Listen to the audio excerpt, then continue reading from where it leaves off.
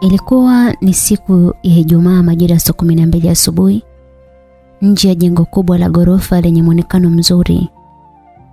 Hii ni tofauti kwa mtazamo wa wengi na kwa wale wanaohusika na shughuli za hapo. Kwao hilo ni jengo la kutisha zaidi. Ni hospitali ya rufaa mlogazila ambayo ni tawi la hospitali ya taifa Muhimbili.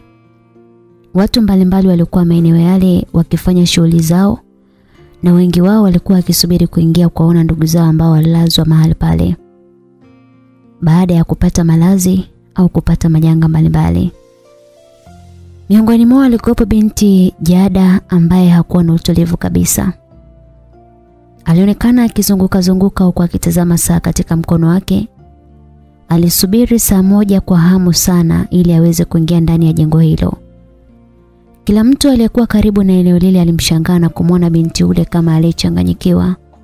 Jada alivalia tracksuit ya pinki, nywele zake fupi zilizokatwa vizuri kwa mtindo wa afro na chini alivalia makobazi. Muonekano huo ndio ulifanya astiliwe shaka kama mgonjwa wa akili. E Mungu wangu, kwa nini umeruhusu hili? Kwa nini yeye? Na kuomba umguse kama ulivyogusa wengine, umweke hai. Najua unaweza na kwako hakuna linaloshindikana. Na kuomba umpatie nafasi nyingine Mungu wangu. Jada alisema haya maneno akiwa akapiga magoti na kufumba macho yake akiwa chini ya kiti cha kupumzikia kando ya lango la kuingilia. Machozi yaliyotoka machoni mwake yalidhihirisha namna gani anaumia na anahitaji msaada wa Mungu. Huenda mgonjwa wake ana hali mbaya sana, maskini anaofu sana. Alizungumza mwanamke mmoja ambaye alikuwa mtu mzima aliyekuwa na shauku ya kumsogelea na kumtuliza Jada. Mama usiende. Mwache kwanza. Hiyo ni hali ya kawaida tu baada ya kupata taarifa mbaya. Atakuwa sawa atakapomuona. Lazima atakuwa mtu wake wa karibu sana. Naomba Mwenyezi Mungu apokee maombi yake. Yule mwanamke mtu mzima alisema baada ya kutii maneno ya mwanae aliyekuwa akamshikilia. Naye alionekana kuwa na mgonjwa pia. Haikupita hata dakika moja Jada akiwa bado kapiga magoti. Alifika binti mwingine wa rika lake na kumnyanyua haraka pale chini kwa kiroba cha unga na kumnyanyua haraka pale chini kama kiroba cha unga na kumkalisha kwenye kiti. Unafanya nini? Umechanganyikiwa wewe? Alifoka Salome, rafiki yake wa karibu sana. Naogopa sana Salome. Vipi kama amekufa? Vipi kama sitomuona tena maskini G? Bado ni kijana mdogo sana. Kwani Karista alikwambiaje? Atasema nini sasa alikuwa amevurugwa? Nilichokisikia ni Jii kapata ajali mbaya. Hata mingine sikumuelewa. Sikumuelewa vizuri, muda wote alikuwa akilia tu. Atakuwa kaumia sana jamani. Alisema akiendelea kulia. Jada, hebu tulia. Yeye sio wa kwanza kupata ajali. Tushukuru Mungu mpaka sasa hakuna taarifa ya kifo chake. Siwezi kutulia mpaka nimuone. Sawa na kuelewa lakini jitulize kwanza. Hauwezi kuingia kule ukiwa namna hii bwana. Eh? Futa hayo machozi. Alizungumza akimpatia liso yake. Muda wa kuona wagonjwa ulipoadia Jaya alikuwa mstari wa mbele kuingia na Salome alimfuata kwa nyuma. Jada, kuna lifti upande huu. Twende kwani amelazwa hodi namba ngapi? Salome aliuliza na kumfanya Jada asimame pale. Sijui lakini nitaenda kumtafuta tu. Usiniangalie hivyo. Jada alisema na maneno yake akamfanya Salome azidi kumshangaa. Jada kweli umechanganyikiwa rafiki yangu. Yaani tuzunguke jengo lote hili tukimtafuta haiwezekani. Kwa hali aliyokuwa nayo ningewezaje kumuuliza jambo kama hilo? Na muda huu atakuwa ameshapanda ndege na hata simu yangu haina salio. Jada alisema akimtazama Salome kwa huruma sana. Ulitakiwa kufikiria hilo kabla hujakurupuka na kuja huku. Nina uhakika wewe ndio umechanganyikiwa zaidi ya Karista. Sijui ungefanya nini kama nisingekuja. Ngoja nimpikie rafiki Kabla hajamaliza sentensi yake akamwona Edgar akiingia huko akiwa ameongozana na baadhi ya watu. Jada, yule si Edi. Yule si Edi mdogo wake na Givan. Alisema akinyoosha kidole kumwelekea kijana mfupi mweusi alikuwa akabeba kikapu mkononi. Jada baada ya kumuona hata kujisumbua kumjibu Salome. Moja kwa moja akamfuata Edgar aliyekuwa akaongozana na watu wengine. Waliungana mpaka sehemu ya lifti huku wakisalimiana na wanaowafahamu. Walipofika mlangoni kwa Odi alipolazwa Given, Edgar aliongoza msafara wakaingia, lakini Salome alimvuta mkono Jada wakabaki nje. Jada, sikia, hali yote utakomkuta nao mgonjwa, naomba ujikaze, usiruhusu uoga ukushinde nguvu. Umemwona Edi haonyeshi kama kakake ana hali mbaya, usije kunifanya nikajuta kuwa na wewe hapa. Jikaze na tusionekane wa ajabu. Jaya akatikisa kichwa kukubali, ingawa alionekana kuogopa sana. Baada ya maneno hayo ya kumweka sawa, wakapiga hatua na Salome akaufungua mlango wa Odi. Baada ya kuingia hawakuweza kumwona Givan moja kwa moja kwa sababu alikuwa amezungukwa na ndugu na marafiki ambao walimtembelea. Ilikuwa tofauti kwa wagonjwa wengine ambao walishia Odi ile. Walikuwa na ndugu wachache na wengine hawana kabisa. Na labda ilikuwa bado walikuwa hawajafika kwa muda huo. Jada na Salome waliingia wodini kwa uoga sana na kuwaona wagonjwa wale wakiwa na majeraha ya kutisha sehemu mbalimbali za miili yao. Jada alisogea taratibu na kupenya ili aweze kumwona Givan. Jada baada ya kupenya na kufanikiwa kumwona, alihisi kushindwa kupumua vizuri kwa hali aliyomwona nayo. Na kama angekuwa peke yake mahali pale, basi angepiga ukunga na kuamsha wagonjwa wengine. Lakini umati wa watu na mkono wa Salomo uliomshika vema ulimzuia kufanya hivyo. Aliogopa lakini alijitahidi kumtazama ili kujihakikishia alikuwa bado haamini kama yule anayemwona ni Givan anayemjua.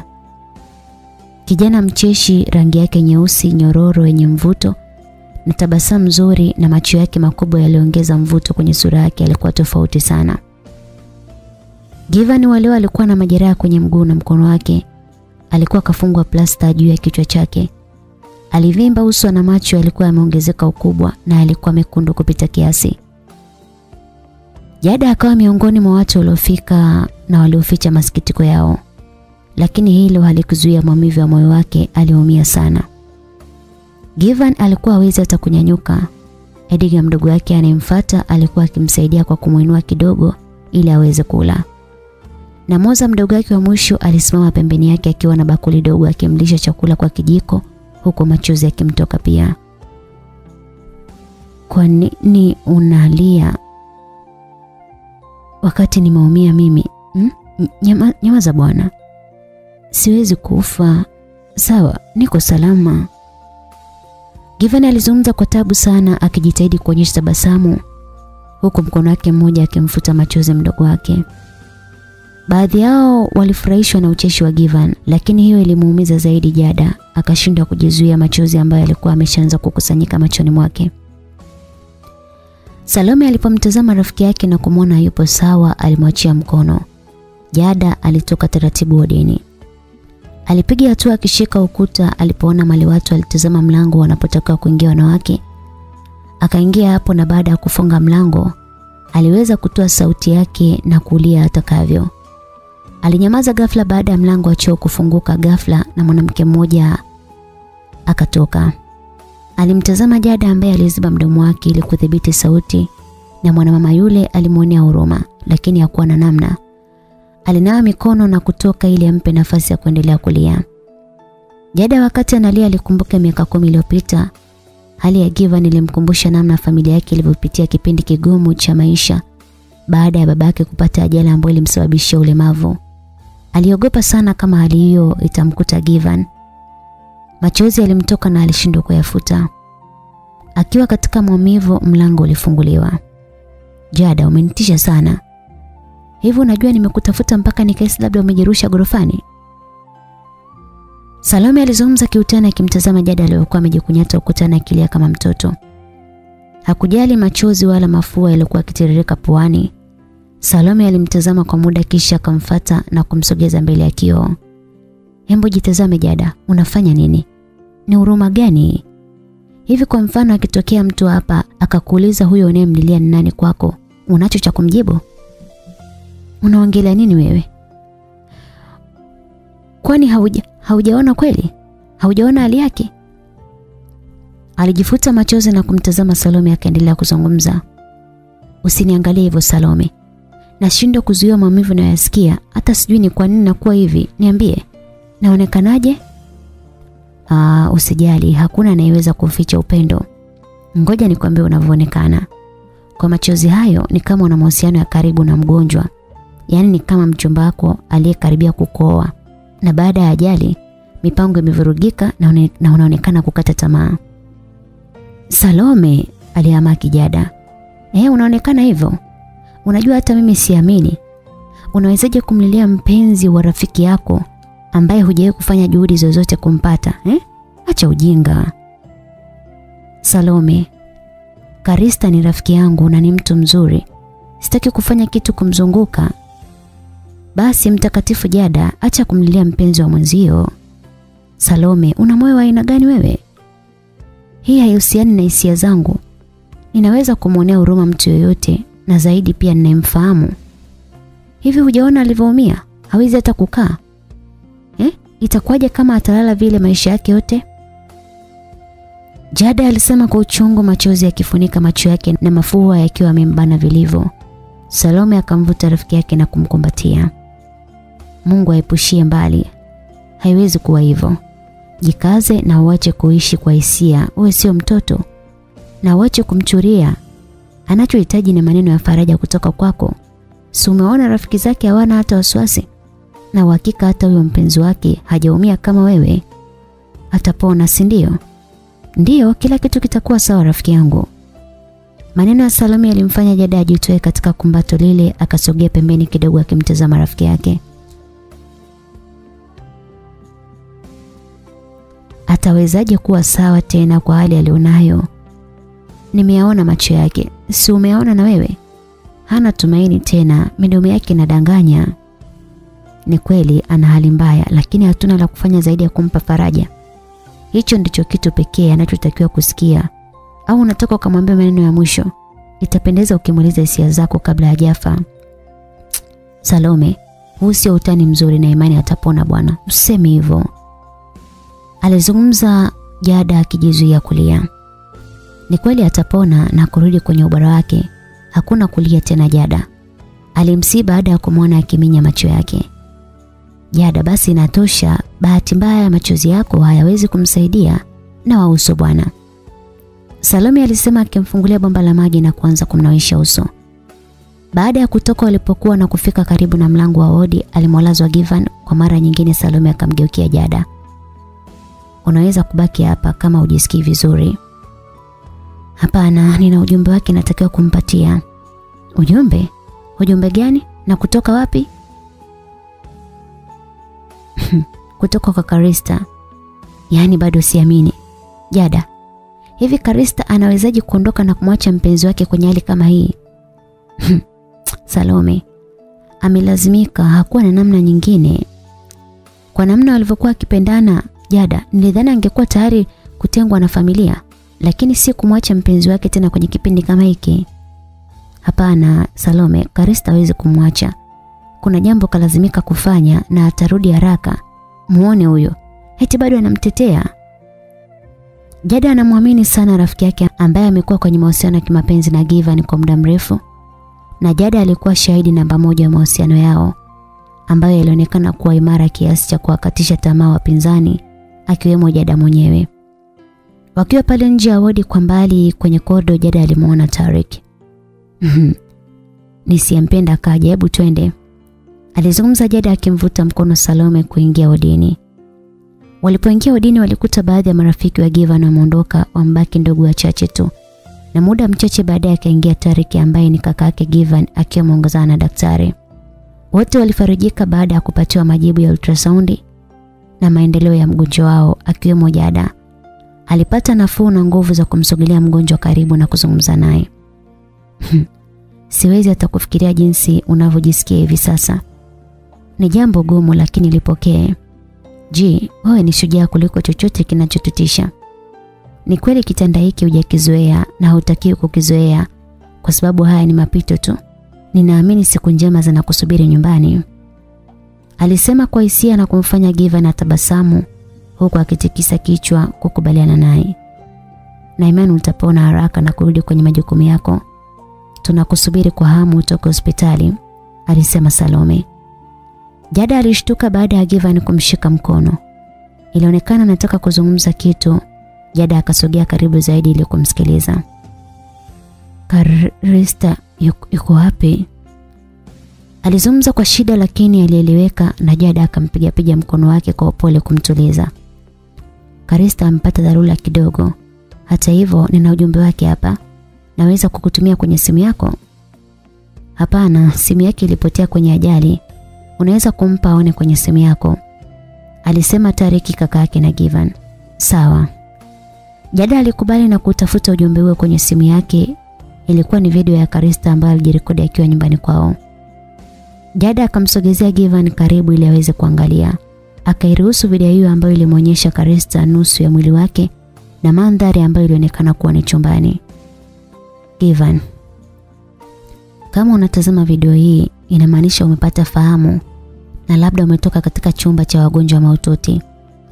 Na hilo ndio ombi langu kubwa kwa Mungu. Ji, naogopa sana na nilipanga kukusubiri hapo nje mpaka utakapoamka lakini sikuweza. Sijui kama utakuwa unakumbuka siku uliopata ajali, ndio siku ambayo ulitakiwa kuja nyumbani kujitambulisha. Lakini ndio hivyo binadamu tunapanga na Mungu pia ana mipango yake. Wazazi wangu walikusubiri sana lakini haukutokea. Nilimwahidi baba kama hautokuja kujitambulisha nitafanya anavyotaka. Bahati mbaya kabla sijapata taarifa ya ajali yako ikaonekana wao wameshinda na ikabidi nisafiri. Nilipopata taarifa nimejaribu mpaka kukataa safari lakini imeshindikana. Sina namna mpenzi wangu. Hapa wamenifungia ndani. Karista alisema kwa hisia machozi yakimtoka akafuta kisha akaendelea. Nisamehe sana Ji.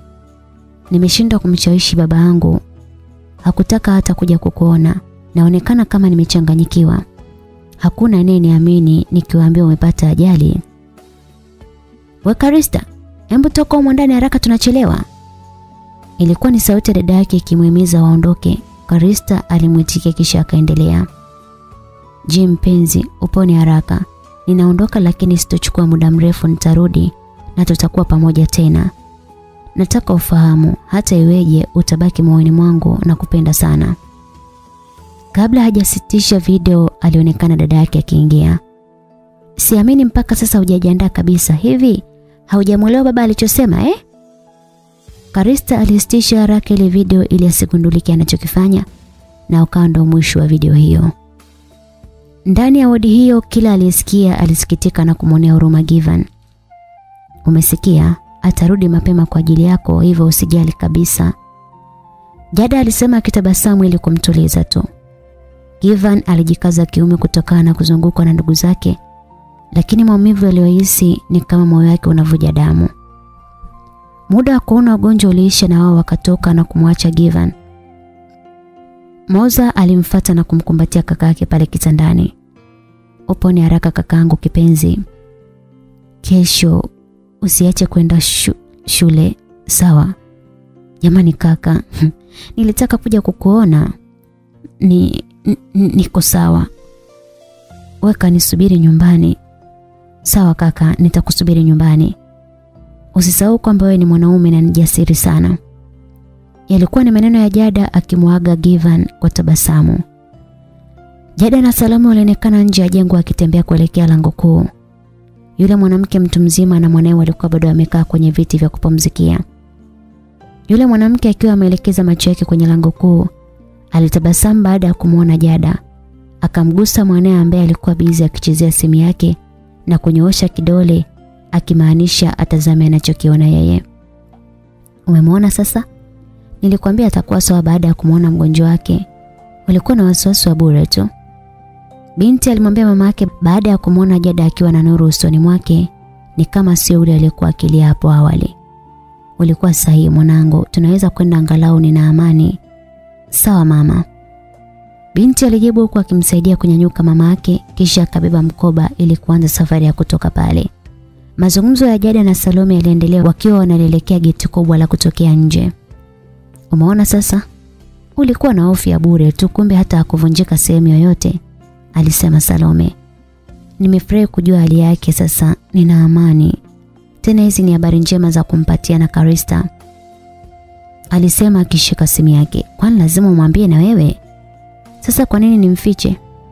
Jada alisimama baada ya kusikia anaitwa, alipogeuka akamwona Tarek akiwafuata. Twendeni kwenye gari, kuna siti za kutosha. Hata usijali, nendeni tu, sisi bado tupo. Jada, kwa nini unanikwepa? Au bado una hasira na mimi? Alizungumza Tariki. Hapana, tunashukuru kwa ukarimu wako Tariki. Tuna safari nyingine tofauti na nyumbani. Salome alisema na Jada akageuka ili kuondoka, lakini alizuiliwa na mkono wa Tariki ambao ulimshika kwa nguvu sana. Jada, kwa nini hutaki kunielewa? Jada akamtazama usoni na kuangalia mkono ambao ulimkamata mpaka Tariki akajishtukia na kumwachia. Salome baada ya kuona hivyo akaongeza hatua mbele yao ili kuwapa nafasi. Nimekuelewa Tariki. Wewe ni mume wa mtu. Haya, ni kitu gani kingine unataka nielewe? Yule mwanamke aling'ang'ania tu nyumbani kwangu. Sikuweza kumfukuza kwa sababu ya ujauzito wangu. Lakini ukweli nakupenda wewe Jada. Tarik, mimi na wewe tumeshamalizana. Hatudaiani. Hizo hadithi zako ukawahadithia watoto wa shule. Jada, mimi sijakuacha bado. Jaribu kunielewa mwenzio bado nakupenda. Fanya kama hatukuwahi kuwa na mahusiano, Tariki. Hii itakuwa ni faida ya, ya kwetu sote. Jada, najaribu kukwambia kuhusu mimi. Kwa nini unielewi sasa? Na kushauri tu usipoteze muda wako kwa sababu utachoka bure. Kama ni ukurasa wa mahusiano yetu umekuwa majivu tayari. Usinifanyie hivyo Jada. Wewe ni mtu mzima tafadhali, naomba unielewe. Hatuwezi kuachana namna hii. Unataka tuachane kwa namna gani? Kwani tulivyoanza kuna mali tulipoandikishana? Sema. Au uko tayari kuachana na mkeo ili unioe mimi? Swali la ghafla lilotoka kwa Jada na kumfanya Tariki ya baba yake akose cha kujibu. Jada akaendelea kusema, "Najua uwezi kumwacha, kwa hiyo kubali yaishe." Lakini Jada, sitaki kuachana na wewe. Hivi unajisikia ulivyo mbinafsi? Ina maana unatutaka wote kwa pamoja. Hivi ukinitazama unaona ninafanana kuwa mchepuko? Sina maana hiyo Jada. Kwa hiyo una maana gani? Tariki, usifanye mambo kuwa magumu. Una familia nzuri tu. Na kama umeshindwa kuwa mume bora, basi jitahidi kuwa baba bora na uache kuhangaika na maisha yangu. Baada ya kusema hayo, Jada aliondoka bila hata kugeuka nyuma huku akiwa anampungia mkono kumwaga. Tariki alitazama kushoto na kulia kama kuna mtu amesikia maongezi yao na taratibu akapiga hatua kulifuata gari walilokuwepo ndugu zake. Akajiweka sawa kama hakuna kilichotokea. Baada ya kuingia, akawasha gari na kuondoa gari. Aliwapita kwa kasi Jada na Salome nje ya geti. Kwa hiyo mmeachana? Salome aliuliza akimtazama rafiki yake usoni. Bado unahisi nakutania Salome? Ni lini mmewahi kuwa serious?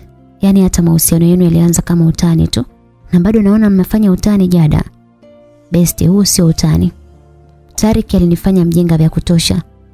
Yaani mimi ambaye ninakushauri kila siku rafiki yangu uachane na wanaume za watu. Kumbe na mimi ndio wale wale. Wala usijilaumu Jada. Alikudanganya na bado anakutaka. Sidhani kama atakata tamaa. Salome, siwezi kuwa na uhusiano na, na mume wa mtu. Tena mwanaume alidiriki kunipeleka kwenye geto la rafiki yake akidai ndipo anapoishi. Najionea aibu kwa namna nilivyokuwa mjinga. Nilijiamini mbele ya rafiki zake kumbe nilikuwa mchepuko tu. Na uhakika walikuwa wananicheka. Na walinicheka sana. Alisema na kumfanya Salome acheke pia. Usicheke Salome. Hivyo najua nilimchukulia poa sana nikidhani kwamba ana malengo ya maisha.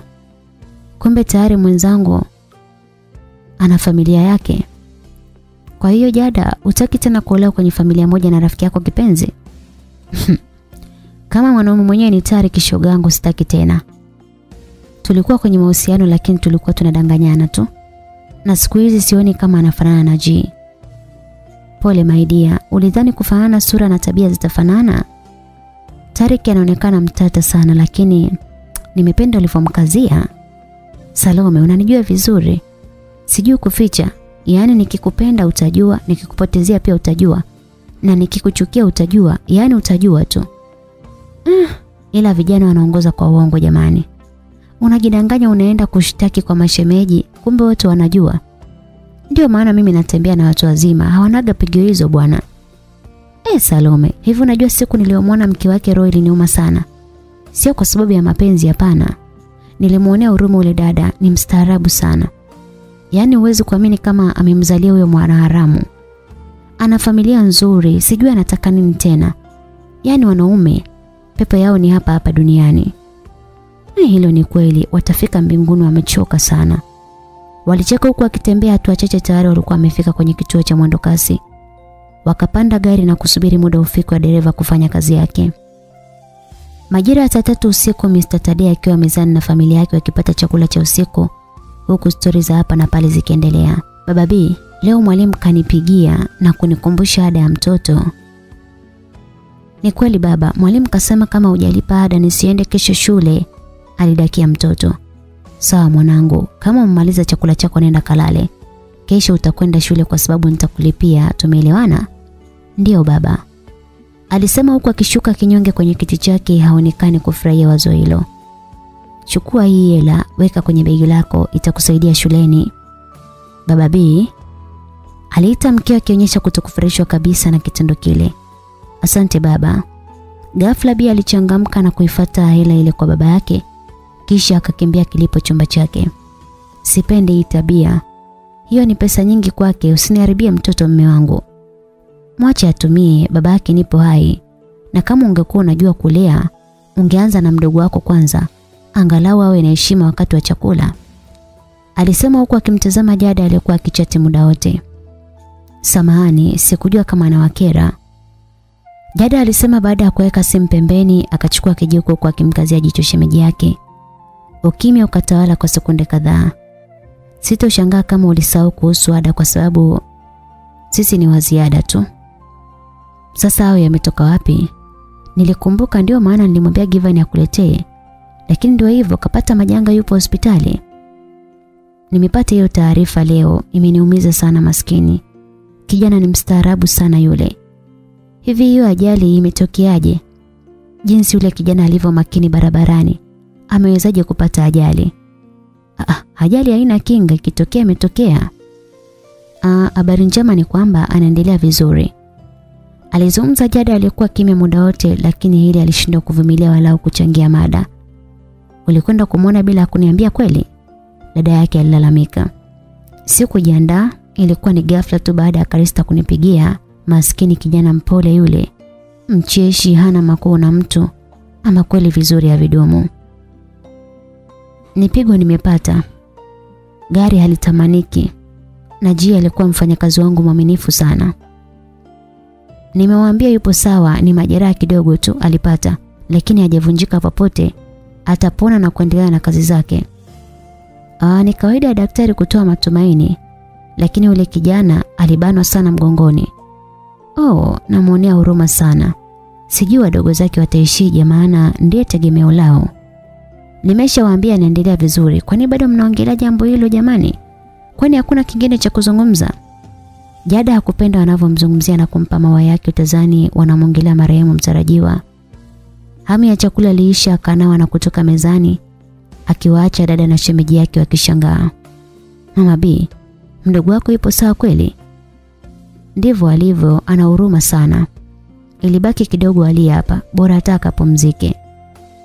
Baada ya siku kadhaa za kukaa hospitali, hatimaye Given aliruhusiwa kurudi nyumbani. Hali yake ilikuwa inaonyesha tumaini. Aliweza kuzungumza vizuri na baadhi ya sehemu alifunguliwa plasta na hata usoni hakuwa amevimba tena. Lakini bado alikuwa na shida ya mgongo, hakuruhusiwa kutembea kwa wiki mbili. Alitakiwa kuhudhuria kliniki kila wiki ili kujua maendeleo yake ili kuruhusiwa kufanya mazoezi pia. Ndugu zake walikuwa wenye matumaini lakini yeye bado hakuwa sawa. Alikuwa akiingia nyumbani kwake wakati wowote na alikuwa akikanyaga kizingiti cha mlango kwa miguu yake. Lakini leo alikuwa akiingia nyumbani kwake wakati wowote na alikanyaga kizingiti cha mlango kwa miguu yake. Lakini leo anaingizwa kwa kubebwa kama maiti. Ilibidi aigizwe yupo sawa lakini ndani yake alitamani kujiua. Moja kwa moja alipelekwa chumbani kwake na kulazwa. Hapo bado alikuwa haamini anachopitia. Alitamani amke kitandani kisha wasimulie watu ndoto ya ajabu aliyoota, lakini haikuwa ndoto, ilikuwa ni uhalisia kabisa. Anatamani kulia lakini machozi hayatoki. Anahisi kulia ni kwa ajili ya wanawake tu na kama yeye akilia anawadhalilisha wanaume wenzie. Given ni kijana mpambanaji sana aliyekuja mjini kuyatafuta maisha miaka sita iliyopita. Alianza kwa kufanya kazi za vibarua, alifanya kazi kwa bidii na mshahara wake aliutunza na kwenda kujifunza udereva na hiyo ndio kazi yake sasa. Juhudi na uaminifu wake umemfanya kupendwa na mabosi wengi. Amefanikiwa kujenga nyumba moja mjini na ana duka la spea za magari. Hilo lilikuwa ni jambo kubwa kwake na stori ambayo alitamba nao mama yake huko kijijini kwao. Pesa kidogo alizokuwa nazo zilimpa heshima kwenye ukoo wake. Alionekana mtu muhimu katika shida na raha. Hakuwasahau ndugu zake waliohitaji msaada wake pia. Aliwachukua wadogo zake na kuishi nao mjini. Aliwaonyesha nini maana ya kuwa kaka, aliwapenda na kuwajali. Anaumia mara mbili zaidi kila akimkumbuka mpenzi wake Karista, binti aliyempenda na kumthamini kuliko hata mama yake mzazi. Huyo ndiye mtu pekee anatamani awe karibu yake wakati huu. Huu ndio wakati ambao alihitaji kuonyeshwa mapenzi ya kweli. Yale mapenzi yanaweza kusimamisha muda na kumsahaulisha matatizo alionayo. Karista alikuwa miongoni mwa wale wasichana ambao wakati wa uumbaji wa Mungu aliwapendelea. Karista alikuwa mrembo sana na alitokea kwenye familia inayojiweza. Given alipambana kadiri ya uwezo wake kuhakikisha anamudu mahitaji ya mpenzi wake. Alikumbuka ahadi na viapo vya kuwa pamoja milele haijalishi nini kitatokea. Aliunganisha na maneno ya Karista kwenye ile video fupi licha ya Karista kuongea maneno mazuri na kutoa ahadi. Lakini Given alihisi hivyo ndio safari ya kifo cha mahusiano yao. Given anahisi ameonewa sana na vitu vibaya vinamfata kama ndoto ya kutisha. Ni katika duka moja la kuuza keki na mahitaji ya keki linalomilikiwa na mabinti wawili. Wanashare katika duka hilo ambalo bidhaa zote ni za Salome, lakini keki ni za Jada na ndiye mpishi inapotokea oda. Hivi unajua leo Given ameruhusiwa? Alisema Jada akitabasamu. Jada, hii ni mara ya tatu unaniambia au unahisi nimepoteza kumbukumbu? Yaani kutwa unamtaja unamtaja taja tu. Hata Karista kumpenda kiasi hicho bwana. Hivi unahisi nafanya makusudi? Usijali rafiki yangu, nakuelewa. Malizia oda ya mteja ukamwone, najua utajisikia vizuri. Lakini natakiwa kuipeleka. Usijali, nitapeleka mwenyewe Jada. Nitafunga kwa dakika chache, najua sio tatizo. Oh, kipenzi changu, asante. Alisema Jada akimkumbatia Salome. Basi bwana utanichafua. Jada alimwachia huku akivua apron na kofia maalum ya jikoni. Lakini bado hujamaliza vizuri. Maliza bwana unaweza. Jada nitaharibu. Mimi naenda bwana. Alimwaga kwa kumpungia mkono Salome alibaki akimtazama. Akarudisha macho kwenye keki iliyopambwa na ilibaki kuandikwa jina la musika. Alianza kufikira namna ya kufanya wamekuwa dukani kwa muda mrefu na Jada alimfundisha. Lakini Salome amekuwa ni mzito sana kujua hilo. Jada alikuwa njiani kuelekea nyumbani kwa Givan. Mkono wake wa kulia alibeba mfuko wa matunda na mwingine alibeba mkoba wake mdogo. Gari ndogo aina ya Toyota Crown ikapita karibu yake. Jada ana ndoto ya kumiliki gari siku moja na amekuwa na mtindo wa kusoma plate number ili kujua kama gari hiyo ni toleo jipya ama la. Lakini leo aliposoma plate number ya gari hiyo alihisi kama amewahi kuliona sehemu. Alirudisha macho haraka kwenye gari na kulitazama vizuri na kwa bahati lilisimama mbele kidogo. Kwa nini sikumbuki nilipowahi kuliona? Jada alijiuliza maswali huku akilikaribia gari hilo. Alisubiri mpaka pale dereva atakapotoka ndani ya gari lile na ndipo athibitishe kama mawazo yake yapo sahihi ama la. Jada alishtuka na kujificha pembeni baada ya kushuka kijana mmoja mtanashati mrefu wa wastani na kwa muonekano wake unaweza kudhani ni msanii. Amefuata nini hapa huyo? Jada alijikuta anauliza kwa sauti na ni ukuta pekee ulikuwa unamsikiliza. Baada ya yule kijana kushuka kwenye gari, alizunguka mlango upande wa pili, akaufungua na hapo Jada akamwona Moza. Alitamani kujitokeza lakini alisita baada ya kuwaona wakizungumza na kushikana. Alihisi tayari wawili hao wapo kwenye mahusiano ya kimapenzi. Aliamua kusubiri wakaagana, ilikuwa karibu na nyumba ya Givan. Baada ya Moza kuingia ndani, Jada akajitokeza kulizuia gari lakini akawa amechelewa. Tayari dereva alikuwa akashika usukani na hakujali mtu alimsimamisha. Badala yake akaongeza mwendo ambao ulimtisha yeye. Mwanaharamu wewe. Ukagonge na ufe. Yalimtoka maneno kwa hasira huku jiwe kwenye lile gari, lakini jaribio lake alikufanikiwa pia. Akainama na kuanza kuokota matunda aliyokuwa kadondosha baada ya kupata mshtuko wakati gari lilipokuwa likimwelekea. Alipomaliza kuyaweka kwenye mfuko akasimama akitazama nyumba ya Given kwa mbele kidogo. Haikuwa mara yake ya kwanza kufika hapo, lakini hii ilikuwa ni ya kwanza kufika akiwa peke yake bila Karista. Jada alipiga hatua zake na kufikia mlango. Alipoingia alipishana na baadhi ya wageni wa Given ambao walikwenda kumjulia hali na yeye akiwa ni miongoni mwao. Alifika mpaka chumbani alipolala Given akamsalimia akiwa na tabasamu pana. Hakupata wasaa kuzungumza zaidi ya salamu. Akiwa na mfuko wake mkononi akutaka mtu ampokee. Alihofia kuonekana ameyaokota matunda kwa hali aliyokuwa nayo. Hata hivyo hakuwa mgeni mahali pale, akaelekea moja kwa moja jikoni. Alishangazwa na hali ya mule jikoni, palikuwa hapaeleweki, ni kama hawaishi watu. Vyombo vichafu viko kila mahali, chakula kwenye masufuria kisichofaa kuitwa chakula tena, bali uchafu. Harufu ya mboga zilizoharibika, ndoo na madumu ya maji machafu na hayakuwa pia kwenye mpangilio. Jada akalivaa jukumu kusafisha na kupanga pale jikoni. Akiwa anaendelea na kazi ile, akaingia Moza alikuwa anasikiliza mziki kwenye simu yake ndogo. Tofauti na salamu Moza kuonyesha kujali kile anachokifanya Jada. Alichofanya ni kumwongezea vyombo vichafu alivyotoka kutumia na kutafuta maji ya kunawa. Moza, hivi siku zote mnaagiza chakula hotelini? Ndiyo, kwa sababu nachelewa kutoka shule na hata usiku nakuwa bize na masomo.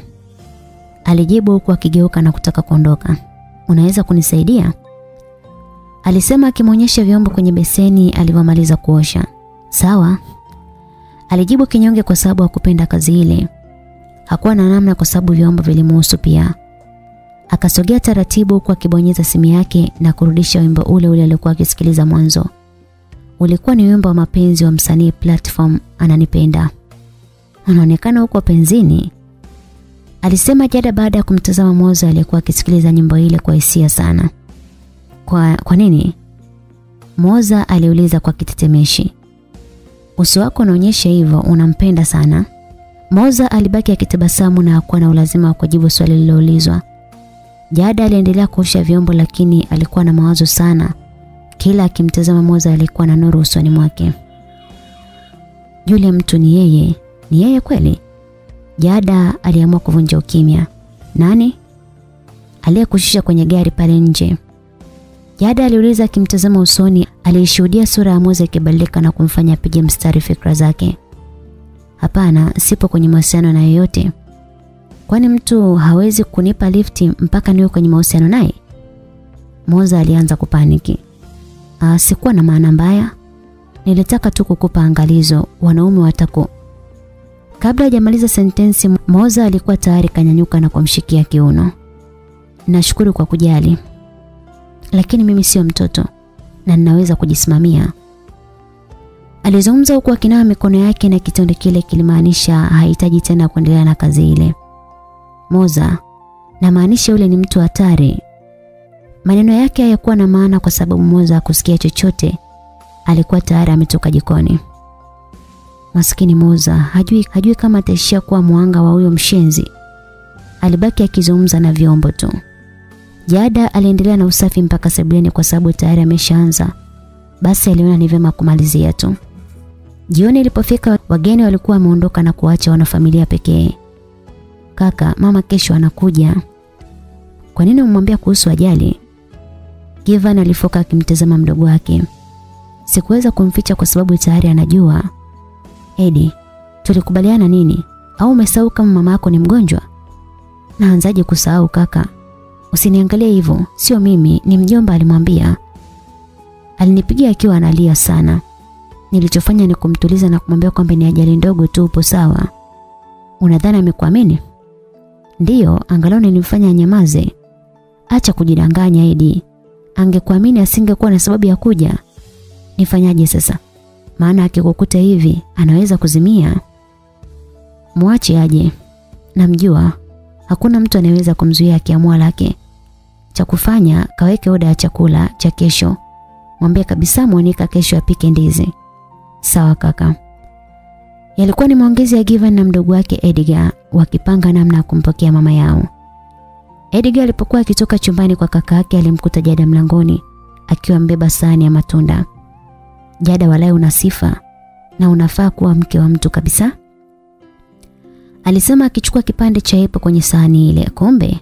Mm. Edgar alijibu huku akitafuna na kuchukua tunda jingine tena na jingine huku akiendelea kuongea. Jada, wewe ni mwanamke haswa. Nitakuwa muongo nikisema kwamba hapa ndani pamewekwa katika hali hii. Haya, asante. Jada akamkatisha baada ya kuona zile sifa zitafanya matunda yaishe bila kumfikia mhusika. Akaingia chumbani kwa Givan awamu hii alimkuta peke yake. Unaendeleaje?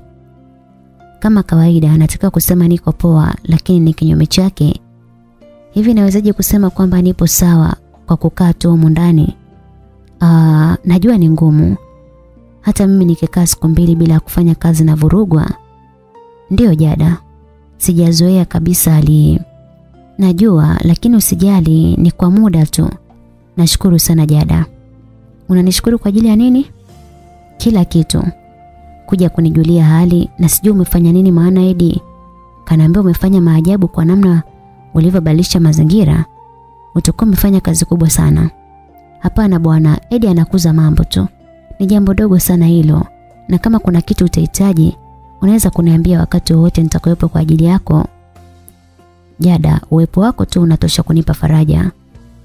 Given, najua wewe ni mkarimu sana na haupendi kuomba mtu akufanyie kitu.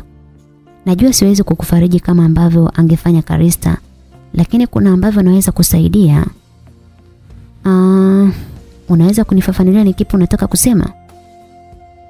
Nilikusikia wakati unaongea na Edi kuhusu mgeni. Yaani naweza kuja kuwapikia kesho kuliko kuagiza chakula cha familia nzima hotelini. Nadhani itapunguza gharama. Ni wazo zuri lakini sitaki kukuchosha, una kazi zako pia. Usijali Given. Naweza kufanya kwa sababu kesho sina oda yoyote ile. Niseme nini tena Jada? Umekuwa msaada sana kwangu. Nitamwambia Edi akupe hela kwa ajili ya mahitaji. Sawa. Jada aliitika huku akiinuka hakuwa na la ziada akaaga ili kuondoka. Aliposhika kitasa ili atoke, Givan aliongea. Jada aligeuka baada ya kuitwa na Givan. Nimefurahi kukuona. Kauli ile ya Givan ilifanya mapigo yake ya moyo yaende mbio. Hakuamini kitu alichokisikia maana ilikuwa ni mara ya kwanza kwa Givan kumchangamkia vile. Alishangaa lakini alijishtukia akaamua kutoka ili asionekane wa ajabu. Alitoka nje ya nyumba akiwa haamini alichokisikia haikuwa kawaida. Jada alikumbuka siku ya kwanza kumwona Givan ilikuwa ofisini kwa shemeji yake ambaye anamiliki gereji ama karakana. Alipenda kwenda pale mara kwa mara na karibu vijana wote wa pale walijaribu bahati ya kuwa naye isipokuwa Givan. Givan alikuwa akimkazia ni kama hakutaka mazoea naye kabisa. Jada alijisikia vibaya sana. Hiyo ni kabla Karista rafiki yake wa chuo hajamtambulisha Givan kama mpenzi wake. Na hapo ndipo Jada alipata majibu ya sababu ya Given kumkazia. Jada aliumia sana na hakuwa na la kufanya. Na kama angetaka kujilinganisha na Karista kwa uzuri, basi angeshindwa hata kabla mtanange haujaanza. Wakati alipokuja daa akitokea Msoma, Karista alikuwa mwenyeji wake. Usasa wa Karista ulimkatisha tamaa Jada na kuhisi Given hakuvutiwa na wanawake wa aina yake. Siku zote Given alikuwa mcheshi lakini sio kwake. Lakini leo wameweza angalau kuzungumza. Kwa Jada lilikuwa ni jambo la kufurahisha sana. Alikuwa bado nje ya nyumba ya Given, alitoa simu na kuandika ujumbe kwa kitabasamu. Dukani Salome alikuwa akitoa huduma ya kumfungia bidhaa mteja wake huku akimpatia ushauri pia. Usiwe na wasiwasi kabisa, hii ni nzuri sana na karibu tena. Salome alimaliza huku macho yake yakimtazama Jada mwenye furaha aliyefika na kukaa kwenye viti vya wateja nje ya duka lao. Salome akafungua jokofu na kutoka na kopo lenye juisi na mkono mwingine alishika glasi mbili na kumfata Jada. Kwa namna nisivyotamani kupitwa na huo umbea, nimeuandalia na juisi kabisa ya kushushia, alisema akimimina kwenye glasi. Salome we kiboko, lakini pole, huu hata sio umbea. Jada alisema baada ya kupiga funda kubwa la juisi akameza. Kama sio umbea ni kipi kingine? Tulia basi nikueleze. Kama hiyo story haihusiani na hela, jitahidi kuifupisha. Salome alitoa angalizo. Si unajua nilikuwa kwa Given? Ndiyo. Na ukaamua kumalizia siku yako huko. Salome, huwezi kuamini kilichotokea. Alisema akirusha mikono yake kwa shauku. Embo niambie. Salome akajitengeneza vizuri na kuweka umakini wote kumsikiliza. Leo Given kanishukuru baada ya kuwasaidia usafi na kubwa zaidi wakati na mwaga akaniambia kwamba amefurahi sana kuniona. Halafu ikawaje? Ulitaka iweje? Nilifurahi tu nikaondoka zangu. Hivyo tu? Aliuliza kwa mshangao asiamini. Ndiyo. Kwani ulitegemea nini? Jada hata siamini. Yaani hicho ndo kimekufanya uniandikie ujumbe? Kwamba nijiandae kuna kitu unataka kuniambia? Eh, tatizo lako Salome unaanza umbea muda wote. Baada ya Jada kuongea hivyo alishangaa kumwona Salome akicheka. Kuna kitu cha kuchekesha nimesema Salome? Jada, kama ungekuwa mwanaume ningekwambia ukamtongoze. Bahati mbaya wewe ni mwanamke, hata sijui nikusaidiaje rafiki yangu. Unaongelea nini wewe? Waliosema penzi kikoozi kulificha hauwezi hawakukosea shoga yangu. Jada, unampenda sana ule mwanaume. Na stage uliofikia huwezi kuficha hilo. Cha kukushauri tu tumia huu wakati vizuri. Labda unaweza kupindua meza kabla Karista hajarudi. Upo sahihi. Nampenda lakini hiyo haimaanishi kwamba nataka kuwa naye. Hilo haliwezekani. Nahitaji tu kuwa rafiki yake wa karibu. Tayari wewe ni rafiki mkubwa wa mpenzi wake. Ya, Karista ni rafiki mzuri, sitaki kujaribu kumzunguka. Um, kujaribu kuwa karibu na mpenzi wake huko ni kumzunguka tayari. Huo sio upendo. Sio upendo wa kawaida. Utajiweka karibu naye ili akuhitaji na baada ya hapo atasema Jada nakupenda. Hilo ni wazo zuri. Alisema Salome na kumalizia kicheko. Acha kunidhiaki. Jada alichukia na kunyanyuka. Na kutania bwana. Hata ukinuna upendezi. Hata hivyo muda umeenda sana, tufunge tuondoke. Unaweza kwenda mimi nitabaki. Jada alisema na Salome alishangaa na kuamua kusogea alipo rafiki yake. Jada nimekuudhi kiasiko? Yaani unataka ukeshe ukifanya kazi? Hapana Salome, wala hujaniudhi. Ni kwa sababu kesho na ratiba nyingine asubuhi. Basi sawa mimi naenda tutaonana kesho. Alisema Salome huku akimsogelea karibu zaidi na kumnong'oneza. Kisha akamwaga, usiku mwema kipenzi. Na kwako pia. Jada alijibu huku akitafakari maneno aliambiwa na Salome. Ni siku nyingine tena Jada akiwa nyumbani kwa Given bila uwepo wa Karista. Alifika mapema sana akiwa na fuko kubwa lilobeba mahitaji na kabla hajaanza kupika alianza na usafi kisha akaanza kupika. Wageni nao hawakuwa wengi siku hiyo, aliandaa supu kwa ajili ya mgonjwa na kuiweka katika bakuli. Alipokwenda kumpelekea Givan hakumkuta peke yake. Alikuwepo Tariki na mke wake. Jada alijitahidi kutoonyesha mshtuko wowote tofauti na Tariki ambaye alionyesha kubabaika baada ya kumwona Jada. Baada ya kusalimiana Jada akamwelekea Givan aliyekuwa kakaa kwa kuegemea mto. Muda wa supu. Nipe nitakusaidia kumnywesha. Alisema mke wa Tariki na kuchukua bakuli na kuketi karibu na Givan. Kama ungekuwa unamjali si ungempikia sasa.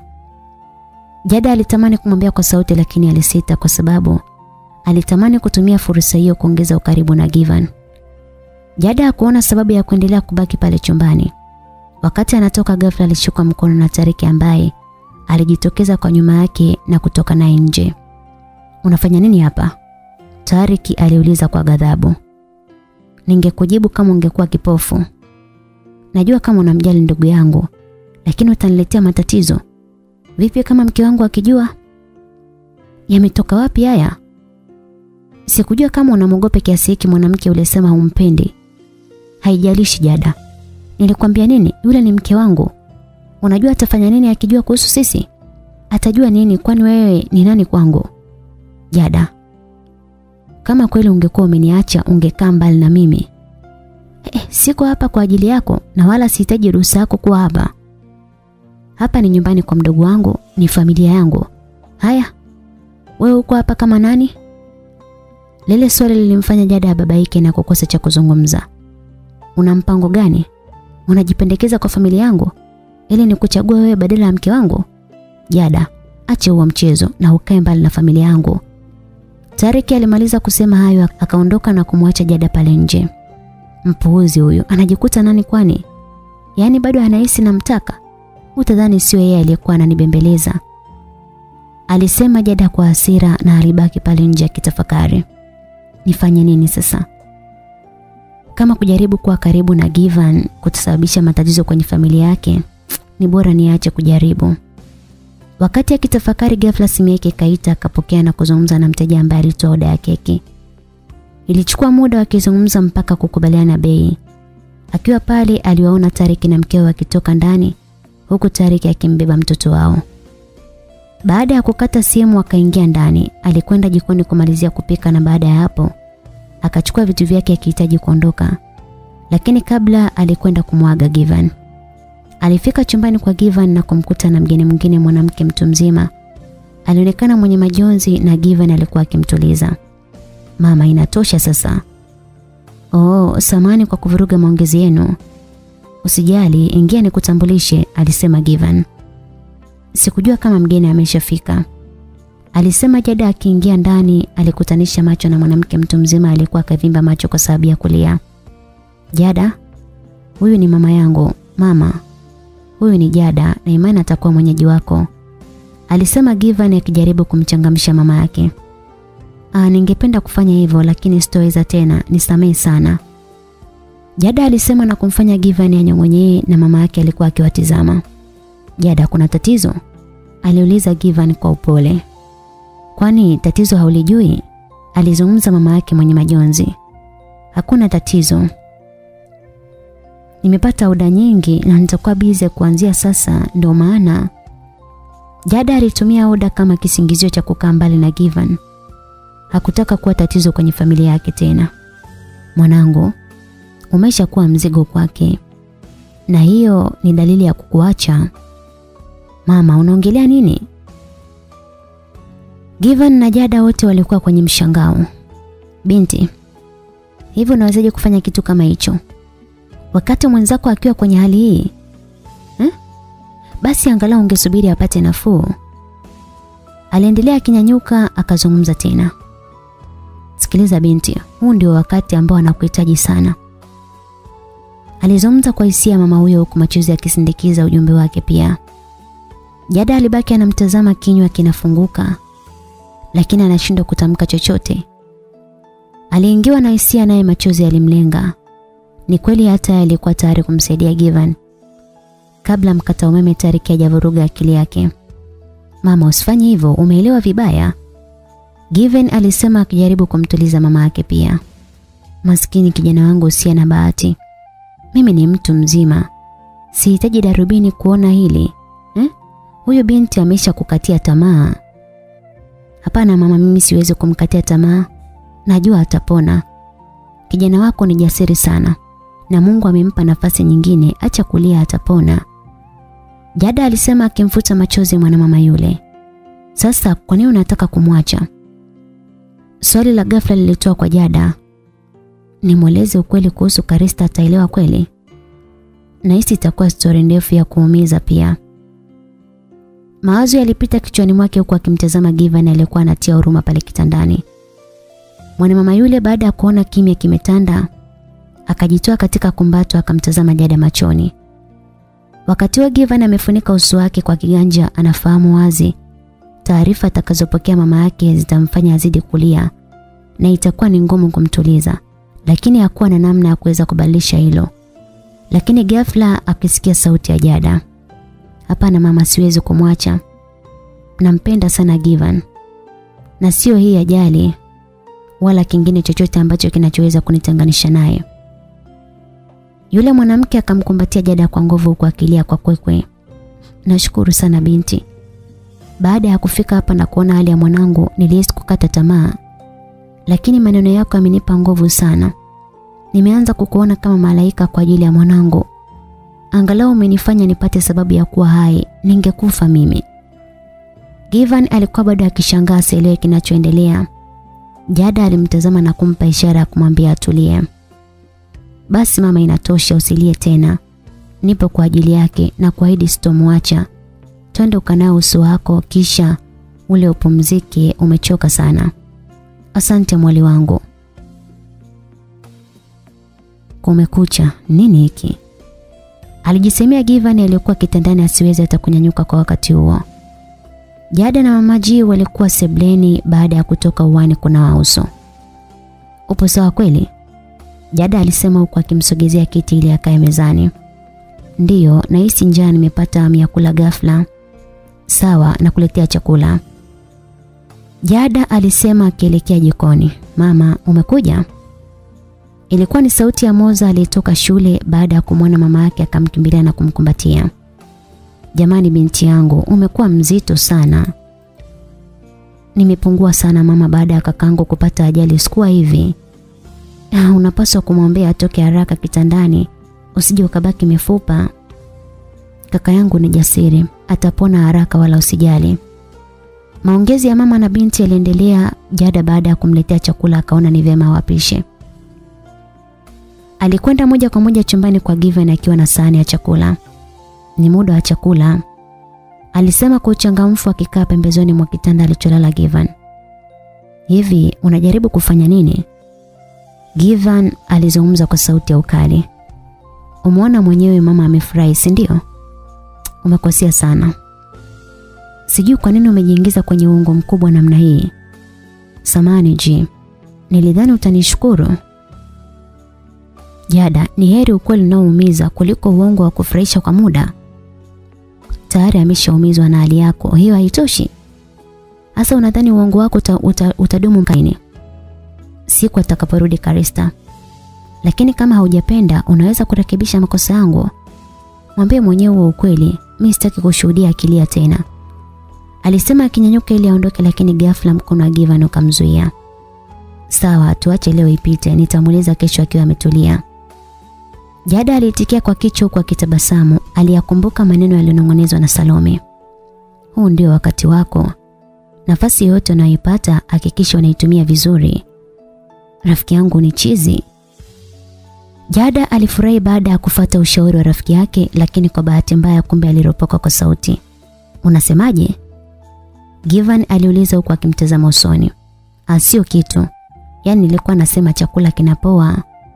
Weka hapo nitakula baadaye, unaweza kwenda sasa. Ni kweli, hata hivyo muda umeenda sana.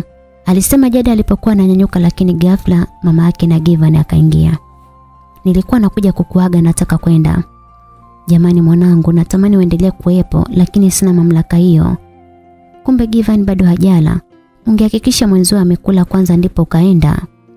Hapana mama, nitakula baadaye. Givan, acha ubishi, unajua una bahati sana. Mpenzi wako ni mpishi mzuri sana. Kula bwana. Jada alitabasamu huku akimwangalia Given. alifurahi sana kupewa sifa zile mbele ya Given. Taratibu akarudi kukaa na kubeba ile sahani na hapo likaanza zoezi la kumlisha. Lilikuwa zoezi gumu sana kwa Given kuigiza kama mpenzi licha ya chakula kuwa kitamu. Lakini Given alikuwa amekunja uso muda wote. Hilo alikuwa tatizo kwa Jada, alionekana kuzoea haraka. Mama G muda wote aliwatazama akitabasamu. Wakati zoezi lile likiendelea, akaingia mgeni mwingine. Karibu sana baba. Mama G akamkaribisha mgeni yule. Givan na Jada wakamtazama kwa pamoja. Jada alihisi kutetemeka, alitoa macho asiamini anachokiona. Kama asingekuwa Givan kumshika basi angedondosha sahani ya chakula. Givan, unaendeleaje? Vizuri bosi. Alitamka Given kwa kitete, anafahamu Mr. Tadei ni shemeji yake Jada. Karibu ukae, nimefurahi kwa kufahamu. Mimi ni mama yake na Given. Alizungumza kwa uchangamfu huku akimpatia kiti cha plastiki akalie. Asante sana, karibu sana da. Alipokea kiti na kukalia akiendelea kuongea na mama yule. Lakini macho yake alimtazama Jada kwa namna ya kupeleleza jambo. Jada, unaweza kwenda nimeshiba, asante sana. Givan alimwambia Jada kwa sauti ya chini baada ya kumwona amekosa amani. Jada alinyanyuka taratibu akitembea bila kujiamini. Kijana wako ni mpambanaji sana. Kiukweli natamani apone haraka arudi kazini. Bila shaka atapona kwa sababu mchumba wake anamhudumia vizuri sana. Ilibaki kidogo Jada adondoke kwa mshtuko aliopata. mwanamama yule akawahi kumshika. Uko sawa mwali wangu? Maneno ya mama yule alizidi kumaliza nguvu miguu ya Jada. Akajitahidi kujikaza. Alipofika sebleni akachukua mkoba wake na kutoka nje ya nyumba. Nimefanya nini sasa? Given alikuwa sahihi. Ona sasa uongo wangu uliponifikisha jamani. Huu ni upuuzi, sijui kwa nini hata nimemsikiliza Salome. Alipokuwa akiendelea kujilaumu ghafla akasikia mlio wa ujumbe kwenye simu yake. Aliitoa kwenye mkoba na kuusoma baada ya kuondoa nywila. Usiondoke ni nikukute nje. Ulikuwa ni ujumbe kutoka kwa shemeji yake aliyemwacha chumbani kwa Given. Hawezi kuacha ili lipite. Nisipozungumza naye na uhakika atamweleza dada. Jada hakuwa na namna zaidi ya kumsubiri shemeji yake tu. Mr. Tari baada ya kumjulia hali mfanyakazi wake alitoka moja kwa moja kuelekea alipopaki gari lake na hapo alimkuta shemeji yake akimsubiri.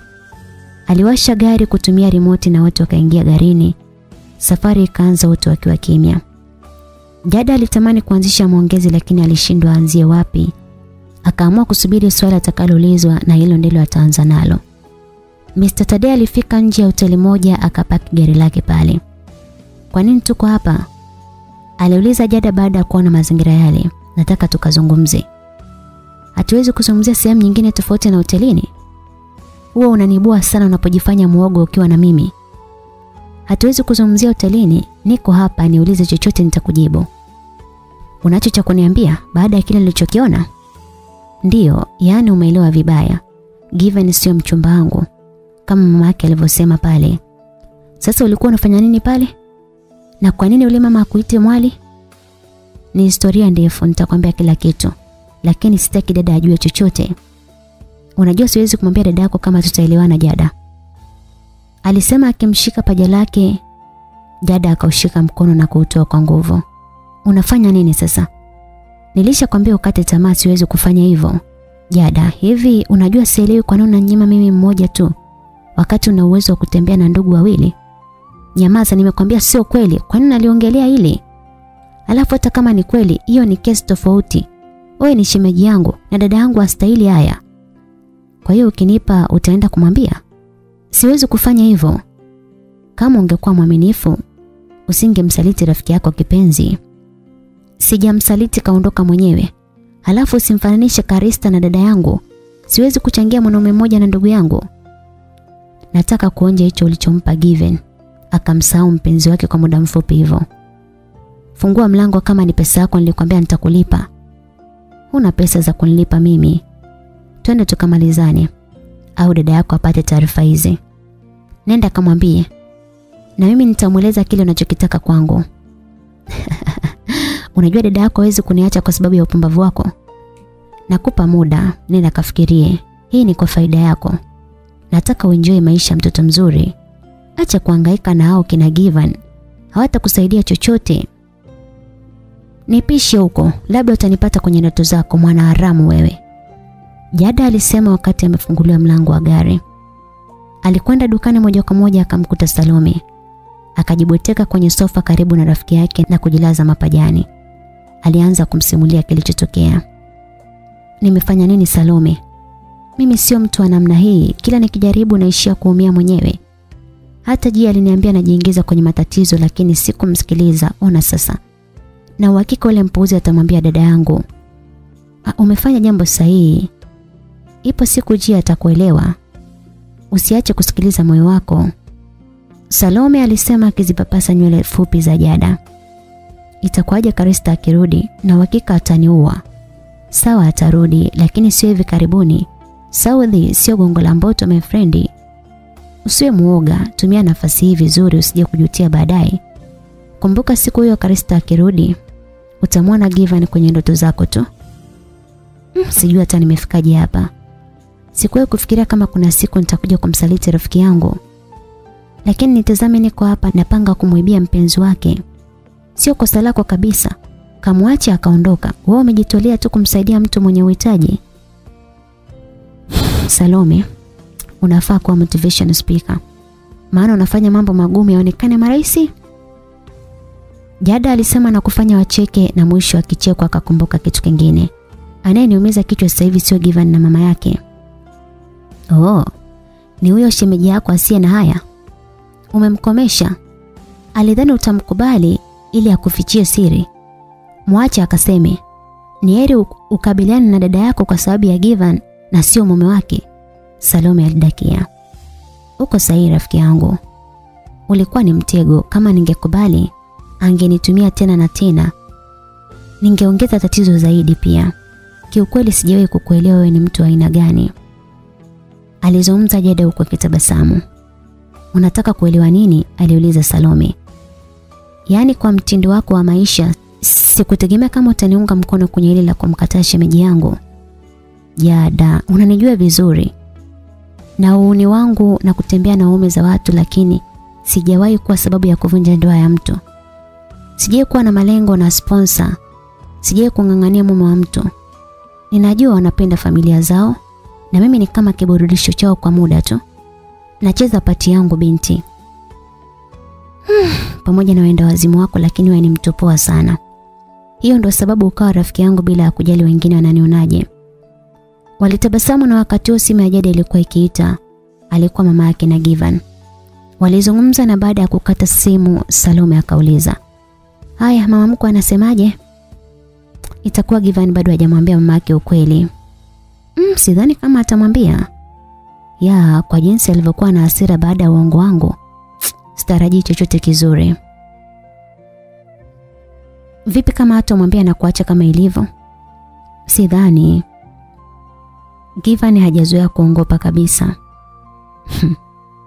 Ni rahisi sana kuzoea kitu kama kinakuvutia unajua. Salome unamaanisha nini? Kama anavutiwa na wewe hatokaa mwambie. Mm, Salome sitaki kuwa na matumaini hewa. Nitakuwa najidanganya. Given anampenda Karista wake. Kwanza tuachane na hizo story, tufunge duka twende nyumbani. Utamwambia nini dada yako? Mm, Salome sio siri naogopa. Kama dada akiambiwa hizi habari, hiyo ndio itakuwa mada ya mwaka mzima. Basi twende ukalale kwangu. Ah, nitalala dukani tu. Sitaki kukusumbua na mtu wako. Usijali Mrs. Given. Sponsor wangu amesafiri. Hata hivyo, hawezi kuja bila taarifa. Acha utani Salome, sawa nitalala kwa leo.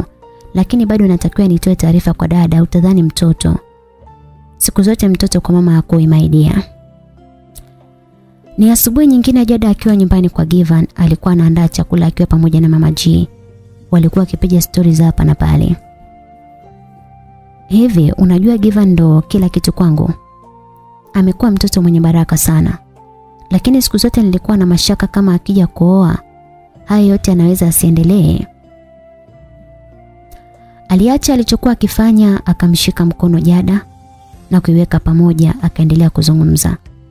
Nilikuwa siamini kama ataweza kuchagua mwanamke mwenye upendo kama wewe. Jamani mama, usizidishe. Umeniona siku mbili tu, unawekeka gani kama namfaa kijana wako? Ah, kwa umri nilionao naweza kumwelewa mtu kwa kumtazama na namna anavyoongea. Nisamehe sana. Nilipokuwa naambiwa kuhusu wewe, nilikuwa na kufikiria vibaya. Nilihisi wewe ni kama wale wanajiita watoto wa mjini. Nilikosea sana. Jada hakuwa na la kusema, alimkumbatia mwanamama yule na nyuma ya mgongo wake alidondosha machozi. Alijisikia uchungu sana, anatamani kama angeweza kubadilisha uongo iwe kweli. Alikuwa hivyo hata wakati anampelekea chakula Given. Alikuwa mnyonge sana, akaketi kando yake. Hata Given alikuwa na mashaka, alizoea kumwona amemchangamkia wakati wote. Wakati Jada akimsogezea kijiko cha chakula karibu na mdomo wake, Given akamshika mkono na kurudisha kijiko kwenye sahani. Jana shemeji yako alikwambia kitu kibaya? Given aliuliza akimtazama. Hapana, sio. Alafu kwa nini aniambia kitu kibaya? Na kuona upo sawa, nilidhani labda atakuwa amemwambia dada yako, alafu akakufokea. Ni kitu kama hicho. Sijui unanichukuliaje, lakini nataka ufahamu umri nilionao unatosha kujamulia maisha yangu. Aa, usikasirike. Nimejaribu tu kuwaza baada ya kuhisi upo sawa. Basi Jada akaendelea na kazi ya kumlisha huko kitafakari na ilionyesha wazi kuna kitu kinamsumbua. Mara ya mwisho mwasiliana lini na Karista. Hatimaye akavunja ukimya na swali lake likapokelewa kwa tabasamu. Given alihisi hilo ndilo linalomsumbua. Asubuhi ya leo jibu lilimtetemesha Jada, lakini alijikaza akameza funda la mate akaendelea kumlisha. Anatarajia kurudi lini? Vipi? Umeanza kujutia uongo wako mapema hivi? Ulitakiwa kuuliza kabla. Asijaomba ushauri, nahitaji jibu. Aliniambia ameshaanza chuo. Hawezi kuja mpaka muhula wa kwanza uishe. Kwa maana hiyo itachukua miezi mitatu. Jada alihisi kupata nafuu akashusha pumzi ndefu akarudisha macho kwa Given. Akachota chakula na kabla ya kumlisha akapitisha swali jingine. Hiyo ndio sababu hujamwambia mama yako ukweli? Ah, hapana. Given akababaika. Kuna sababu nyingine? Jada aliuliza na Given alikuwa mwenye hofu kidogo kama mtu anayejiandaa kushusha mistari ili kuuteka moyo wa binti. Jada alikumbuka maneno ya Salome alisema kwamba ni rahisi kuzoea kitu kama kinakuvutia. Alikuwa mwenye shauku akijiandaa kupokea jibu la kufurahisha, labda anaweza kupamba siku yake na kuwa ya kuvutia. Ghafla mlango ukagongwa na kukatisha maongezi yao. Mama Givan akaingia. Mwali, kuna mgeni amekuja kumwona Given. Nimekaa naye kwa muda tunapiga stori nikisubiri amalize kula, lakini anaonekana ana haraka sana. Hamna shida, anaweza kuingia, tumeshamaliza. Alisema Jada akinyanyuka na sahani ya chakula pale. Basi nenda kamwambia aje. Alisema Mama Given na Jada akatoka mpaka sebleni ili kumkaribisha yule mgeni. Alipata mshtuko baada ya kumtambua mgeni yule alikuwa dada yake. Jada alitamani kukimbia lakini hakuwa na mahala pa kuelekea. Akaishia kung'ata meno yake kwa hasira. Sikufikiria kama yule mwanaharamu friji lake ni bovu kiasi hiki. Haliwezi hata kugandisha. Kumbe mtu mzima ovyo. Imekuwa haraka sana jamani. Jada alinong'oneka nafsini mwake na hakuwa na jeuri ya kusema chochote. Akamsogelea dada yake na kumshika mkono. Dada, naomba tukazungumze nje. Hivyo ndivyo unavyokarimu wageni? Jada hakujibu kitu akabaki kwenye msimamo wake wa kumtoa nje dada yake kabla hajachafua hali ya hewa. Jada unafanya nini hapa? aliuliza Johari. Na kuomba twende nikakueleze kila kitu. Jada alihisi kutetemeka akamshika mkono na kuongozana ili watoke nje. Lakini kabla hawajatoka mama Givan akarudi. Mwali, mbona mgeni anaondoka kabla hajamuona mgonjwa? Jada aliishiwa nguvu baada ya kauli ile iliyomshangaza Johari. Alitamani amkumbushe jina lake huenda amelisahau. Ah, mm, mm. Jada alikosa jibu sahihi la kumpa. Nimepigiwa simu ya dharura, nitarudi siku nyingine. Naomba mwakilishe zawadi yangu kwake. Alisema Johari mwanamke wa makamu alikuwa kavalia nguo za kisasa na pochi yake ya bei ghali. Jada alifanikiwa kumtoa nje ya nyumba hiyo. Kwa hiyo wewe ndiye mwali wake. Aliuliza Johari, Jada alifumba macho akijiandaa kukana. Lakini dada yake akaendelea kusema, "Mama mko wako kakusifia sana. Sikutegemea hayo mapokezi." Dada, nisikilize alichokwambia shemeji akina ukweli wowote. Shemeji yako anajua kuhusu hili? Johari aliamaki akaendelea kusema, "Kwa hiyo mimi ndio wa mwisho kujua, siamini." Jada alibaki kwenye mshangao. Kama shemu hajakwambia ni nani sasa? Alichofanya shemeji yako ni kunikumbusha kuja kumwona mfanyakazi wake. Na aliniambia kuhusu wewe ni mama mko wako kipenzi. Sikujua kama nime nimekuza namna hii. Nahitaji pongezi wallahi. Johari alisema akijipigia makofi alionekana kama anafanya masiara lakini Jada aliitambua hasira zake. Dada sio kama unavyofikiria nitakwambia kila kitu lakini sio sasa. Jada kama kuna siri nyingine unanificha niambie hapa hapa. Siwezi kufa na habari nusu nusu mimi. Mama jamani, kwa nini unielewi? Nimekwambia nitakwambia nyumbani. Siku zote unaniita mama ukiwa kwenye hali mbaya tu. Sio siri unaniogopesha. Unawezaje kuelewa kwa siri hata nisijue? Hakuna kitu kama hicho niamini. Tunafahamu Given yupo na Karista. Najua lakini Jada sijui kukuona ukijitoa hivi kwa mwanaume yoyote. Sasa kwa nini Given? Unataka kusema nini? Kwa hiyo ina maana uniamini dada? Wakati maongezi yakiendelea sauti ilisikika kutoka ndani. Mwali, mbona umechelewa? Givan anakuita. Alisema mama Givan. Haya, mama anakuita ndani nenda.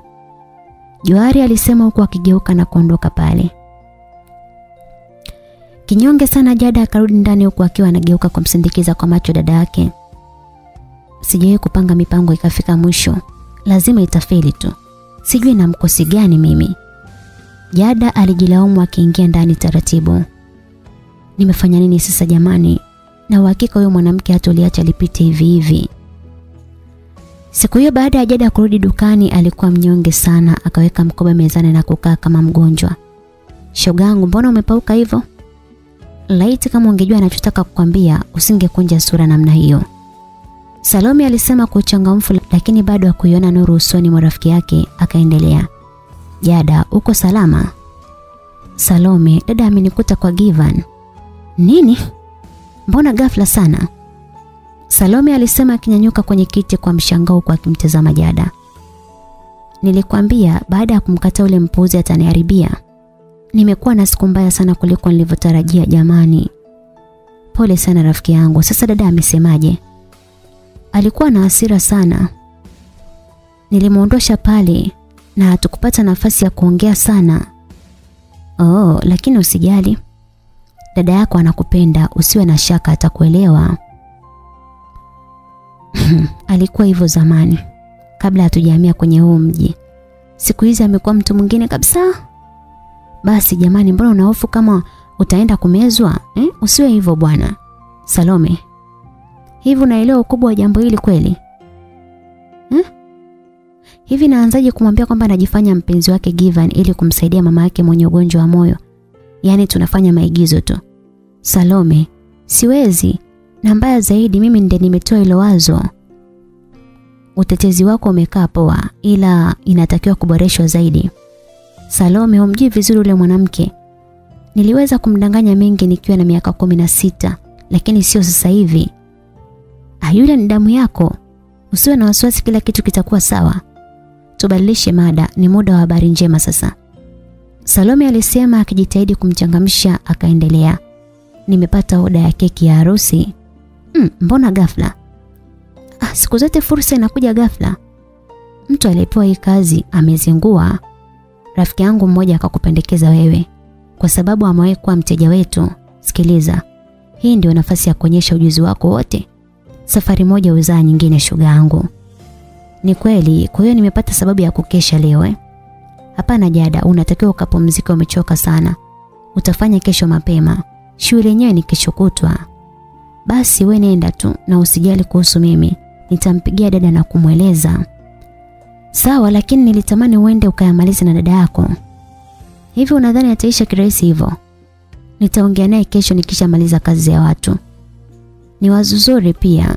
Kiasi fulani asira zake pia zitakuwa zimepungua. Salome aliondoka baada ya kumpa maelekezo ya keki zinazotakiwa na Jada alianza kuandaa mahitaji lakini alikuwa kwenye mawazo sana. Jada anakumbuka miaka minne iliyopita wakati na dada yake wanatoka Mbeya vijijini. Wakati huo Jada alikuwa mmaliza kidato cha nne. Kutokana na elimu yake na alishatoa ushamba kwenye simu janja, hakupata mshangao sana baada ya kuyaona mazingira ya jiji kubwa la Dar es Salaam. Lakini dada yake alikuwa miongoni mwa wale watu wanaoingia Dar es Salaam kwa mara ya kwanza, namna alivyokuwa anashangaa mataa. Ndivyo ilivyokuwa kwa Juhari dada yake na Jada. Kila kitu kake kilikuwa kigeni. Alishangaa namna watu walivyojenga majumba na hoteli nzuri na kuna wakati aliachia mdomo wazi akishangaa pia. Lakini Juhari wa sasa sio ule tena. Huyu amekuwa mjuaji kuliko hata Jada.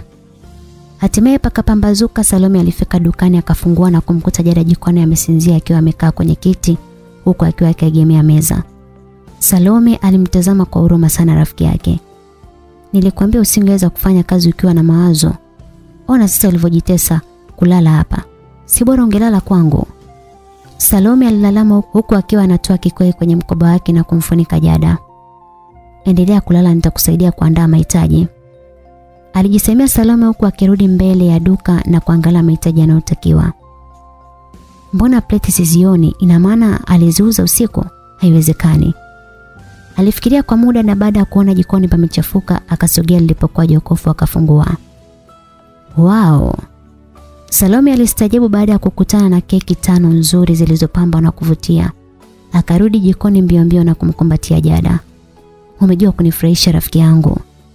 Salome, shida nini jamani, mbona bado usiku? Hivi umeona vizuri ulichokifanya jana kweli? Nimefanyaje tena? Jada wewe ni noma. Ile keki itakutangaza wewe na duka letu na tutatengeneza pesa nyingi. Salome nimelala mimi lakini hivi unaota wewe? Amka ukamalizie usingizi nyumbani kwenu. Mimi nakupa habari njema wewe unaongelea njozi. Sawa nitaenda lakini nitakwenda kwa jii kwanza. Wewe Jada umechanganyikiwa? Hapa namwongelea dada yako anayekusubiri tangu jana. Wakiwa naendelea na maongezi wakasikia sauti ya mtu akiwa anaita kutokea dukani. Nyanyuka twende wateja wameshaanza kuja. Sawa. Jada alizungumza kivivu, Salome aliporudi dukani alishtuka baada ya kumkuta mgeni ameshaingia dukani. Karibu dada. Jada yuko wapi? Jikoni, naenda kumuita. Salome alisema huku akiwa anarudi jikoni alipokuwa Jada. Otiana nikaja. Nitautiaje na nimeshaamka bwana? Dada yako. Jada alishtuka na kuamka haraka haraka akatoka na kumkuta dada yake amesimama mbele ya jokofu akitazama zile keki. Ni nzuri, alisema juhari Ni kweli, Jada ni mpishi mzuri sana. Huwezi kuamini, kazi yote hii kaifanya kwa usiku mmoja tu, tena peke yake. Ningejivunia kama angefanya kazi aliyosomea. Lakini ndio huyo kaishia kucheza na unga. Eh? Kwani hii kazi inahitaji elimu gani? Jada anafanya kitu anachokipenda dada, anafurahia kuwa hapa. Basi angesema mapema hakukuwa na ulazima wa yeye kusoma na kupoteza pesa kulipia ada. Dada, ajira zenyewe hamna, ni bora kufanya hii kazi kuliko kukaa kusubiri. Shemeji yake alisha kumtafutia kazi akakataa. Huyo rafiki yako hataki tu kuajiriwa. Basi tunafanana akili. Maana hata mimi sitaki kuajiriwa. Wakati wanaendelea na maongezi Jada alikuwa ametoka na aliporejea akabeba pochi yake. Haya tunaweza kwenda. Jada alimwambia dada yake. Wapi tena? Si ndo kwanza kumekucha jamani. Tunahitaji kuongea dada. Uone kama muda wa kazi huu. Jana nilikusubiri sana ukutokea. Dada yake alisema bila kumonyesha hasira yoyote ile. Nadhani umeona nilikuwa bize. Una muda na kila kitu isipokuwa mimi Jada. Salome, naomba muandalie chai. Usijali, Salome sija kunywa chai hapa. Nimepita kuwasalimia na kuwasaidia usafi. Haya. Mnaweza kunipa kazi nisiondoke bure? Jamani dada, kwani ujichoshe sasa jamani? Alisema Salome, Jada alibaki akimshangaa tu. Kuna vumbi kila mahali, unaweza kufuta. Alidakia Jada baada ya kuona dada yake hitaji maongezi. Oh, sawa, naomba kitaulo. Jada akanyanyuka na kuelekea jikoni Salome akamfuata. Umeona sasa? Ulikuwa na wasiwasi wa bure. Dada yako hana tatizo na wewe. Hmm, amechangamka. Amechangamka sana, sio kawaida. Kuna kitu amefanya sio bure. Jitahidi kufikiria na mazuri pia. Shetani yuko bize kutafuta mtu wa kumuumiza. Salome alisema akarudi dukani baada ya muda. Jada akafuata na wote wakaanza kufanya usafi. Ngoja niwape story. Johari alianzisha mada. Eh, tuambie. Salome akadakia, Jada hakuwa na la kusema zaidi ya kumtazama dada yake na kusikia anachotaka kusema. Hamwezi kuamini. Nimekutana na rafiki yangu wa kitambo sana, tulipotezana muda mrefu uliopita. Wakati huo nilikuwa nimeolewa huko kijijini kwao. Naye alikuwa bado mwanafunzi, siku zote alinicheka na kunena mjinga kwa sababu niliolewa nikiwa na umri mdogo na mume wangu alikuwa maskini. Hakuwa na uwezo wa kunipa maisha bora. Johari aliongea huku akiendelea kufuta vumbi na Salome alikuwa akimsikiliza kwa makini sana. Jada naye alikuwa busy kama hakujali mazungumzo yao lakini alihitaji kusikia chochote atakachokisema dada yake. Johari aliendelea na story. Alikuwa ananinanga sana na aliniona mjinga niliposhindwa kutumia uzuri wangu kupata maisha bora. Alifanya kila njia niachane na mume wangu. Na wakati huo yeye alikuwa na ndoto za kupata elimu ya juu ili kuishi maisha ya kifahari baada ya kuolewa na tajiri. Alikuwa anaamini mahari yake tu itakomboa wazazi wake kwenye umaskini. Hiyo ni ndoto ya mabinti wengi tuliozaliwa kwenye umaskini, simshangai, alisema Salome. Mbona na haraka story inaendelea? Ehe, niambie. Huwezi kuamini nilipomkuta jana. Ulimkuta wapi? Alidakia Salome. Nyumbani kwa mwanaume. Yaani sikutegemea kuona mtu mwenye elimu yake kujirahisisha kiasi hiko. Sijakuelewa, yaani umemkuta anaishi nyumbani kwa mwanaume? Si bora angeishi. Yule bibi anamhudumia bwana ili kumshawishi amuoe. Na bwana yule hatambuliki kwa wazazi wake, anafichwa kama bangi. Mama. Ilikuwa sauti ya Jada akiamaki lakini Juari ya kujali story ikaendelea. Ukiona hivyo huyo soko lake limekwisha. Kwa kifupi kaamua kujitolea kama mwalimu wa field. Vicheko vilitawala kwa Salome na Johari vilivyokuwa kama mwiba kwa Jada. Eh, kawaje? Salome unapenda umbea we binti?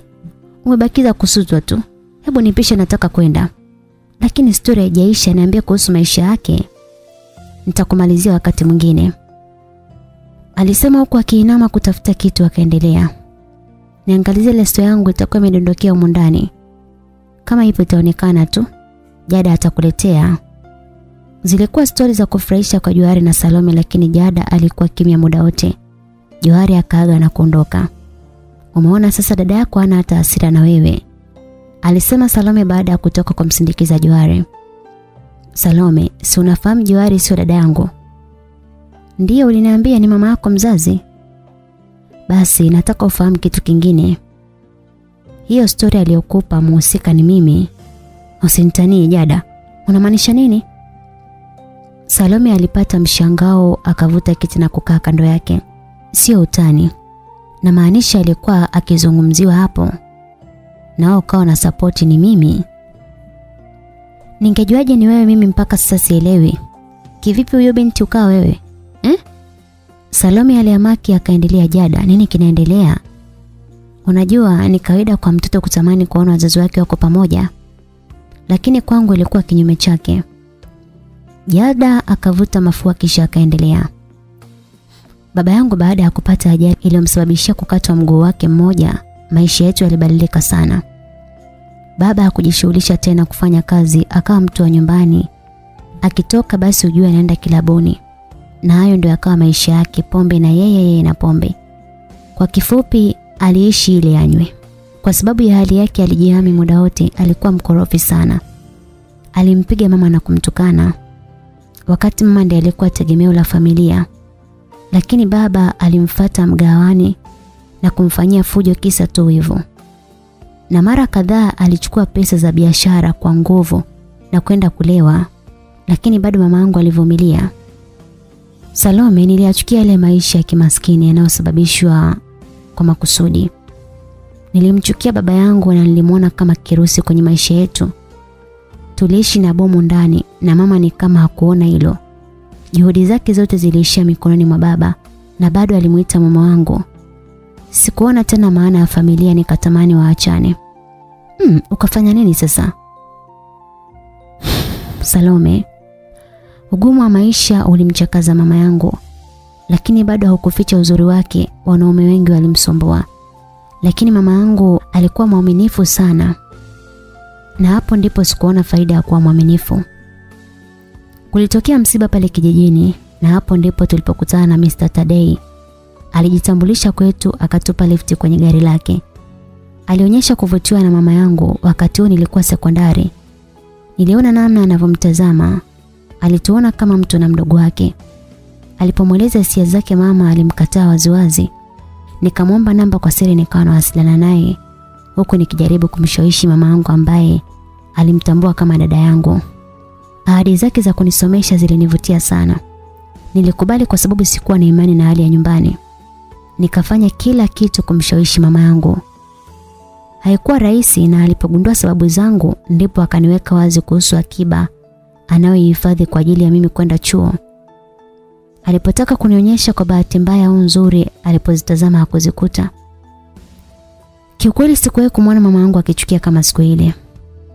Alimfuata baba kilabuni na kumkuta amezungukwa na wanawake akiwanunulia pombe na alikuwa amekesha siku mbili anakunywa kwa pesa ile. Na huo ndio ukawa mwisho wa uvumilivu wa mama. Na hiyo nafasi akaitumia Mr. T kumliwaza. Walianza kuwa na uhusiano wa siri. Kwa kiasi fulani maisha yalibadilika na kuwa mazuri. Na kubwa zaidi mama yangu alionekana kuwa na amani. Hakuwa mnyonge tena, hakutaka kupigwa na baba. Ah, hiyo ndo sababu ya kuachana kwao? Hapana, waliachana kwa sababu mama alipata ujauzito wa Mr. Tadei. Mama hakuwa na uhakika wa mimba ni ya nani. Alidhani itakuwa habari ya kumfurahisha mumeo kwa sababu baba alimsema sana baada ya mama kushindwa kumzalia mtoto mwingine. Mama alikuwa bado hajamkatia tamaa mumewe licha ya kumsaliti. Lakini taarifa ile ikawa pigo kwa baba.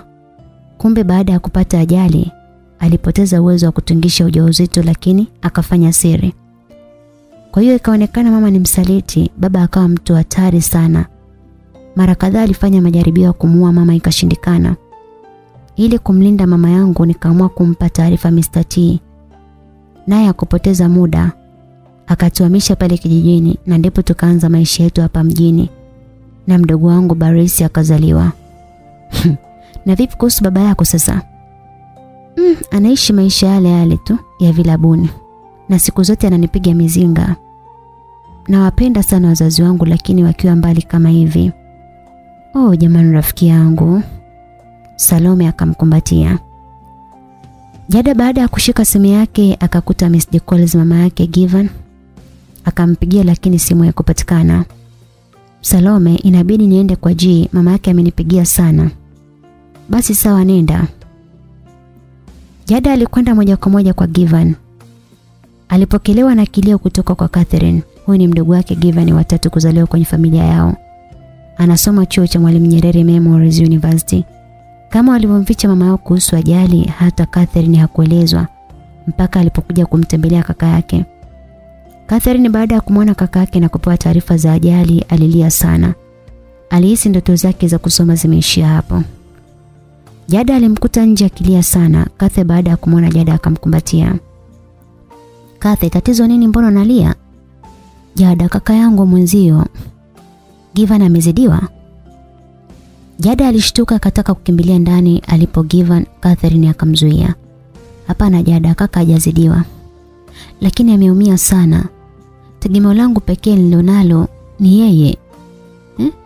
Jada kakaangu hawezi hata kusimama jamani. Alisema akiendelea kulia Jada akamkumbatia Kathe akaendelea. Chio ndo basi tena hakuna. Sina mwingine mimi nimekwisha jamani, nani atanisomesha? Basi Kathe nyamaza, machozi hawezi kutatua tatizo. Nyamaza tuzungumze, alafu utaamua mwenyewe uendelee kulia au kumwombea kaka yako. Kathe akajitoa kwenye kumbatio akamtazama Jada. Tuzungumze nini Jada? Unadhani kuna mtu akunisaidia zaidi ya kaka G? Kathe, kaka yako ni shujaa atapona, niamini mimi. Kama ilipangwa afi, imeshindikana Mungu kampigania. Sikia, kaka yako hapo unapomuona. Hajavunjika mahali popote. Kinachomsumbua kwa sasa ni mgongo na daktari amwambia kwamba asitembee kwa muda tu. Kwa hiyo usijali kakaako ni mzima wa afya, atapona hivi karibuni. Unasema kweli Jada? Una wasiwasi wa bure. Haya ni mapito ya kuja kusimulia hapo baadaye. Lakini kuhusu shule, kaka yako atapambana na utasoma. Kama ni chuo, hakikisha unafanya vizuri ili umuongezee hamasa ya kupambana zaidi, umesikia? Sawa, na kuahidi sitofanya mchezo, nitakuwa makini. Sitaki kumuudhi kakaangu tena. Basi kanaye uso kakaako asijue kama ulikuwa ume, umemkatia tamaa namna hii ataumia sana. Jada alimuita na Jada akageuka Catherine akaendelea. Asante sana. Tuko pamoja usijali. Mama yupo ndani? Hapana, ameondoka mapema sana baada ya mimi tukufika.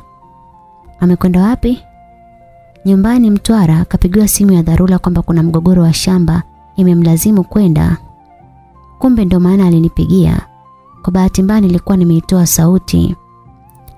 Jada alipoingia ndani akapitiliza jikoni alikuwa na mfuko ambao alibeba baadhi ya vitu kwa ajili ya kupika. Alishangaa kumkuta binti mwingine anapika jikoni. Wakasalimiana lakini Jada hakumtambua Kaisi labda ni ndugu. Alipotoka jikoni akamfuata Kate kwenye kochi. Huyo binti ni ndugu yenu? Hapana, ni rafiki yake na kaka G wa muda mrefu. Wa muda mrefu? Mbona simfahamu? Jada, unataka kusema unawajua marafiki wote wa kaka? Rafiki wa muda mrefu? Mm. Kaka yako ana kila aina ya marafiki. Kathy aliangua kicheko ungeambiwa ni yeye aliyekuwa akilia muda mchache uliopita ungekataa. Jada, mwenzio usipende umbea, acha kunichimba basi. "Ah, Mimi sio mtoto, niambie tu kama wapo kwenye mahusiano. Hapana, hawapo kwenye mahusiano lakini waliwahi. Chonde chonde Jada, usije ukamwambia Karista. Kwa hiyo waliachana. Kaka alimwacha lakini huyo binti anampenda sana. Hakuwahi kukubali hata alipojua kaka yupo na Karista. Bado alijitolea kuwa mpenzi wa siri. We, kwa hiyo hapo bado ni wapenzi? Hata sijui. Kathe alijibu sambamba na kupandisha mabega yake. Jada alihisi asira akatoka pale sebleni alijikaza tu na kama angekuwa Karista angefanya fujo na kumtimua huyo binti. Hata hivyo mimi ni rafiki wa Karista naweza kumfukuza. Aliwaza akielekea jikoni kutekeleza hilo jambo lakini akasita na kusimama. Hivi nataka kufanya nini? Kwa nini nimfukuze sasa? Jada, acha ujinga. Aliamua kupotezea akageuka kuelekea chumbani kwa Given akagonga mlango na kuingia. Hatimaye umekuja? Jada alipokelewa na sauti nzito aipendayo ikamfanya atabasamu. Ulikuwa ukinisubiri? Hapana, nilidhani utakuwa bize leo. Kwa nini usisemi tu kama ulinimisi? Na uwepo huyo kupe umundani unakukera.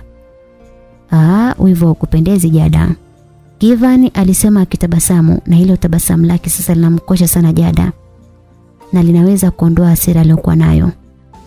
Na uhakika hawezi kupika chakula kitamu kama mimi. Utakuwa umekimisi. Jada, nilikuwa nakusubiri ili nikushukuru. Hivi umekosa vitu vya kumshukuru Mungu mpaka unishukuru mimi kila siku? Eh? Sipendi tabia yako. Sifanye haya ili unishukuru ji. Nafanya kama rafiki tu. Naelewa hilo na ndio maana nakushukuru. Najua umejitoa sana kwa ajili yangu na ukaacha vitu vyako vingi. Jada, na maanisha sitaki ujisumbue tena. Catherine yupo anaweza kupika. Ji, kuna kitu nimekukosea? Hapana Jada, hujanikosea. Yaani nilikuwa na maanisha mama ameondoka. Sioni kama kuna haja tena ya kudanganya. Lakini hata wewe una vitu vingi vya kufanya, usijali kuhusu sisi. Hatutaki kukaa tukimtegemea mtu. Alisema Givan na kwa namna ambavyo uso wake ulionyesha ni wazi ya kupendezwa na lile wazo. Na kauli yake iliufanya moyo wa Jada uchubuke kwa maumivu na ukungu wa machozi ulifunika macho yake. Chakula tayari ilikuwa sauti ya ule binti alikuwa jikoni. Jada akanyanyuka haraka akapita sebleni kwa kasi na kukimbilia nje. Katha alimuona lakini hakuelewa kinachoendelea. Alitoka nje kumwangalia lakini hakuwepo. Jada na Salome walikuwa dukani katika maandalizi ya kutengeneza keki. Jada alikuwa mnyonge sana akitafakari maneno ya Givan. Akahisi ameambiwa vile kwa sababu ya ule binti. Akajiona ni mwenye bahati mbaya sana.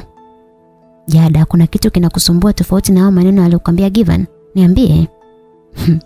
Huwezi kuamini, Givan ana wanawake wa siri na siku zote yupo naye. Given ni mwanaume na ni kawaida kuwa na mwanamke zaidi ya mmoja. Na kama huyo bibi akakubali kuwa wasiri, huenda Ji hana malengo naye. Kama hamtaki kwa nini asimfukuze? Jada. Hivyo unaonaje kama ukimwambia hisia zako ili kama anakukataa ijulikane moja kuliko kuteseka namna hii? Siwezi Salome, naogopa sana. Itakuwaje akinikataa? Salome alimtazama rafiki yake kwa huzuni asijui cha kufanya ili kumsaidia. Huu ni ujinga. Kama najua atanikataa, kwa nini naumia? Nategemea nini? Given hawezi hata kunitaka ukizingatia mimi ni ex wa kaka yake. Na bado ananiona kama msaliti kwa rafiki yangu. Yeye sio chizi mpaka avutiwe na mtu kama mimi. Jada alijilaumu na kujicheka kwa wakati mmoja. Hapana, wewe sio mjinga. Mjinga ni yeye asiyeona upendo wa kweli.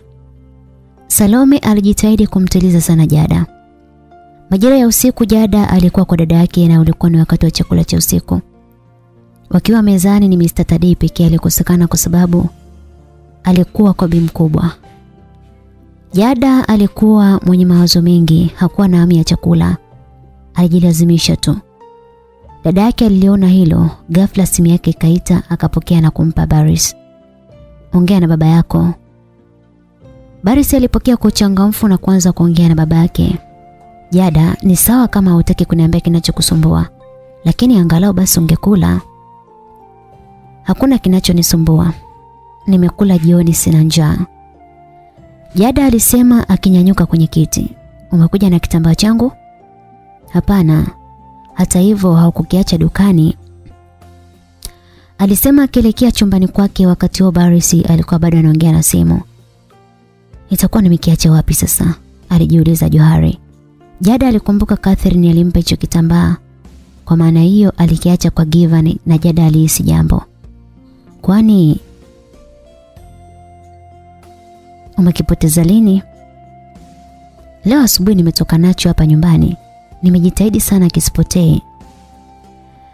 Jada alisimama akamtazama huku akifikiria kwa makini. Itakuwa ni kweli kapoteza leo. Na kama angesahau jana, basi ningekiona na Catherine asingejua kama ni cha dada yangu. Ina maana amemuona leo.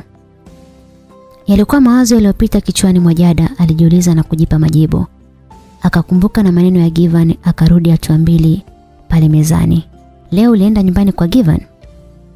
Swali lilimtoka Jada na kumvamia dada yake ambaye alionyesha kubabaika na asijibu kitu. Mama na kuuliza leo ulikwenda kwa Givan? Ongea taratibu Barisi yuko hapa. Umwambia nini? Jada, hebu tulia kwanza. Unataka kuongea mambo mbele ya mtoto? Haya, we Baris, nenda chumbani kwako kwa haraka. Aliongea Jada kwa kufoka na Baris ya kuwahi kumwona hivyo. Jada, acha kumfokea mtoto anaogopa. Niambia kila kitu ulichomwambia Givan kuhusu mimi. Mbona na hasira? Vipi? Amekufukuza kwake? Mama. Jada alijisikia vibaya, anamjua vizuri mama yake anaweza kusema chochote ili mradi kumwondoa kwa Givan. Jada, punguza sauti yako na uongee kwa adabu. Johari alifoka hakutaka tena kupandishwa sauti na binti yake. Jada akavuta kiti na kurudi kukaa. Sawa mama yangu kipenzi, haya niambie, umefanya nini? Nimeongea na Givani nikamueleza kila kitu anachotakiwa kujua kuhusu wewe. Kila kitu kama Jada aliamake akamtazama mama yake alihisi kuchanganyikiwa. Kila kitu anachopaswa kukisikia. Nilimwambia malengo yako, matamanio yako ya maisha ya kifahari ambayo unataka kuyaishi. Hivi wewe ni mama yangu kweli? Jada alimuuliza Johari. Kusema ukweli kwa faida yako ndio unaona sifai kuwa mama yako eh? Ukweli gani? Hayo mambo niliyasema nikiwa na miaka kumi na saba. Oh, wakati ule ulikuwa na akili sana. Ulisoma kwa bidii na ulikuwa na ndoto za kuishi kama princess na sio uje kutengeneza keki. Ukweli ni kwamba kwa Given huwezi kupata maisha unayotaka Jada. Mama hivi unajua ulichokifanya? Unasema sijui nilichofanya? Lakini nikiangalia hapa wewe ndio unajua unachokifanya. Ninachotamani mimi uwe na maisha bora, uwe unapostahili na zaidi furaha yako mwanangu. Furaha? Nilidhani unanifahamu mama. Sijui siku zote hujagundua furaha yangu ilipo. Wapi? Kwenye duka la keki au kwa Givan? Wote ni upuuzi. Mama, sina uhusiano na Given mimi. Hata yeye atakuwa amekushangaa. Eh, mimi sio mtoto mdogo eh. Au yule mjinga ambaye ulimuendesha miaka minne iliyopita akakubali kuwa mchepuko ili usome. Najua mnapendana. Wewe ni mama wa aina gani lakini umeniaibisha sana unajua. Hata mimi unaniaibisha Jada. Siamini kama ulisoma kwa bidii ili uje, uje kuchafuka na unga ukitengeneza keki. Juhudi zote zile uje upande ndege mwanangu. Hmm? Kweli? Leo hii unaishia kwa mtu mwenye majeraha wa kumhudumia? Mama, Givani sio dhaifu atapona. Umekuwa kipofu uoni? Uone anachopitia hapo? Hmm? Hapo alipo anategemewa na wadogo zake. Saa ngapi atakufikiria wewe? Johari aliketi karibu na binti yake na kumsihi sana. Mwanangu, umri wa duniani hautoshi kutimiza ndoto zako na za wengine. Si ni wewe uliniambia kwamba napaswa kujifunza kuwa binafsi kama nataka mafanikio? Ulitaka nimwache baba yako. Sasa wewe umefanya nini? Unaonekana kama umefanya kila kitu kwa ajili yangu mama. Kama unajutia si urudi kijijini kwa mumeo sasa. Maana unaongea kama unateseka na mimi nafurahia maisha kama umemkumbuka mumeo. Hakuna atakaye kuzuia nenda. Akili ya Jada iliwaza mambo magumu ambayo mdomo ulishindwa kutamka. Mungu wangu, naomba uchunge kinywa changu nisije nikamta, nikamtamkia maneno mabaya ambayo yatafanya nipate laana. Jada alijizuia kuropoka akakaa kimya. Given ni kijana mpambanaji na mwenye sifa nzuri sikatai.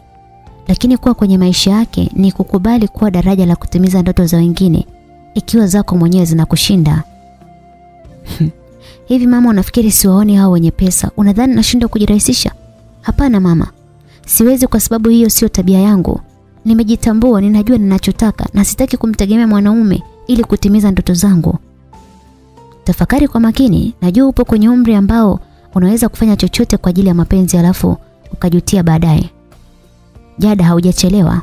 Muache kijana wa watu usije kumtesa baadaye. Kwa sababu ya maneno niliwahi kutamka mama yangu aniamini tena. Na siwezi kumfanya aniamini. Yale yalikuwa ni matamanio na uchu wa binti ambaye amepevuka tu. Jada aliyawaza mengi sana. Jada sita kubali upitie maisha niliyopitia mimi. Acha kupoteza muda na yeye. Given sio kama baba yangu, ni tofauti kabisa. Jada alikasirika sana akaingia chumbani kwake na kubamiza mlango akilia kwa kwekwe. Hata kabla sijaipata furaha yangu tayari wapo wa kuizuia.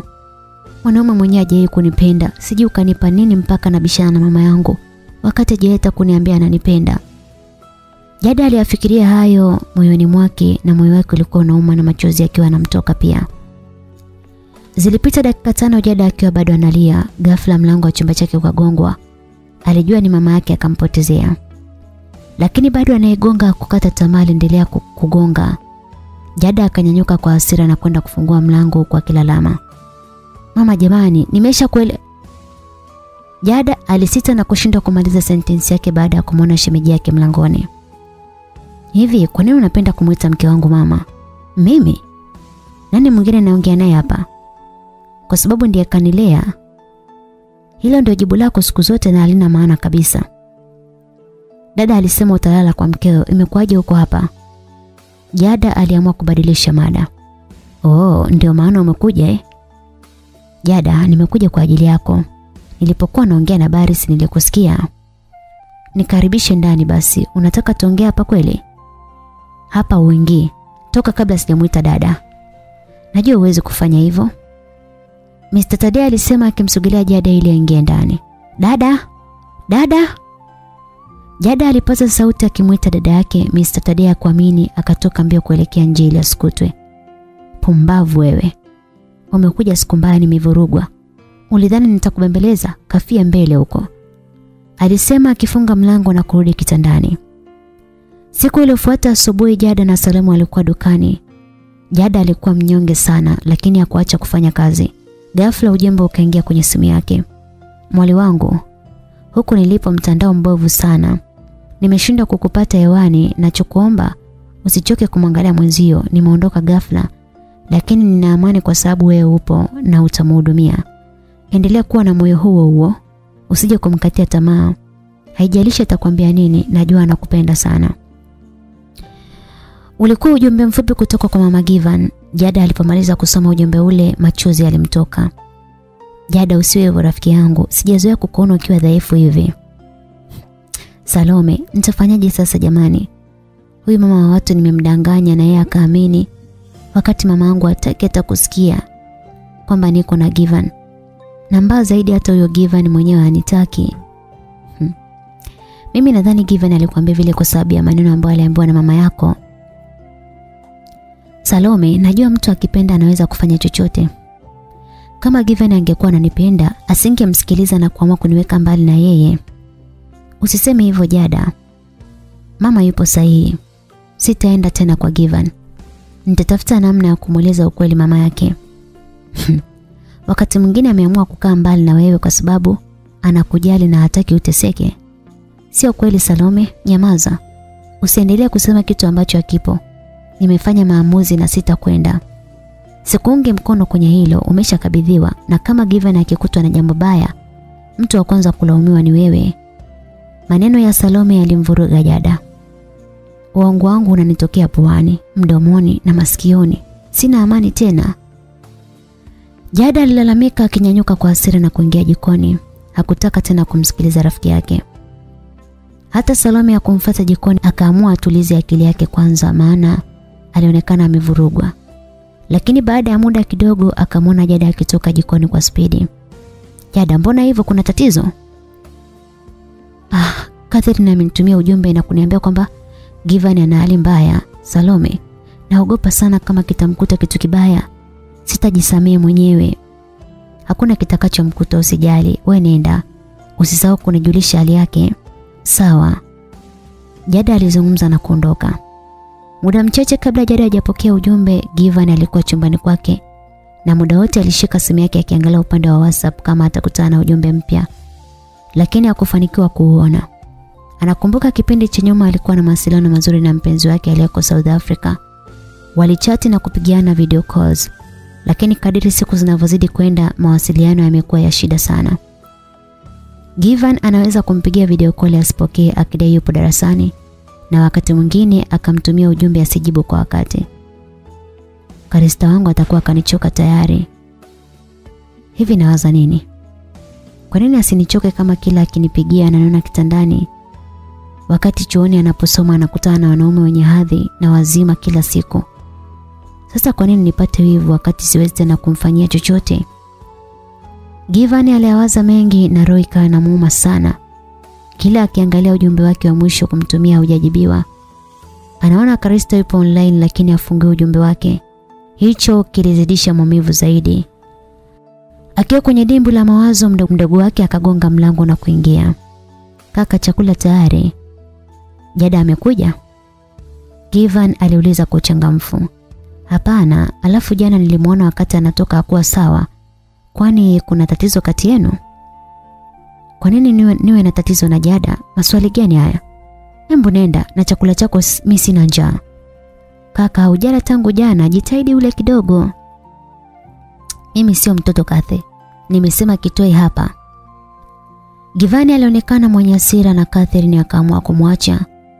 Mbona ana hasira na mimi? Kosa langu ni kuuliza kama ana tatizo na Jada au kuna kingine. Given alikuwa amemkumbuka Jada licha ya maneno aliyomwambia. Aliamini Jada atakuja tu. Lakini haikuwa hivyo, ameshazoea uchangamfu wake na alitamani kumwona tena. Kwa kinywa changu nimemfanya aondoke, sasa kwa nini aje? Givani alikuwa anatamani kumpigia lakini akikumbuka maneno ya dada yake nguvu zinamuisha. Kuna kitu ukijua kuhusu Jada nataka ukifahamu leo. Jada ni binti mwenye malengo na ndoto za kuishi maisha ya kifahari sana. Hali ya maisha yako hutaweza kutimiza matamanio yake. Nasema haya sio kwa sababu nataka kukuudhi hapana. Nasema kwa faida yako ufanye maamuzi kabla hujachelewa. Mbona umeshaniuzi tayari? Hmm? Acha kuzunguka zunguka, sema unachotaka kusema. Givan, wewe ni kijana mwelevu sana, natumai umenielewa. Jada si aina ya mwanamke anaweza kumudu. Usipumbazwe na upendo anaokuonyesha ukadhani kwamba unapendwa sana. Kwa hiyo unataka niogope. Swali la Givan lilisababisha Johari apatwe na hasira akamsogelea na kumwonya kwa sauti ya upole. Sikiliza Givan. Nataka usahau kuhusu yeye. Hakuna asiyejua uhusiano wako na Karista. Mpenzi wako aliyekukimbia baada ya ajali. Lakini hayo hayanihusu mimi. Sitaki umtumie mdogo wangu kujifariji, nadhani umenielewa. Johari baada ya kusema hayo aliondoka kwa hasira. Given aliyakumbuka hayo yaliyopelekea akafanya maamuzi ya kumweka mbali Jada. Na lilomuumiza zaidi ni namna watu wanavyotafsiri kuondoka kwa Karista ni kwa sababu ya ajali aliyoipata. Given amechoshwa na hali hiyo, anatamani kutoa akili yake nje angalau ipungue upepo. Jada baada ya kupokea ujumbe moja kwa moja alienda kwa Givan, alifika na kuingia chumbani kwake. Alimkuta Givan kama kawaida yupo kitandani anatazama mpira katika simu yake. Jada alimvamia na kuanza kumpapasa. Unajisikiaje? Tatizo liko wapi? Kwa nini hamjaenda hospitali mpaka sasa hivi? Jada, tatizo nini kwani? Eh? Na kwa nini twende hospitali? Givan aliuliza huku akimwangalia Jada bila kumwelewa. Kwani unajisikiaje? Ah, Jada sikuelewi. Hii ndio maana ya kuja kumsalimia mgonjwa. Nani amekwambia anajisikia vibaya? Shit. Kathe kaniongopea. Jada alitoka pale chumbani akiwa na hasira akamfuata Catherine ambaye alimpita sebleni. Kwa nini umeniandikia huu ujumbe? Hivi unajua ni kiasi gani nimeogopa? Samahani, sikufikiria kama utakuogopesha kiasi hiki. Mimi nimeandika kawaida tu. Umenikosea sana Kathy. Nimeonekana kama chizi, usirudie tena. Jada alisema akipiga hatua kuondoka lakini Catherine akamzuia. Jada nakuomba usiondoke. Kaka hayupo sawa tangu jana, hajala chochote. Kweli? Sasa mi nifanyeje? Unaweza kuongea naye, labda wewe anaweza kakuelewa Hata hivyo alikuulizia. Una uhakika ameniulizia? Jada alitabasamu hakuamini kama Givan alimuulizia. Kwa nini sasa nikudanganye? Ndio maana nikaona nikuandikie ujumbe. Lakini sikutegemea kama ungekuja haraka hivi. Inaonekana unamjali. Ni kweli najali kuhusu yeye. Lakini ni yeye ambaye aliniambia nisije tena kwake. Kaka alisema hivyo? Unahisi namsingizia? Hapana, ni vile sielewi kilitokea nini mpaka akasema hivyo. Hakuna kilichotokea, sahau kuhusu hilo. Basi atakuwa amemisi chakula chako. Kathy, basi nitampikia kisha kula nitaondoka. Asante sana dada Jada. Usijali, twende jikoni. Waliongozana mpaka jikoni wakaanza kupika huko stori zikiendelea. Moza anaendeleaje na masomo? Anaendelea vizuri. Amesha kwambia chochote kuhusu boyfriend wake? Ah, kumbe ana mpenzi. Ndio maana simuelewi. Kwa nini unasema hivyo? Amekuwa ananificha mambo yake sana. Wewe umejuaje? Nilimuona. Yukoje? Mzuri sana lakini hatari. Hatari kivipi? Achana na hilo. Wewe ni kuangulia hizo nyanya hapo. Sawa, lakini hujaniambia tatizo la huyo jamaa. Ah, nataka nikupe story moja nilipokuwa mwaka wa kwanza chuoni. Eh, nipe story. Alisema Kathy akiendelea kukangua nyanya. Wakati huo nilikuwa mgeni hapa mjini. Nikapatana na rafiki mmoja. Kwa wakati huo nilimuona ni mtu mwenye bahati sana. Alikuwa na mpenzi mtanashati na alikuwa na gari zuri sana. Kikweli nilimtamani sana. Lakini kilichomtokea kilinipa fundisho kubwa sana. Tangu hapo sichobokei magari ya watu tena. Eh, kilitokea nini? Ah, yule kijana alikuwa ni mmoja kati ya kundi la watu wa michezo mibaya. Na maanisha connection. Hmm, alifanya nini? Walimwekea madawa wakamfanyisha mapenzi huku akimrekodi. Nini? Sasa aliishije chuo na skendo hiyo jamani? Ah, mbaya zaidi alikuwa ni mtoto wa mchungaji. Maskini rafiki yangu hakuweza kuhimili. Baada ya familia yake kuona ile video, alijirusha gorofani. Oh, pole yake maskini. Hao wapuzi walaaniwe huko waliko. Wapo mjini na wanaendelea na michezo yao. Kwa nini sasa hawakufungwa na wamesababisha mtu katoa uhai wake? Ushahidi haukutosha kwa kuwafanya wafungwa hivyo wakaachiwa huru. Kwa hiyo wapo huru na kufanya ufuska wao. kathe nimekwambia hii story kwa sababu nahisi Moza yupo hatarini. Nini? Jada, unamaanisha nini? Mpenzi wa Moza ni miongoni mwao. Jada, mdogo wangu atakuwa hatarini. Naenda kumwambia kaka. Catherine alisema akitaka kukimbilia chumbani kwa kaka yake, Jada akamzuia. Fikiria kwanza, ukishamwambia atafanyaje? Hmm? Kumbuka kaka yako haruhusiwi kutembea kwa sasa. Hebu mwache kwanza, utamsababishia msongo wa mawazo bure. Nifanye nini sasa? Nimpigie Moza aje nyumbani? Hapana. Mwache tu arudi kwanza, usimpe taharuki. Jaribu kuongea naye taratibu, anaweza kukuelewa. Sawa, Jada, asante kwa taarifa. Usijali, nitakuwepo ukinihitaji. Okay, Jada, hivi umejuaje hiki chakula anakipenda sana kaka? Kathy aliuliza wakati anageuza ndizi jikoni. Najua Karista aliniambia. Lakini Karista hajawahi kumpikia. Si unajua mtoto akishia yule hataki kuungua na moto. Aa, ni kwa sababu hapakuwa na mazingira ya kupika. Isitoshe kaka yako alizoea kumpeleka hotelini. Ni kweli kakaangu alifanya vingi kumfurahisha. Sijui akirudi itakuwaje. Kwa sababu kaka yangu hafanyi kazi kwa sasa. Kathy, nilikwambia usijali atapona haraka na kurudi kwenye kazi zake utaona. Jada, napenda sana kuongea na kwa sababu unajua kutia moyo sana. Chakula kilipoiva Jada akapakua kwenye sahani na kumpelekea Given ambaye alimkuta amelala. Jada alimtazama kwa kumkagua, alitamani kumshika. Wakati anataka kumgusa ghafla Catherine akaingia. Nimeleta juisi yake imepoa tayari. Sauti ya Catherine ikamfanya kakake afumbue macho. Akapepesa kope zake na kumwona Jada pembeni yake. "Hujaondoka tu?" alimuuliza Jada.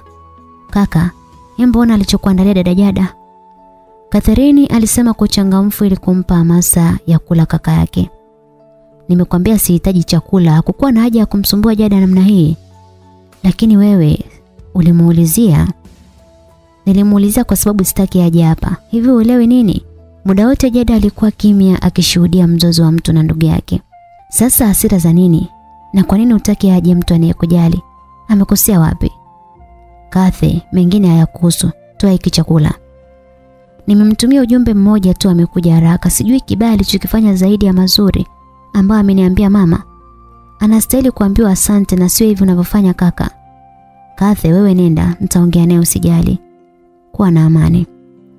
Alisema Jada na Catherine akaondoka na kuacha peke yao. Catherine hakumwelewa kaka yake kwa nini anafanya hivyo. Given aliongea vile ili kuendeleza msimamo wake ikiwa hata yeye apendezwe nao. Kwa kiasi fulani Jada anaelewa Given anafanya vile kwa sababu ya dada yake. Alikuwa ameshika sahani ya chakula akaiweka kwenye meza ndogo karibu na kitanda na kukaa vizuri huku akimtazama Given aliyekuwa kimya akimwangalia anachotaka kusema Jada. Given Sijui una tatizo gani na mimi lakini nataka ule. Kumbuka dawa unazokunywa zina nguvu sana. Utapataje nafuu kama hautokula? Kwa nini unajali? Kwa sababu sitaki ufe. Natamani kuona ukiimarika. Si unajua ndugu zako wanakutegemea. Huu mwili sio mali yako peke yako. Umeona Kathi alivyo na hofu? Sio shida yako ni kifa Halafu mimi sio mtoto mdogo. Nenda kamwambie vi siwezi kufa kirahisi. Samani kama nimekukwaza, nataka ujue naheshimu sana maamuzi yako. Lakini niliwaambia Kathy na mama utapona haraka. Hmm? Nilimweleza hivyo mama yako. Jitahidi ule ili dawa zifanye kazi vizuri. Jada, acha kufanya hivi. Hmm? Hautakuwa nasi siku zote. Itakuwaje ukiondoka? Maisha yatakuwaje? Tafadhali nenda Jada. Sitaki kuzoea uwepo wako. Nataka kuwa na muda na wadogo zangu, nizoee chakula chao pia. Given aliongea kwa hisia sana, alishindwa tu kusema anataka kuishi bila Jada. Anapitia wakati mgumu wa kuwa mbali na mpenzi wake. Anataka kujifunza kuishi maisha yale bila mpenzi. Nimekuwa karibu na wewe kwa muda mfupi sana na tayari umenichoka. Siwezi kubadili mawazo yako, lakini mama yako alipoondoka alinikabidhi ni kuangalie. Kama ukizidiwa nitamwambia nini? Niamini ukisha kula chakula sitokusumbua tena nitaondoka. Alisema Jada akinyakua sahani ya chakula na kushikilia kijiko. Unisumbua mara ngapi Jada? Eh? Ona ulivyonijazia chakula. Siwezi kukimaliza peke yangu. Usijali tutakula pamoja. Jada alisema akitabasamu akachota chakula na kijiko na kumlisha. Given alitaka kugoma lakini alipomtazama Jada na kumwona akitabasamu akakubali kula. Lakini alionekana kama ameungua na chakula. Oh, pole, sikujua kama bado ndizi za moto. Alisema Jada akimfuta mdomo, akachota chakula kingine na kuanza kupuliza, alafu ndipo anamlisha. Lilikuwa kama tamasha la burudani kwa Given, alipata nafasi ya kumtazama vizuri Jada wakati anapuliza chakula. Alimwangalia kwa kuibia kuanzia macho, mdomo, alivutiwa sana na namna alivyokuwa anajali. Akajisahau na kubaki amemtazama wakati Jada anamwekea kijiko mdomoni wakakutanisha macho. Given akapepesa kope zake na kujifanya kama ilikuwa bahati mbaya kumtazama. Kwa nini unanitazama hivyo? Hujakipenda chakula? Hapana, ni kwa sababu wewe ujala. Ah, kuna kijiko kimoja tu hapa, kwa hiyo nitakula ukishamaliza. Ah, mate yangu hayana sumu lakini. Alisema Given kiutani na Jada akabaki anashangaa. Unamaanisha nitumie kijiko chako? Hapana, Karista akijua ataniua bwana. Ungekuwa unamwogopa usingekuwa hapa. Tufanye kama sijasema kitu kuhusu mpenzi wako. Hakuna shida daktari wangu, alitania Given. Unajaribu kuwa rafiki yangu? Nilidhani tumeshakuwa marafiki. Stori kati yao ziliendelea huku kila pamoja. Baada ya kumaliza Jada alimuaga na alipofungua mlango akakutana na Catherine mlangoni. Walikuwa hapa muda wote? Hapana, nimekuja sasa hivi. Vipi, amekula ye? Alisema akiangalia sahani aliyoshika Jada na glasi ya juisi na zote zikiwa tupu. Ndivyo umefurahi sasa? Alisema akielekea jikoni na Kathy akamfuata. Hata wewe unaonekana umefurahi. Naona nuru kwenye uso wako. Kwa heri Kathe. Wakati mwingine akikataa kula, mtafute yule binti ambaye uliniambia ni rafiki yake wa muda mrefu. Atakuja kumpikia. Alisema Jada akiweka vyombo jikoni. Kitu gani kinachoendelea kati yenu? Mbona siwaelewi? Uelewi nini sasa? Aliuliza Jada huku akichukua glasi ya maji. Mbona kama mnapendana? Kathy alisema la moyoni baada ya kutoelewa na akagundua kakake alikuwa amemkumbuka lakini hataki kuonyesha hilo. Na huyo Jada anamjali sana kakake na anamwonea wivu. Swali lile lilimshtua sana Jada na kumfanya apaliwe na maji aliyokuwa kinywa. E, polepole Jada, alisema Catherine akimpiga piga mgongoni. Inatosha, niko sawa, alisema Jada aliyekuwa anaendelea kukooa Mbona umeshtuka? Ni kweli? Alisema Kathy akitabasamu huku anamtazama Jada. Kabla Jada hajazungumza kitu, walisikia mlango ukifunguliwa na Moza akaingia. Mambo zenu? Hiyo ilikuwa ni salamu aliyotoa Moza huku akitembea kwa maringo kuelekea chumbani kwake. Umeona sasa? Siku hizi anachelewa sana kutoka shule. Um, nenda kazungumze naye lakini jaribu kumdadisi kwanza. Mimi naenda. Mada ikabadilika na Jada akapata nafasi ya kuaga. Sawa. Kwa heri dada Jada. Katharini alipomfuata mdogo wake na kuongea naye ukatokea mzozo mkubwa sana. Moza hakutaka kusikia chochote kibaya kuhusu mpenzi wake. Na wewe umemwamini Jada? Ndiyo, kwa sababu sio mtu anayeweza kudanganya. Humjui vizuri huyo dada. Kama ungejua alichomdanganya mama, ungenielewa. Kafanya nini? Catherine aliuliza na Moza akamsimulia anachojua. Sasa hilo lina ubaya gani? Kama angesema ukweli, hali ingekuwa mbaya zaidi. Ah, hivi uone kama anamtumia mama kujiweka karibu na kaka Givan. Lengo lake ni kumuiba mpenzi wa rafiki yake. Si ajabu akamtaka na Jason wangu. Moza jamani, unavuka mipaka. Jada hawezi kufanya hivyo. Oh. Bado unamtetea mwanamke alitembea na mume wa mtu na alivyokosa haya. Sasa akahamishia majeshi kwa mdogo wake. Catherine alibaki njia panda alishindwa muamini nani kati ya mdogo wake aliangukia penzini au Jada anajihusisha na kaka yake. Alishindwa hata kumwambia mdogo wake ajichunge, alihisi labda kweli Jason sio mtu mbaya. Siku iliyofuata ilikuwa siku yake ya kurudi chuo baada ya kumaliza kujiandaa. Akaenda kumwaga kaka yake kisha akaondoka. Jioni moja Givan akiwa chumbani kwake akisoma kitabu lakini kila mara aliangalia saa yake ya mkononi ni kama alikuwa anasubiri muda fulani ufike afanye jambo. Akaendelea kusoma na alipohisi muda umekwenda akamuita Beka. Beka ni binamu yake kutoka kijijini ambaye aliletwa hapo nyumbani ili kumsaidia vitu mbalimbali. Na kazi mojawapo ni kumpeleka chooni. Beka yupo kwenye umri wa ujana lakini mazingira ya mji wa Dar es Salaam yamemrudisha nyuma. Tangu alipoletwa amekuwa mtu wa kushangaa na kujifunza mengi na ulevi wake mkubwa ni TV. Anaweza kuangalia kuanzia asubuhi mpaka jioni na asijisikie njaa. Kuondoka kwake ni mpaka Given amuite au amtume dukani. Siku hiyo Given alimuita Beka chumbani kwake. Beka, ni saa tatu kasoro sijamwona Moza, labda alikwambia sababu ya yeye kuchelewa. Mbona leo amerudi mapema lakini tangu alipoingia chumbani kwake hajatoka?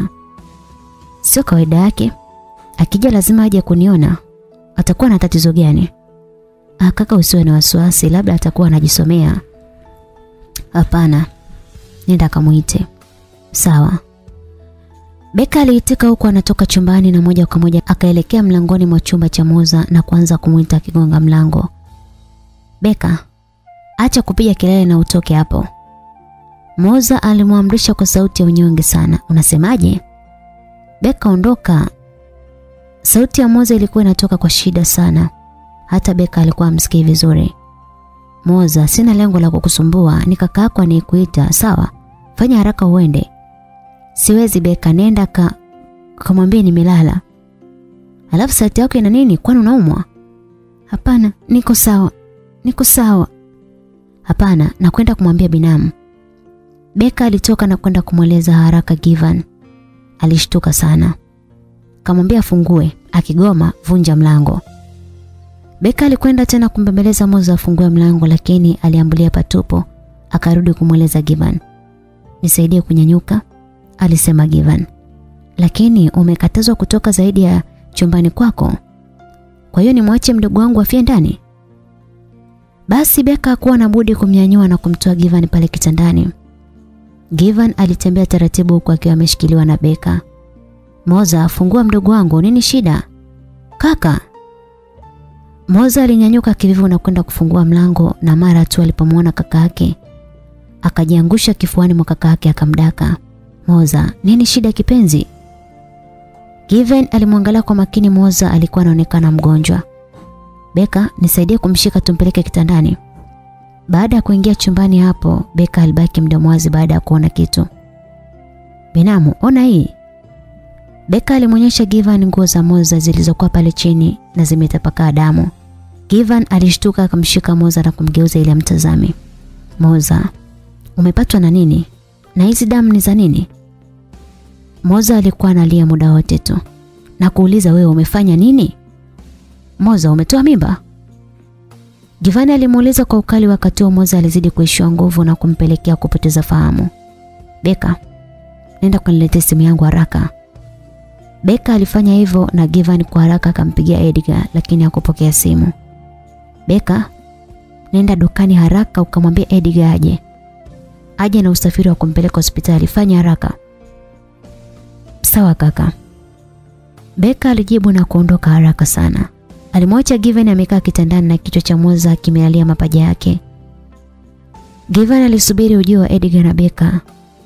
Lakini muda ulisonga bila kumwona Edgar wala usafiri.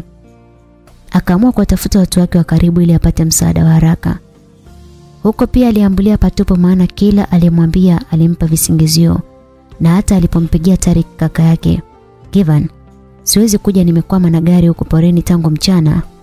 Huko nitakuja kesho, tafuta namna nyingine umwaishe hospitalini. Hospitalini? Mkewe Tarik aliamaki baada ya kusikia hospitali. Haraka Tarik akamziba mdomo mkewe kusudi Given asisikie na akaamua kukata simu haraka. We mpumbavu, kwa nini unaongea kwa sauti hivyo? Ni Given amezidiwa? Hapana, sio yeye, ni Moza. Baba Lora. Nenda. Huenda kuna tatizo kubwa. Embu lala huko. Wao kuta waishi matatizo. Nimechoka sana, sitaki kelele. Mdogo wako anaumwa, wewe unajali usingizi? Sio uungwana kabisa. Unajua Given bado ni mgonjwa. Kwa nini umemdanganya? Nimesema sitaki kelele. We kama una huruma sana, nenda kamsaidie. Alisema Tariki akivuta shuka na kujifunika. Givani alitokwa na machozi kila akimtazama mdogo wake. Anajichukia kwa sababu hawezi hata kumsaidia mdogo wake. E Mungu wangu, msaidie mdogo wangu, mpiganie. Naomba nisishuhudie kifo chake mikononi mwangu. Licha ya kufanya maombi lakini bado alikuwa akijaribu kumpigia Edgar. Lakini pia bado simu ilikuwa haipokelewi. Na hata yule alimtuma hakurudisha majibu. Given alizidi kuchanganyikiwa na mbaya zaidi. Laini anayotumia ilikuwa mpya, hakuwa na namba za watu wengi. Ilibaki namba moja aliyokuwa anaitazama na hapendi kumsumbua mtu huyo, lakini hakuwa na njia nyingine akampigia. Ilikuwa majira ya usiku Jada akiwa nyumbani kwa rafiki yake Salome. Hiyo ni kabla hajapokea simu kutoka kwa Given. Wakiwa wana ili wala lile bwana wa Salome akaja akidai kwamba amemkumbuka sana. Salome hakuweza kumfukuza walikula na kuanza kupiga stori wakiamini baada ya kuwakuta wawili bwana yule ataaga na kuondoka lakini wapi. Muda ulisonga na bwana yule akawa analeta stori nyingi sana. Kilikuwa ni chumba kimoja Jada akaamua kuapisha. Jada unaenda wapi sasa? Salome hakutaka Jada aondoke. Naenda nje kupata hewa safi. Jada akatoka nje na kukaa kibarazani. Nimechoka nina usingizi alafu niko hapa napigwa baridi jamani. Haya yote asingenikuta kama ningekuwa kwangu. Alijisemea Jada akitafuta namba ya dalali akampigia ili amtafutie chumba cha kupanga. Na baada ya hapo akaingia mtandaoni. Alishtuka baada ya kukuta ujumbe kutoka kwa Karista. Habari za siku dia. Niambie, Given anaendeleaje? Niambie ukweli, ameanza kutembea? Kwa nini ananiuliza hali yake? Ina maana hawawasiliane au kuna nini kinaendelea? Anataka kujua ili iweje? Jada alijiuliza lakini alishindwa kujua namna ya kumjibu rafiki yake. Ghafla simu yake ikaita. Alishangaa baada ya kusoma jina la mtu anempigia ilikuwa ajabu kidogo kwa Given kumpigia. Akapokea haraka na kumsikiliza kabla hajasema kitu akaitwa Jada. Je, sauti yako mbona haiko sawa? Kuna tatizo? Jada, naomba msaada wako tafadhali. Givan, utanipa kichaa, niambie shida nini? Unajua naweza kufanya chochote kwa ajili yako. Jada alisema akiwa akasimama na kuanza kuzunguka zunguka pale kibarazani. Jada, hata sielewi, Moza amezimia. Kwa nini kazimia? Na kwa nini hamjampeleka hospitali? Oh, sorry, nimesahau kama wewe ni mgonjwa. Nakuja hapo sasa hivi. Jada alisema akaingia ndani kwa namna alivyokuwa kavurugwa kubisha hodi. Aliingia na kuifata pochi yake iliyokuwa akaining'iniza ukutani karibu na kitanda. Jada, ilikuwa sauti ya Salome baada ya kushtukia Jada yupo ndani na wao walikuwa watupu kitandani wakivunja amri ya sita. Jada hakuwa hata na muda wa kushtuka, akachukua pochi yake. Sorry. Aliwataka radhi akatoka nje haraka. Eti sorry, inasaidia nini sasa? Huyu rafiki yako ni kichaa au ni kitu gani? Ah, lazima kuna tatizo, namjua vizuri Jada.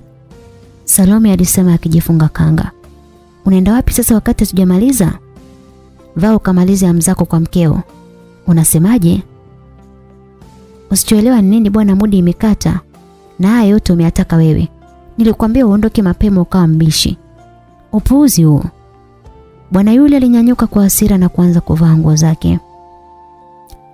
Jada baada ya kufika kwa Givan alimchukua Moza na kumpeleka hospitali. Baada ya muda kupita, Beka akarudi. Alishangaa baada ya kumkuta Given peke yake. Kaka, Moza yuko wapi?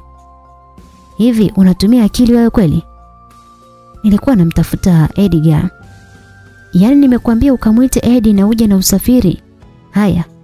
Hivyo vyote viko wapi? Nimezunguka kila baa nilioelekezwa atakuwepo lakini sijamkuta. Lakini usafiri uko nje. Yaani baada ya risali zima ndo unakuja. Hivi hata huyo mgonjwa si ungekuta amekufa. Nenda akamwambia dereva akupeleke kijijini kwenu. Kaka nisamee. Beka alipogundua kakosea kusita kuomba radhi. Wakati mwingine jiongeze, sio lazima ufanye kama ulivyoambiwa. Ulitakiwa ulete kwanza usafiri, kwani wewe gani daktari? Hapana. Basi palipambazuka asubuhi Jada akiwa bado hospitalini.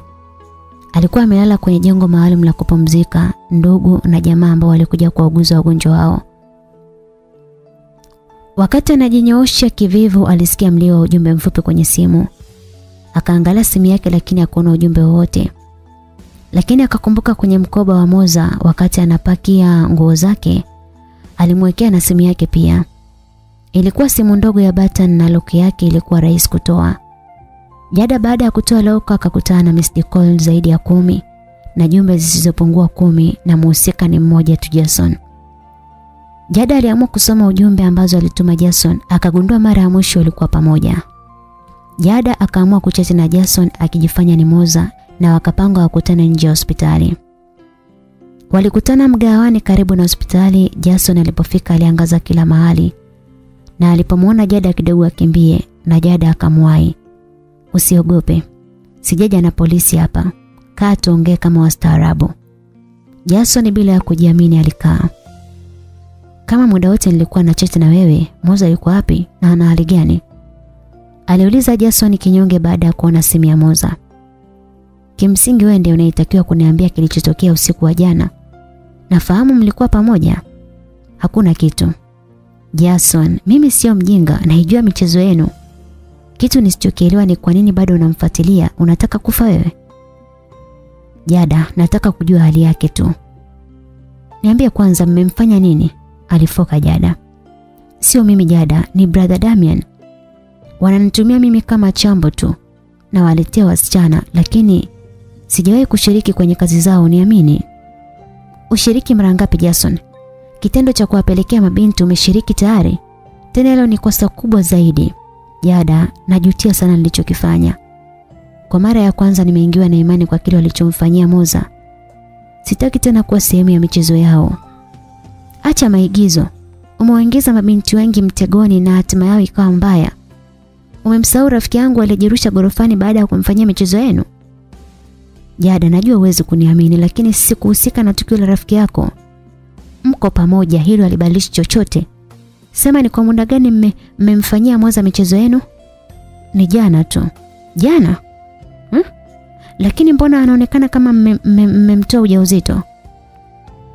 Hapana, Moza alikuwa bado bikra na wale watu hawakujua hilo. Walimtumia kwa nguvu sana maskini Moza. Jason hakujali tena, alionyesha masikitiko yake. Jada alibaki mdomo wazi ajui cha kufanya. Nini? Ina maana mmemfanyia michezo yenu akiwa na hali hiyo? Jada alinyanyuka kwenye kiti chake akimfata na kumkunja shati kwa hasira. Sio mimi Jada. Jason alikuwa na uwezo wa kujitetea na hata kumpiga Jada akiamua. Lakini hakufanya hivyo, alionekana anajutia makosa yake. Jada alimwacha na kurudi kukaa. Sikia nikwambie Jason. Huyo binti familia yake inapitia kipindi kigumu sana. Na kama hizo video zikisambaa hali itakuwa mbaya zaidi. Lakini ujio wako hapa unaonyesha unamjali sana. Sasa nitakuomba kitu. Kitu gani? Twende polisi ukatoe maelezo, au wahusika wakamatwe. Hapana Jada, siwezi. Ni kweli najutia lakini kwenda kumshtaki bro ni hatari sana. Nahitaji nikusanye ushahidi. Na hiyo ni kazi ngumu na itachukua muda, si unajua wanafunika sura zao. Basi kama uwezi kumshtaki, nenda kaifute hiyo video kabla haijarushwa mtandaoni. Kama itasambazwa Jason na kuhakikishia wewe na hao wanaharamu mtaingia matatizoni. Sawa Jada, nitafanya hivyo kwa sababu nimegundua nampenda sana Moza. Eh, kitu kingine sawa kuhusu yeye kwa sasa. Kama unataka awe salama tafadhali achana naye. Lakini hakuna cha lakini Jason. Kama kuna nampenda Moza utamlinda na ukaribu wenu utakuwa hatari zaidi. Kama unania msubiri amalize shule. Jada alimaliza na kumwacha Jason pale akitafakari. Jada akarudi hospitali alikomoza. Moza. Aliporudi hospitali akakutana na Tarek akiwa na rafiki yake mwingine huku akisubiri muda wa kuona wagonjwa ufike waingie wodini. Tariki baada ya kumwona Jada akamvuta pembeni ili wazungumze. "Umefuata nini hapa?" aliuliza Tariki kwa ghadhabu sana. "Hiyo sio kazi yako. Ni kazi yangu, sikia. Sitaki kukuona kokote. Karibu na mimi umenisikia?" Ulisema mwenyewe tuachane, sasa kwa nini unanifuatilia? Tariki, siwezi kuwa kokote kwa ajili yako. Kama ungekuwa unamjali sana ungemleta hospitali. Kwa hiyo nataka kukushukuru. Sahau hilo Jada. Nilisha kuonya ukae mbali na familia yangu. Aa, niko hapa kwa sababu alinihitaji na kama ungekuwepo kwa ajili yake nisingekuwa hapa. Alisema Jada. Hivi lengo lako ni nini Jada? Hmm? Unataka kuichanganya akili yangu au? Sikiliza kwa makini. Nikirudia kuiona sura yako karibu yangu tena nita Bwana yeye ishia hapo hapo. Nikufuatilie kwa lipi? Kwa kipi hasa ulicho nacho? Kama ningekuwa nakutaka si ningebaki na wewe. Hembo nipishe huko. Jada alifoka akampita na kuingia wadini Nyumbani kwa Givan anaonekana Edgar anarudi asubuhi. Alishtuka baada ya kumkosa kaka yake chumbani kwake akamfata Beka. Beka, kaka yangu yuko wapi? Chumbani kwa Moza. Anafanya nini huko tena jamani nimeogopa? Alilalamika akimfata alipo anamkuta kaka yake chumbani kwa Moza. Kaka, we mzima? Hapana nimekufa. Unaimwona hapa ni mzimu wake. Jamani kaka, niambie kama kuna tatizo ina inakuwaje upo hapa? Umetembea mwenyewe? Given alikuwa kimya akimtazama mdogo wake mwenye hangover. Kaka bwana, kwa hiyo ulimtuma Beka anifate kwa sababu hiyo? Lakini ni jambo. Kabla hajamaliza alipokea kofi zito mpaka alihisi kizunguzungu. Wote waliugulia maumivu hata Given aliumia kwa sababu alitumia nguvu. Jana ulikuwa wapi? Nilikuwa kwa Queen. Alishika shavu lake akijibu kwa sauti ya chini. Kulala kwake sio tatizo. Tatizo ukiwa na huyo mwanamke unasahau kabisa familia yako. Sio kweli kaka. Sasa kwa nini ukupokea simu nilipokupigia? Niliitoa sauti bahati mbaya lakini kwa nini upo hapa na Moza yuko wapi? Kwani unajali? Wakati tupo kwenye matatizo unakula maisha haya niambie. Pesa unatoa wapi? Sio za dukani kaka. Na iwe hivyo. Na si vinginevyo. Edgar alionekana mwenye mawazo akatoka na kumfata Beka. Mdogo wangu yuko wapi? Nani, Kathy au Moza? Usijizime data, unajua nani namuulizia hapa. Yuko hospitali na Jada. Nini? Kwa nini aende hospitali? Jana alivuja damu nyingi sana. Unasemaje wewe? Aliamaki Edgar. Inaonekana Moza ametoa mimba. Haiwezekani. Ana hali gani? Yupo hospitali gani? Tumbi. Edgar aliondoka haraka kuelekea hospitalini. Hospitali baada ya Moza kupata fahamu alifumbua macho na kumwona Jada. Unajisikiaje kwa sasa? Nipo salama Jada. Basi vizuri nadhani watakuruhusu jioni. Kaka yangu atakuwa amechukia baada ya hili na uhakika atanipeleka kijijini. Ah, ni kweli amekasirika kidogo lakini hawezi kufanya hivyo. Kweli? Ndiyo, lakini utawezaje kumweleza ulichokifanya? Jada, na wewe unahisi nimetoa mimba? Hapana. Kwa sababu hujaniambia hivyo. Nikikwambia utaniamini? Ah, kwa nini sikuamini? Ilikuwa mara ya kwanza. Oh, pole sana Moza. Inaonekana ilikuwa mbaya sana. Mbaya sana. Maskini. Kwa hiyo usichana wako ukamzawadia Jason. Unamfahamu? Moza, nilikuonya yule mtu ni hatari. Unaona sasa alichokufanyia? Jada, naomba usimwambie kaka jambo hili. Ni kweli Jason alikosea lakini nilitaka mwenyewe. We Moza, ulitaka mwenyewe kufanya nini? Nilikunywa pombe kidogo tu lakini ilitosha kuvuruga kichwa changu. Baada ya hapo akakupeleka wapi? Jada, uelewi nini? Tulikuwa chumbani na nilitaka kujaribu. Unajua marafiki zangu walikuwa wakinicheka kwa, kwa sababu nilikuwa sijui chochote. Una uhakika alikuwa peke yake chumbani? Ndiyo, kwa nini unaniuliza? Hakukuwa na mtu mwingine? Nililewa sana sikumbuki chochote. Lakini kwa nini Jason awe na mtu mwingine? Kabla Jada hajaendelea kuzungumza Tariki na rafiki yake wakaingia ndani. Alinyanyuka Jada baada ya simu yake kuita na alipofika mlangoni akakutana na Edgar. Jada, Moza yuko wapi? Ingia yupo humu. Edgar aliingia na kumwona ndugu yake. Baada ya kuruhusiwa hospitalini walirudi nyumbani. Moza alikwenda chumbani kwa kaka yake na kumsalimia lakini Givan hakuitika. Kaka, sema chochote basi nifokee ukitaka. Jada alimshika Moza na kumtoka naye pale chumbani. Mpe muda, unajua kaka yako anakupenda sana. Hasira alionayo ni kwa sababu ulimwogopesha sana. Kweli? Kweli, twende ukapumzike. Jada akampeleka chumbani kwake ambapo tayari palikwisha safishwa na yeye akaelekea jikoni. Wakati anaendelea kupika Tariki alimfuata. Naona umeamua kuwa beki tatu sasa. Jada aligeuka na kuishia kumtazama bila ya kujibu kitu. Tariki akaendelea. Tulipokuwa na mahusiano tulikuwa hatuonani namna hii. Dunia ni ndogo sana. Dunia ni ndogo mno hii. Inabidi uzoe maana utaniona sana. Alizungumza Jada kwa kujiamini sana. Hata mimi naona unavyojitahidi kuziba pengo la rafiki yako. Jada alimgeukia baada ya kauli hiyo akamtazama Tarik aliyechukua karoti na kuanza kutafuna. Tarik, ondoka na umfuate mkia sebuleni. Sawa, lakini na uhakika givani ya juu unachojaribu kufanya. Anajua uko hapa kwa sababu yangu. Acha kupoteza muda wako bure. Tariki akaondoka jikoni akitabasamu. Jada alipata kiwewe akachukua glasi ya maji na kunywa ili mtulize. Aliendelea na kazi zake lakini Tariki hakuacha kumsumbua. Alifanya mizaa na utani kwa mke wake ili mradi Jada aone wanavyopendana na lengo lake ilikuwa ni kumfanya Jada aone wivu. Zoezi ambalo lilifeli kwa kiasi kikubwa kwani Jada hakujali kabisa na baada ya kumaliza kupika alimpelekea Givan chakula na kuzungumza naye kuhusu Moza wakati anamlisha. Givan, acha kumkasirikia. Unajua kila mtu anafanya makosa. Ni ujana tu unamsumbua. Amekwambia huyo mtu ni nani? Hapana. Yaani uwezi kumjua. Najua utaki kusema lakini huyo mtu atakuwa kambaka mdogo wangu kwa, kwa mabavu. Kipindi cha nyuma mtu anayechezea familia yangu nilikuwa naweka huruma kando. Unajua kile ambacho ningemfanya huyo jamaa.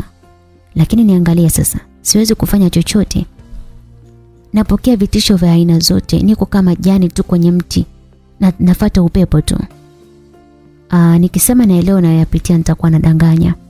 Lakini naweza kushiriki pamoja maumivu yako. Hii ndio maana ya rafiki wa dhati? Ndiyo G. Tutavuka ili pamoja. Jada aliendelea kumlisha chakula huko stori zingine zikiendelea. Maraisi Majada akaita alipokea na kuongea na dalali. Baada ya kukata simu alimuuliza, kama umeahirisha kwenda kupanga kwa sababu ya pesa uliotumia hospitali, usifanye hivyo. Nimeshamwambia Edgar akuletee. Hata usijali Given, sina haraka. Lakini kwa nini unataka kuishi tena kwa dada yako? Unajua siwezi kuishi kwake milele. Jada, kama utaweza naomba ulale na Moza angalau kwa usiku tu wa leo. Nina hofu sana juu yake. Hivyo wala usijali, ji hakuna shida. Maongezeo yalipokuwa akiendelea Tariki aliingia na kwa kuta akicheka, jambo ambalo lilimkasirisha sana. Wivu aliotaka Jada upate kwake ulikuwa ukimtesa mwenyewe. Kipenzi, tunaweza kuongea? Alisema Tariki na kumfanya Jada ashtuke.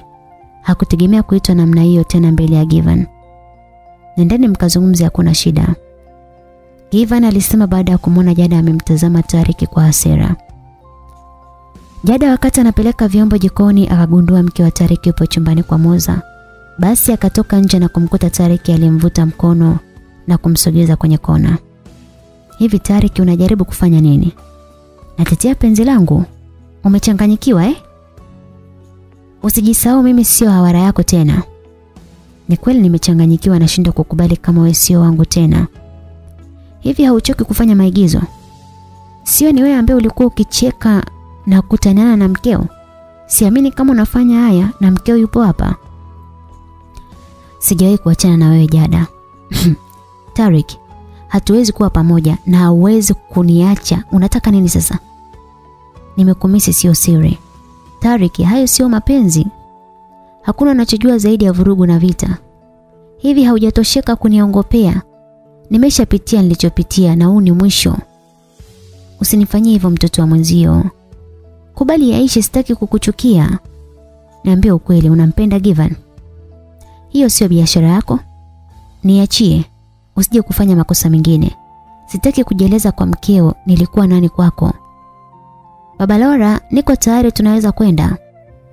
Ilikuwa sauti ya mke wa Tariki ikitokea mlangoni. Niachie Tariki mkiwa anakuita. Jada alisema na kinyonge Tariki alimwachia. Jada aliingiwa na uoga akazunguka nyuma ya nyumba ili asionekane. Ujinga gani huu jamani? Sijui nimefikiria nini kuzungumza kwa siri na mme wa mtu. Jada alijilaumu sana baada ya Tariki na mkeo kuondoka akarudi ndani.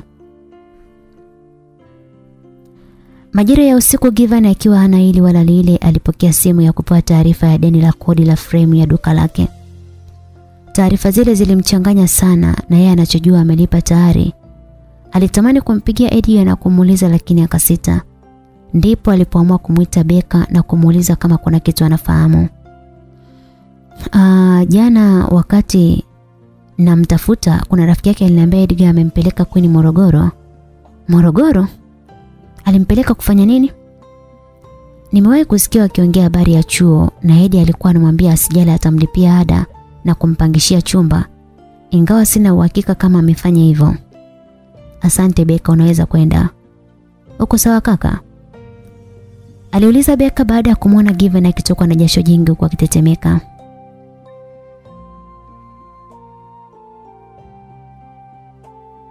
Niko sawa. Unaweza kwenda. Beka ingawa alikuwa na wasiwasi na ndugu yake lakini hakuwa na namna akatoka na kumwacha mwenyewe. Muda wa kulala ulipofika Jada alikuwa chumbani kwa Moza baada ya kumaliza kuoga. Alikuwa akijipaka mafuta, alimwona Moza yuko bizi akichate muda wote na alionekana mwenye furaha sana. Hatimaye baada ya siku ngumu kuna kitu kizuri kimekutokea eh? Umejuaje? Ah, hilo tabasamu lako linaonyesha hivyo. Huwezi kuamini, Jason ameniomba msamaha. Hivi unajua alichoniambia? Ah, sitaki kujua alichosema. Moza, nikombe mara ngapi achana na huyo Jason ni mtu hatari. Tazama ulikuwa mahututi kwa sababu yake. Unaweza kusahau haraka hivyo? Sijasahau, lakini mtu yeyote anaweza kufanya makosa na akastahili kupewa nafasi nyingine. Kwa hiyo umeshamsamehe. Kitu kama hicho. Sawa mi nalala. Jada alikuwa amechoka sana, aliona sio muda sahihi wa kuzungumza.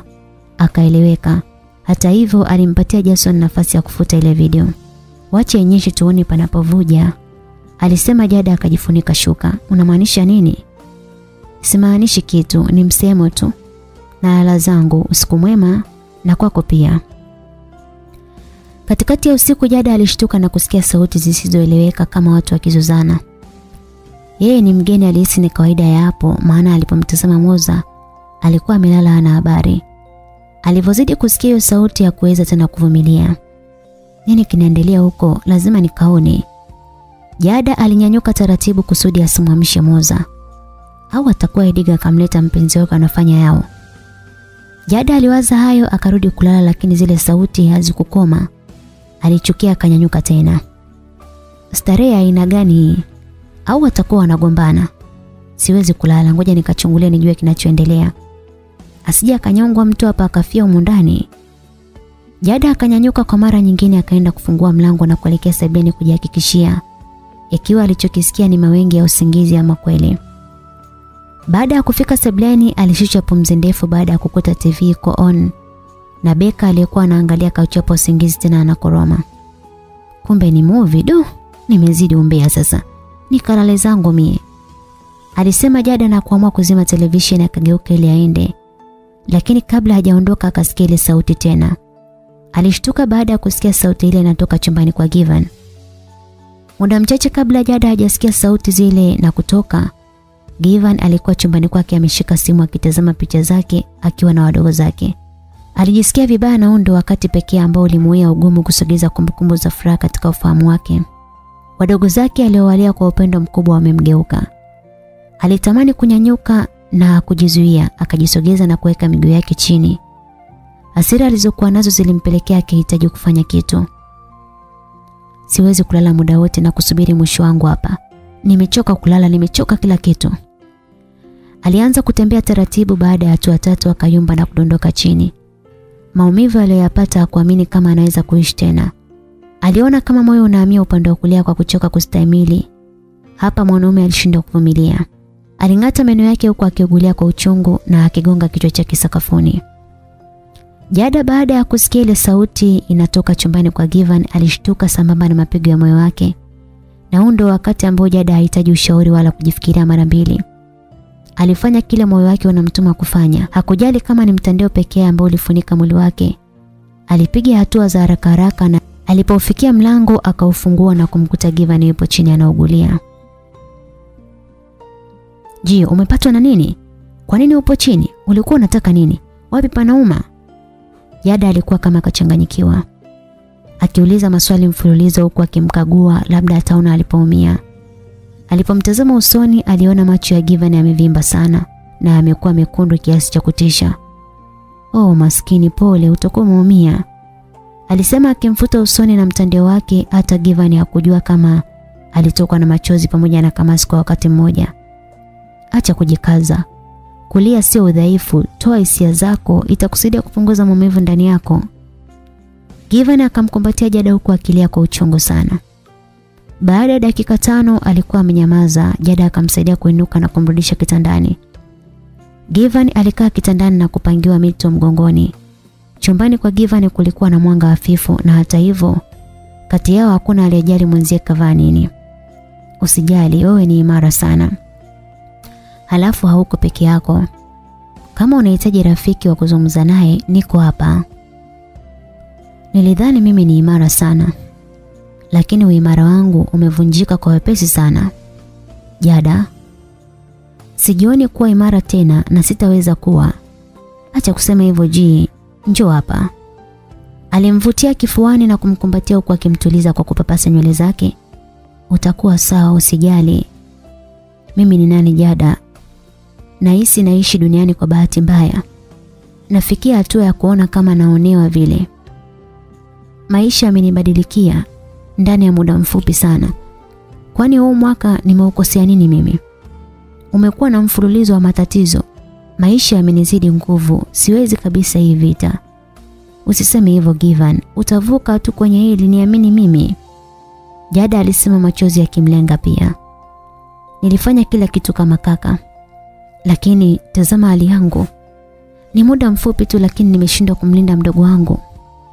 Ni makosa yangu. Nilimdekeza sana na kumpa pesa. Namjua. Amekuwa rahisi kushawishika kwa sababu sifanyi hivyo tena. Ameshindwa kuvumilia kidogo kidogo tu. Maskini Moza. Kama akirudi kijijini ataishia kuolewa tu.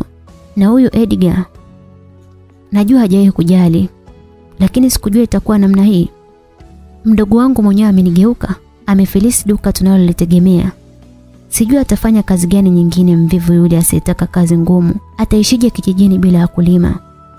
Jada, sitaweza mzigo huu. Hata aliyenipa ahadi ya kurudi hajarudi tena. Yaani ni kama nachinjwa lakini sifi. Naacho kwa makusudi ili nisi, nisimulie dunia makali ya kisu. Ilikuwa ni zamu ya Jada kulia na Givan alimbembeleza pia.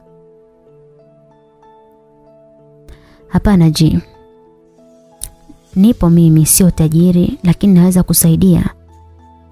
Na kuamini utakuwa bora zaidi. Unajua nini? Muda ambao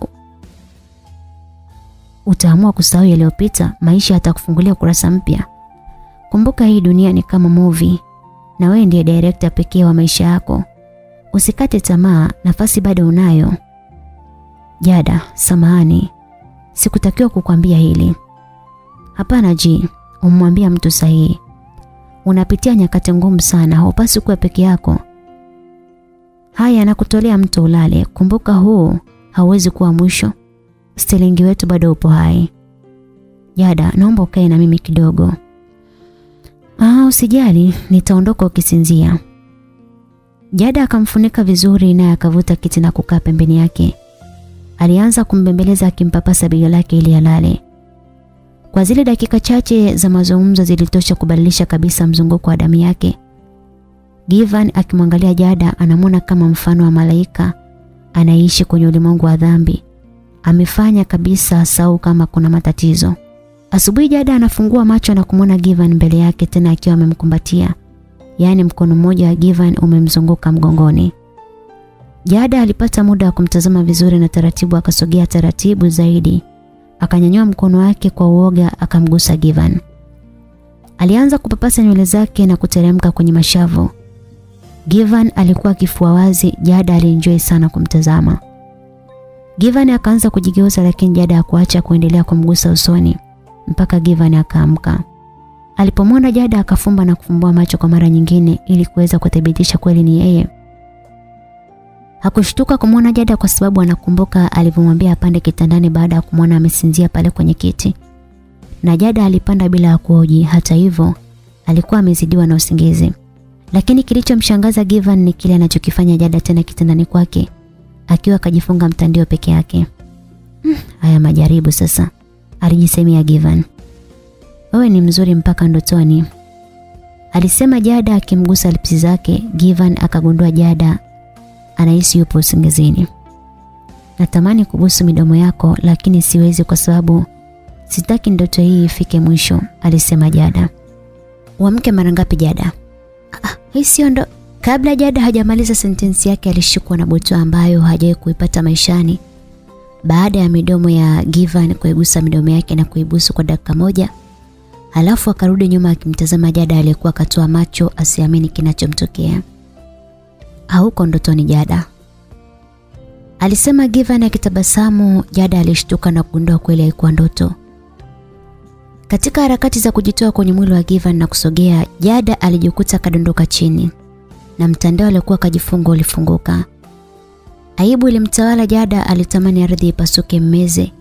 Akajifunika haraka na kunyanyuka pale chini kwa kujificha ficha mpaka mlangoni. Baada ya kufungua mlango na kutoka, Jada alipiga vibao mashavuni mwake kwa namna alivyokuwa hana akili kufanya yale. Alipofika sebleni, Jada alizidi kuona aibu baada ya kuwaona Edgar na Beka wakimkodolea macho. Akaushika vizuri mtandao wake na kukimbilia chumbani. Edgar aliingia chumbani kwa kaka yake akiwa anacheka sana. Sikutarajia utapona haraka hivi. Unaongelea nini wewe? Una haja ya kunificha. Nimemwona Jada akitoka humu. Alikuja kwa sababu nilihitaji maji. Shida iko wapi? Maji? Ah. Ah, kaka. Mbona anaonekana amelala huko? Sema sio ishu, hata mimi nimemwelewa. Edi acha ujinga. Ah, kizuri kula na mwenzako kaka.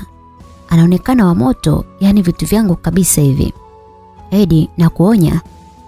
Jada sio mwanamke wa kuchezea. Nitamtongoza bwana, akikubali freshi, akikataa nitamwambia nilikuwa na mtania tu. Jaribu uone nitakavyopoteza ile tabasamu lako. Alizungumza Givan kwa hasira mpaka Edi akashangaa. Mbona na hasira kaka? Au unampenda huyu mwanamke? Hilo halikuhusu. Nenda haraka dukani sijui utafanya nini. Lakini nataka ulipe kodi ya frame. Biashara iendelee. Edgar baada ya kusikia hivyo alitoa macho kama mjusi kabana na mlango. Ishu yake imefahamika. Ulikuwa unafikiria nini eh? Umekuwa mtumwa wa mapenzi umesau kama tunakutegemea? Unasubiri nini? Nenda na uache hela matumizi. Na kule kwa ule mzee umlipe kodi yake. Edgar alitoka chumbani kwa kakake akiwa akapooza kama kamwagiwa maji ya baridi. Jada akiwa jikoni akili yake kupata nafasi ya kuwaza kitu kingine zaidi ya lile busu la Givan. Kuna wakati Jada alijikuta anashika mdomo wake. Sikufanya vibaya kuingia chumbani kwake. Ningekumbatiwa leni vile. Mungu nisamehe. Ila naomba uchunge moyo wangu. Najua siwezi kuwa naye ila moyo wangu hautulii ninapokuwa karibu yake. Jada kila akifikiria Ji kampenda alijua ni uongo ambao hawezi kujidanganya. Alitoka kwenye mawazo baada ya Moza kumsemesha. Supu bado tu njaa inauma. Na kuona leo uko vizuri. Alisema Jada baada ya kumwona Moza akiwa akachangamka sana. Ni kweli kwa sababu nimemsamehe nime Jason. Kumbe fanya hivi, chukua hii supu mpelekee kakaako. nadhani utapata nafasi ya kuzungumza naye. Hakikisha unamwomba radhi. Jada aliyasema akimkabidhi bakuli ya supu. Wazo zuri. Leta nimpelekee. Moza akaiweka simu pembeni akachukua lile bakuli la supu na kumpelekea kaka yake. Jada akiwa pale jikoni aliona simu ya Moza ikiingia ujumbe. Akamchungulia Moza na kumwona akiingia chumbani kwa kaka yake.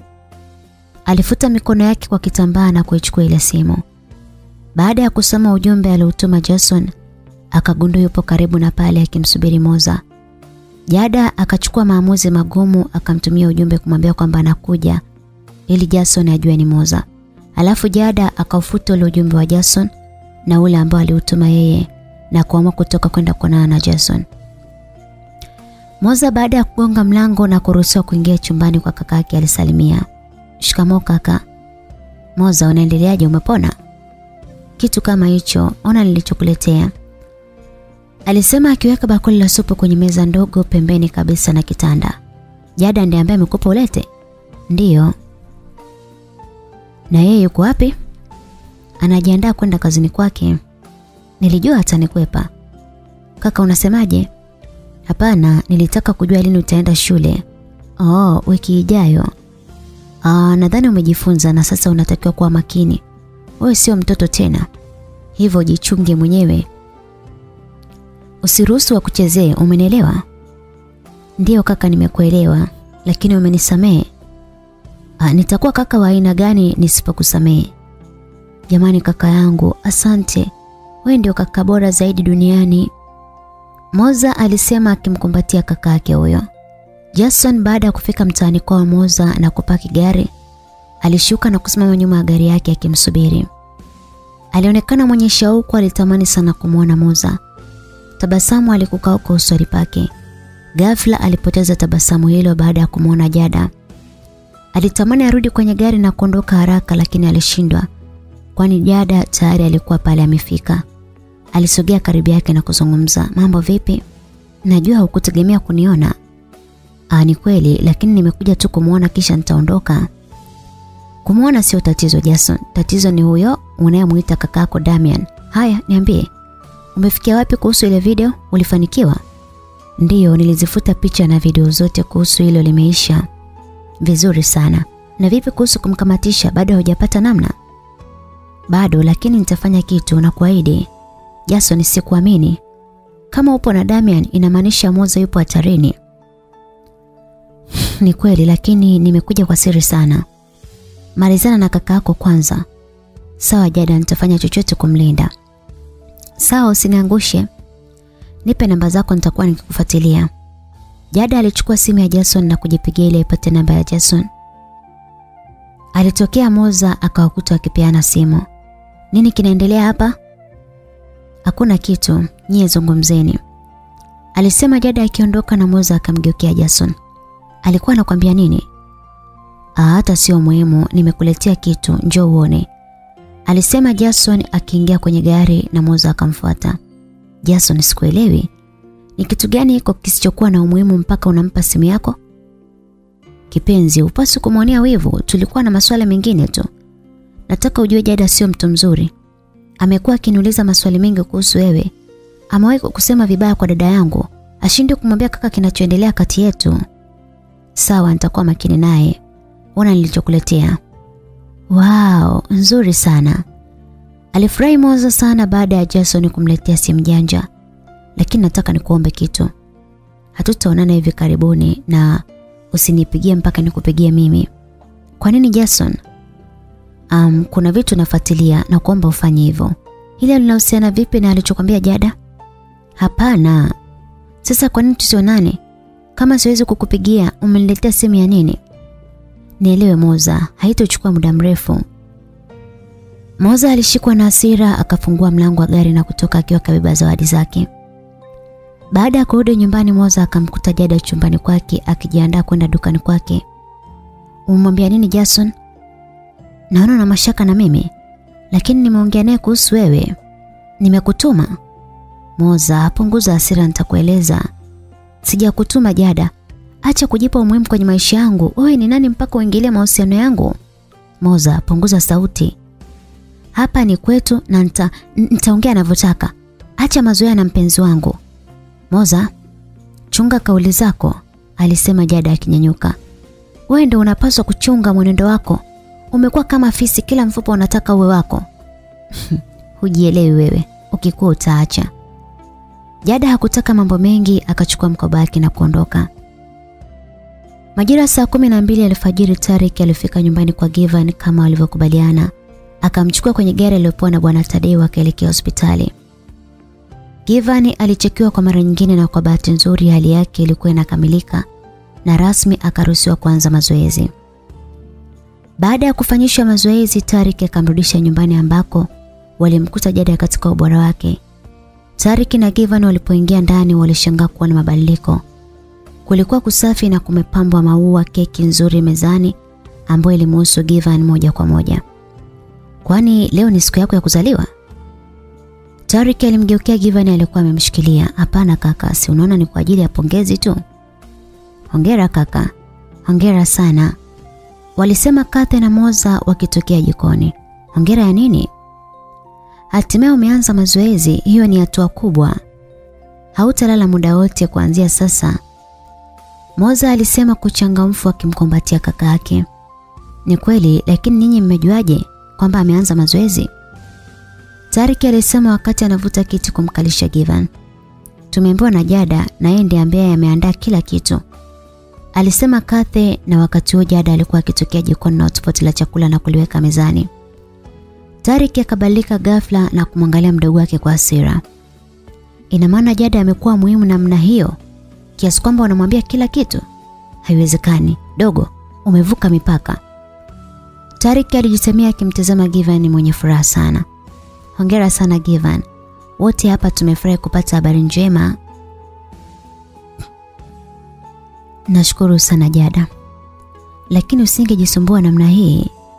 Ji, umeanza sasa kuwa baili kuliko mimi. Kama ni chakula lazima tungekula tu. Na hii keki nimetengeneza mwenyewe kwa ajili yako. Inaongeza furaha tulionayo.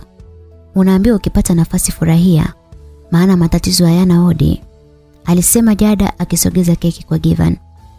Jada, wewe ni mwema sana, hata sijui ni kushukuru vipi. Jamani G, nilisha kukataza kunishukuru. Usifanye hivyo, sisi ni marafiki wazuri tu. Ni kweli, njoo nikumbatie. Givan alizidiwa na hisia za furaha akajisahau kama ex wa Jada yuko hapo. Bila hiana Jada akasogea na kumkumbatia Given. Oh, jamani, mnapendezana sana. Kathy aliropoka wakati huo uvumilivu wa Tariki umefika mwisho. Akamshika Jada mkono na kumtoa kwenye kumbato. Nataka tukaongee nje. Subiri kwanza tukate keki. Sasa hivi. Alisema Tariki kwa hasira na Given akaliona hilo. Jada, nenda tutakusubiri. Givani alitumia busara maana anamjua Jada anaweza kukataa ikaleta shida na kitendo kile kiliendelea kumchefua Tariki kuona kwamba Jada anamsikiliza sana Givan. Hapana, nyie endeleeni. Moza, sogea ukate keki. Jada alimsemesha Moza aliyekuwa bize na simu janja yake. Tariki na Jada walitoka mpaka nje. Ghafla Tariki alimvamia Jada na kumpigia busu. Tariki, utakuwa umechanganyikiwa tena? Nahisi una shida na sijui kama utapona. Alisema Jada baada ya kumsukuma pembeni. Ndiyo, nimechanganyikiwa. Lakini nilikuwa mzima kabla sija kuona wewe. Sina muda wa kufikiria matatizo yako, umenielewa? Ulini, ulinifanya nini Jada? Eh? Kumbuka mimi na wewe hatujai kuachana. Unajidanganya Tariki. Mimi nikipita huwa sirudi nyuma. Jada. Kwa nini unadanganya? Eh? Si useme tu ukweli unanipenda na unafanya yote haya ili niwe na wivu. Utakuwa unaota wewe. Nitazame usoni nikwambie kitu. Jada akamshika mkono na kumwangalia Tariki. Sijawahi kukupenda, sikupendi na sitawahi kukupenda na wewe unalijua hilo. Alizungumza Jada akiwa mkavu bila ya kupepesa macho. Kwa sababu yake Tariki alizidi kuumia baada ya kugundua kile alichokuwa na kiofia ni kweli. Alijawa na hasira akamsukumia ukutani na kumbayanisha Jada. Kwa hiyo umenitumia kwa muda wote huo. Tumetumiana Tariki. Usijisahau wewe ni mume wa mtu. Tofauti yetu ni moja, wewe hukuwahi kufikiria kumwacha mkeo. Ikiwa mimi nilimkatia tamaa Given na kuwa na mwanaume niliyehisi anafanana naye. Kiukweli siku zote nilipokuwa na wewe niliashumu nipo naye. Inatosha sasa nyamaza. Alifoka Tariki akipiga ngumi ukutani. Kuanzia sasa naomba kuwe na mipaka baina yetu nadhani itasaidia. Jada, utajutia kuniacha na utarudi kwa magoti. Usichokijua ni kwamba nikikuona wewe nashukuru Mungu wa kunitenganisha na kichaa kama wewe. Kaa kimya nimekwambia nyamaza. Tariki alizungumza akiwa amekamata shingo ya Jada kwa nguvu na kumnyonga. Hali ilianza kuwa mbaya kwa Jada na hata sauti alishindwa kutoa. Kwa bahati akatokea Beka na kuja kumtoa Tariki aliyekuwa kama amechanganyikiwa. Akasogea mbali kidogo na kukaa kwenye ngazi akiwa ameinamisha kichwa chake. Kaka, kwa nini unafanya hivi? Unataka kupata kesi ya mauaji? Jada vipi uko poa? Ndiyo naomba maji. Beka alipoingia ndani, Jada akasogea alipokuwa Tariki naye akakaa kando yake. Hakuna haja ya sisi kugombana. Hauoni kama utakuwa mbinafsi, Tariki, una mke anayekupenda na mtoto mzuri sana. Unajua uwezi kuvipata hivyo kwangu. Sasa kwa nini utaki kunisahau? Alizungumza Jada na kumfanya Tariki amtazame. Sasa mimi na wewe tofauti yetu iko wapi? Hata wewe unampenda mtu ambaye hajawahi kukupenda kimapenzi na unafahamu ni kiasi gani nampenda Karista. Uko sahihi lakini angalau sijawahi kumfasi kuwa naye alafu unajua nini? Given ni mtu mzuri kuwahi kukutana naye. Hata tukibaki kuwa marafiki bado naweza kuonyesha upendo wangu kwake. Kwa nini bado unamtetea? Kwa nini kila mtu yuko upande wake? Siku zote nikijilinganisha naye lazima watu wa upande wake. Kwa nini mimi? Kwani mimi nina ubaya gani? Tari unaongea nini? Sio sawa kujilinganisha na mtu yoyote. Namchukia, namchukia sana. tariki umechanganyikiwa? Unawezaje kuwa na chuki na ndugu yako? Wewe ni kaka wa aina gani? Mimi sio kaka yake. Nimeishi maisha magumu kwa sababu yake. Given alininyang'anya baba yangu. Una maana gani kusema kakunyang'anya? Tulikuwa tunaishi vizuri na familia yangu. Lakini baba akamwacha mama yangu na kumwoa mama yake Given. Na hapo mama yangu akawa wakulia tu. Hata upendo wa baba yangu ukahamia kwake. Oh, sikuwa najua hilo. Lakini hayo yalikuwa ni makosa ya baba yako na sio Given. Mama yake amehusika kutuharibia maisha. Akamchukua baba yangu na wao wakaishi maisha ya furaha. Vipi kuhusu mimi Jada? Sistahili kuonewa huruma? Alizungumza kwa masikitiko sana. Jamani Tariki, sijasema hivyo kabisa.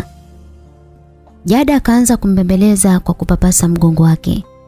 Beka alileta maji, Jada akapokea na kumpa Tariki. Wewe hauhitaji maji? Nashukuru Beka. Haya yanatosha. Unaweza kwenda. Lakini si alikuwa na amani, hakuna shida. Alisema Jada ili kutoa hofu ya Beka na hisi yupo hatarini. Mimi ni mtu mbaya na Given ni mwema, si ndio?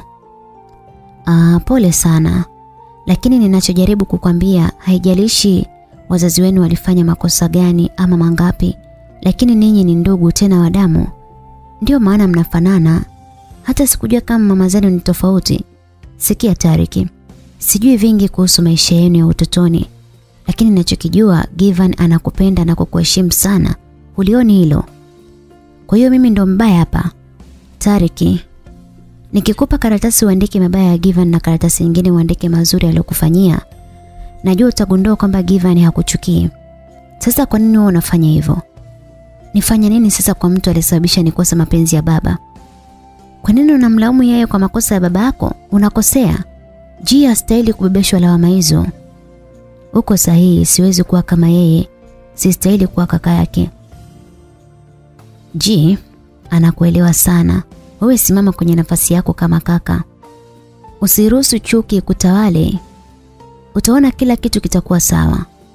Asante Jada. Alisema Tariki kwa tabasamu akimwangalia Jada. Tariki akasimama na kumwaga Jada kwa kumkumbatia. Wakati wa Given alikuwa chumbani kwake na kupitia kioo alikuwa akiwatizama. Natumai utakuwa sawa. Kwa heri Jada. Alisema Tariki akiondoka na Jada akarudi ndani. Jada baada ya kufika sebleni akawakuta Kathe, Moza na Beka. Vipi Given ameshakula?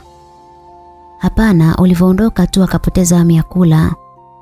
Kathe, una matatizo gani? Mbona unaongea vitu vya ajabu hivyo? Sikia. Jada, kaka amesema atakula baadaye. Sawa, ngoja basi nimpelekee kipande cha keki. Acha nitampelekea mimi, unaweza kwenda. Asante kwa msaada wako. Moza alisema akimzuia Jada kuchukua keki na kuwafanya wengine wamshangae. Moza, una shida gani kwani? Najua unanichukia, lakini sio mpaka kila mtu ajue. Haya, mpelekee. Alisema Jada akimpatia sahani yenye kipande cha keki.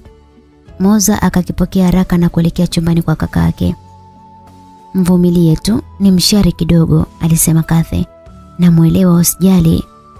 Alisema Jada akikaa mezani na kuanza kupakua chakula. Hata kabla hajaanza kula, Moza alirudi na sahani yake, akamkabidhi Jada kwa kisirani. Imekuwaje amekataa? Anakuita nenda nayo labda atakula. Sawa.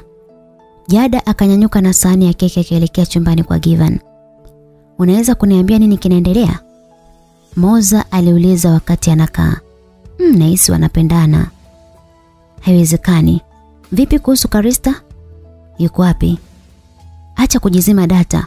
Wifi yetu ni Karista na muda wowote atarudi. Tutaongea hilo siku akirudi. Nachojua kwa sasa kaka yangu anamhitaji Jada. Hapo kaka atakuwa kajichanganya. Subiri utaona, alisema Moza. Jada alipoingia chumbani kwa Given alimkuta amesimama dirishani. Akamsemesha. "Ji, utakiwa kusimama hivyo kwa muda mrefu utaumia." Alisema Jada akisogea mahali alipo Given.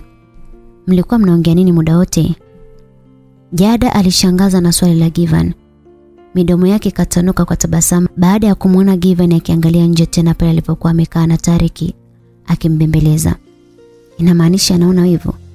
Sasa siaseme tu kama ananipenda nimkubalie chapu jamani. Jada aliyawaza hayo kichwani mwake akimtazama Given kwa tabasamu. Amekwambia anavonichukia? Umejuaje kama amesema hivyo? Yule ni kaka yangu, naweza kuhisi anachosema hata kama simsikii. Chuki yake haina mantiki kabisa. Unajua anakulaumu kwa makosa ya wazazi wake, wala asikuumize hayo. Ah, unaweza kunisaidia? Nataka nirudi kitandani. Sawa, utakuwa umechoka twende. Jada alisema akimshika Given ili kumpeleka kitandani. Lakini kwa namna walivyoshikana Jada alikuwa akifumba macho kuzuia hisia zisimtawale. Hata kwa upande wa Given alitamani kumkumbatia lakini akashindwa. Kwa hiyo alikuwa akamshika kwa tahadhari kubwa huku akimeza mate kila akikumbuka ile asubuhi Jada alipodondoka chumbani kwake. Taratibu Jada akamkalisha kitandani. Hii keki nimeitengeneza kwa ajili yako, utakula si ndio? Kwa nini nikatia wakati huko hapa baada ya kunikwepa siku nzima? Ah, sio hivyo, nilikuwa busy, si unajua hilo. Uliumia? Kuumia? Ndiyo, pale ulipodondoka. Ji, acha ujinga, sipendi utani. Alisema Jada kwa aibu akiinamisha shingo yake chini. Unaweza kunilisha keki? Ji bwana, unaweza kula mwenyewe. Haya chukua. Jada akampa sahani ya keki na kunyanyuka ili aondoke. Given alimzuia kwa kumshika mkono na Jada akageuka kumwangalia. Umenikasirikia baada ya lile busu? hapana bwana, hapana. Kwa nini nikukasirikie? Hata hivyo ilikuwa kama ajali. Jada alipatwa na kigugumizi cha ghafla. Ajali? Sawa, kaa basi nataka kuongea na wewe. Kuhusu nini? Wadogo zangu. Ulinisaidia sana kuondoa hasira zangu, lakini sina budi kukuomba jambo lingine na kusikiliza. Alisema Jada huku akikaa kitako. Naomba uongee nao, waambie ukweli kuhusu hali yangu kifedha na nini wafanye na wasichotakiwa kufanya kwa wakati huu. Na hisi nikiongea mimi nitawaambia vitu vibaya sana. Mm. G. mbona umenipa jukumu zito sana? Umeanza lini kuniamini kiasi hiko? Anajua ushindi kufanya hivyo. Sawa, lakini sidhani kama watanielewa.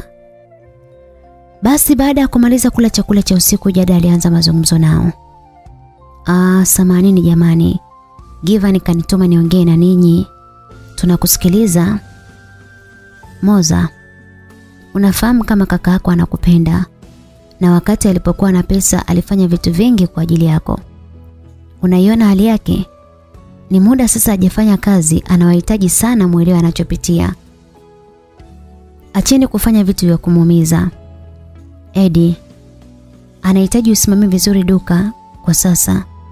Maana ndiko kitu ambacho mnakitegemea. Na ndio maana siku hizi chakula kinapikwa nyumbani na wao unaletewa dukani ili kupunguza gharama. Kaka yako anahitaji uwe makini sana. Unaongea haya kama nani? alihoji Edgar. Nasema kama rafiki ambaye nimeumbwa na kaka yenu. Hivi uone kama umefika mbali sana? Ah, nime, nimefanya kile ambacho nimeomba kufanya. Unaingilia maisha yetu. Kaka anaweza kutuambia mwenyewe. Kwa nini sasa niingilie? Hilo ndio swali ambalo nilitaka kukuuliza wewe. Ah, msichokijua ni kwamba kaka yenu ana hasira sana kwa kile ambacho ulikifanya Edgar. Hivyo uone anatumia pesa nyingi kwenye matibabu na hapa chakula pia. Inatubidi tuweke mahesabu ya wiki hii. Angalia pesa ilivyo ndogo. Sijui ni kitu gani msichokielewa. Jada alinyanyuka na kuacha wakijadiliana. Kaka, hivi unamwelewa huyo? Asijui katokea wapi, yaani anakuja kutunga sheria kama kwake hapa. Kaka, lazima tufanye kitu. Tukimwacha huyu atatupanda kichwani. Ni kweli akiolewa huyu hapa, ha, tutapaona pachungu.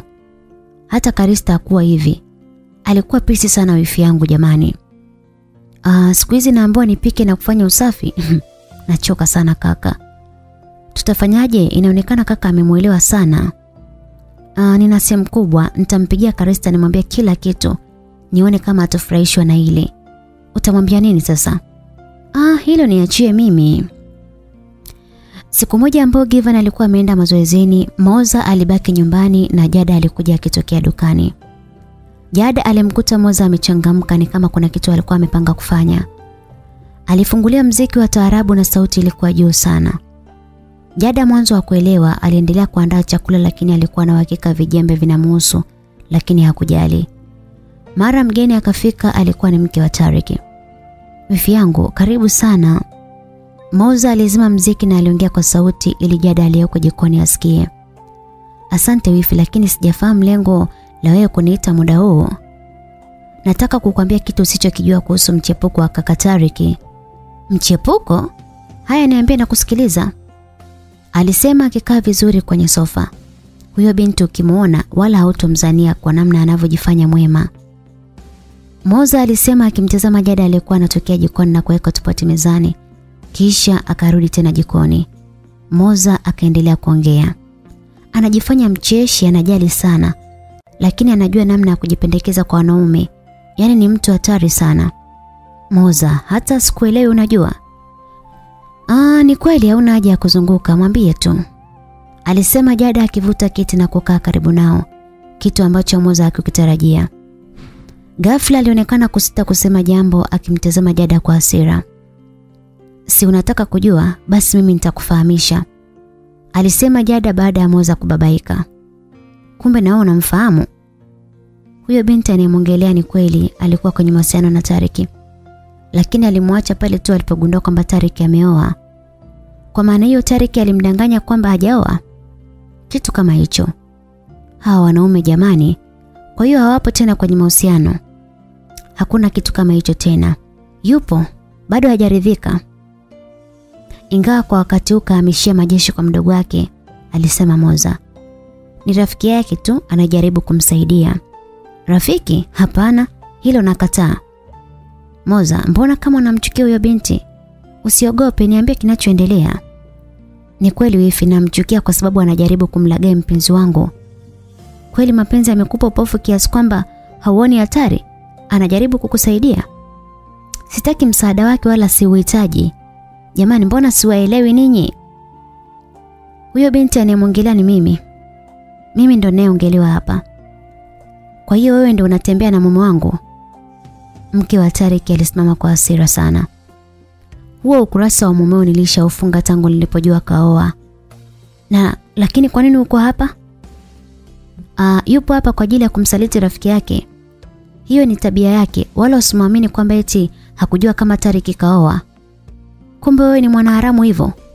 Siku zote unanichekea kumbe. Kama ningekuwa mwanaharamu kama usemavyo, nisingemwacha mumeo. Unasemaje? Mke wa Tariki alipaniki akataka kumkunja Jada lakini Beka akaja kumwamlia. Mwache nimfunze adabu huyo. Nenda kamfunze adabu mmeo ili asikuchiti. Achana na mimi. Beka unamsikia anavyosema nitamuua. Jada tulia. Kaa kwa kutulia, mimi sina shida na mumeo dada. Kweli wifi, nimekutaarifu tu lakini Jada kwa sasa anamtaka Given. We tulia tu. Moza alisema kwa kumdhihaki. E Mungu nisaidie niondoke hapa kabla sijamvunja mtoto wa mtu. Jada alishikwa na hasira lakini alijizuia kufanya chochote. Akaelekea chumbani alipokuwa analala akachukua mkoba wake na kutoka taratibu ili kuondoka.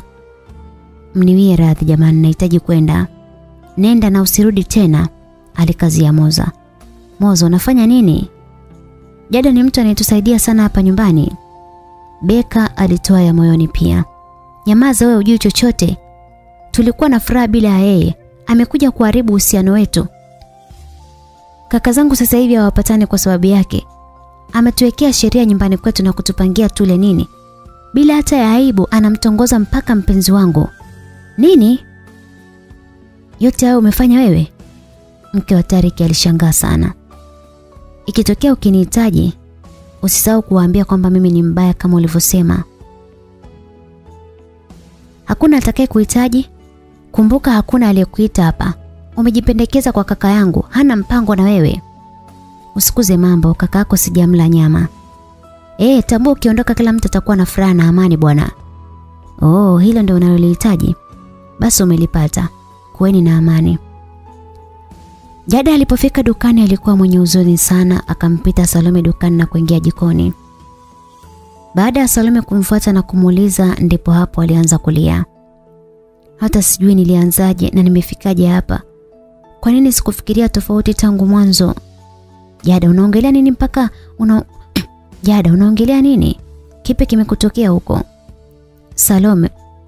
Kwa nini umeacha nijidanganye mwenyewe? Ni kuhusu Given. Salome nilitakiwa kujifunza kukubali kwamba Given yupo na karibu. Nilihitaji nilihitaji tu kujua jinsi ya kuwa rafiki yake tena bila hata ya kuumia. Basi acha kumpenda. Ni jinsi gani nitabalisha ninavyojihisi? Siwezi Salome. Acha kujaribu kama uwezi. Mimi na imani ipo siku mtakuwa pamoja kwa sababu hata yeye anakupenda sana. Salome unaongea nini tena? Hicho kitu hakipo. Wakati wanaendelea na maongezi simu ya Jada iliita na alipotazama akakuta Given ndiye anayepiga. Hautapokea simu yake? Siwezi na sitaki kabisa kuwa sababu ya ndugu kugombana. Waishi kama sikuwahi kuwepo kwenye maisha yao. Shoga yangu pole. Unaanza kukabiliana na gubu la mawifi kabla hata hujaolewa. Given baada ya kutoka hospitali, Beka alimweleza kila kitu kilichotokea. Alikasirika sana, alimtafuta Jada kwenye simu lakini hakupokelewa. Alituma ujumbe lakini bado majibu hayakurudi. Beka, niitie huyo Moza haraka sana. Beka alikwenda kumuita na baada ya dakika mbili Moza alikuwa sebuleni. Moza, una shida gani? Kwa nini umefanya ulichofanya? Kwani nimefanya nini? Umwambia nini Jada? Yalikuwa ni maongezi ya kawaida lakini yeye akachukia na kuondoka. Unawezaje kusema ni maongezi ya kawaida? Eh? Ulikuwa na lengo gani kum, kumkutanisha na mke wa Tariki? Nilitaka akiri makosa yake kwanza. Makosa? Jada akakosea nini? Okay, ni binadamu.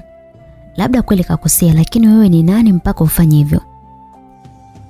Givani alikuwa mwenye ghadhabu na Moza hakuwa anajibu akaisha kukaa kimya. Moza, hivi ni kweli uone msaada wake kwetu? Hivi unajua amejitoa mara ngapi? Ni nani kakushauri huo ujinga? Au ni huyo kaka yako aliyechukua pesa za dukani na kumuonga warake? Ana msaada gani hapa? Moza, nilifanya makosa kukuficha hali yangu kiuchumi nikidhani wewe ni mtoto hauwezi kuelewa, lakini kwa sasa unapaswa kujua. Givani alimtaka Moza akae kisha akaendelea kuongea. Chakula anachokula kila siku kwa asilimia kubwa ni Jada anayemea. Lakini hajawahi kusema na wala hahitaji kulipwa. Huwezi kuthamini hilo kwa sababu hukujua. Lakini Moza, hivi umeshindwa kumheshimu mtu aliyokuwa maisha yako kweli? Umesahau ni yeye aliyekesha hospitali aking'atwa na mbu. Amepigwa baridi bintu wa watu kwa sababu ya starehe zako. Hivi unadhani hela ya matibabu yako nani alitoa Moza? Hauna shukrani mdogo wangu? Moza baada ya kusikia hayo nafsi ilimsuta, moyo ulimuuma kwa majuto na machozi yalikuwa tayari yameloanisha mashavu yake. Naomba unisamehe kaka, sikujua yote haya mimi. Ulitakiwa kumheshimu hata kama hujui. Hiyo ndio tabia njema. Jada anakujali sana wewe. Umemlipa nini? Kumfukuza? Naona aibu kuwa na ndugu kama wewe. Kaka, naomba unisamehe. Hayo machozi hayawezi kufuta ulichokifanya na usiniombe usiniombe huruma yangu. Sijui utamwona wapi lakini kamwombe yeye msamaha. Moza aliondoka akilia. Jada aliamua kufanya kazi ili kujisahaulisha. Alipokuwa jikoni akiendelea na majukumu yake, Salome alimfuata. Jada, dada yako amekuja hapa. Kama hutaki kumwona, naweza kumwambia haupo. Hapana, mwambie nakuja. Sawa. Salome akarudi dukani na kumkaribisha Johari na kipande cha keki kwenye sahani. Karibu sana. Nimefurahi kukuona.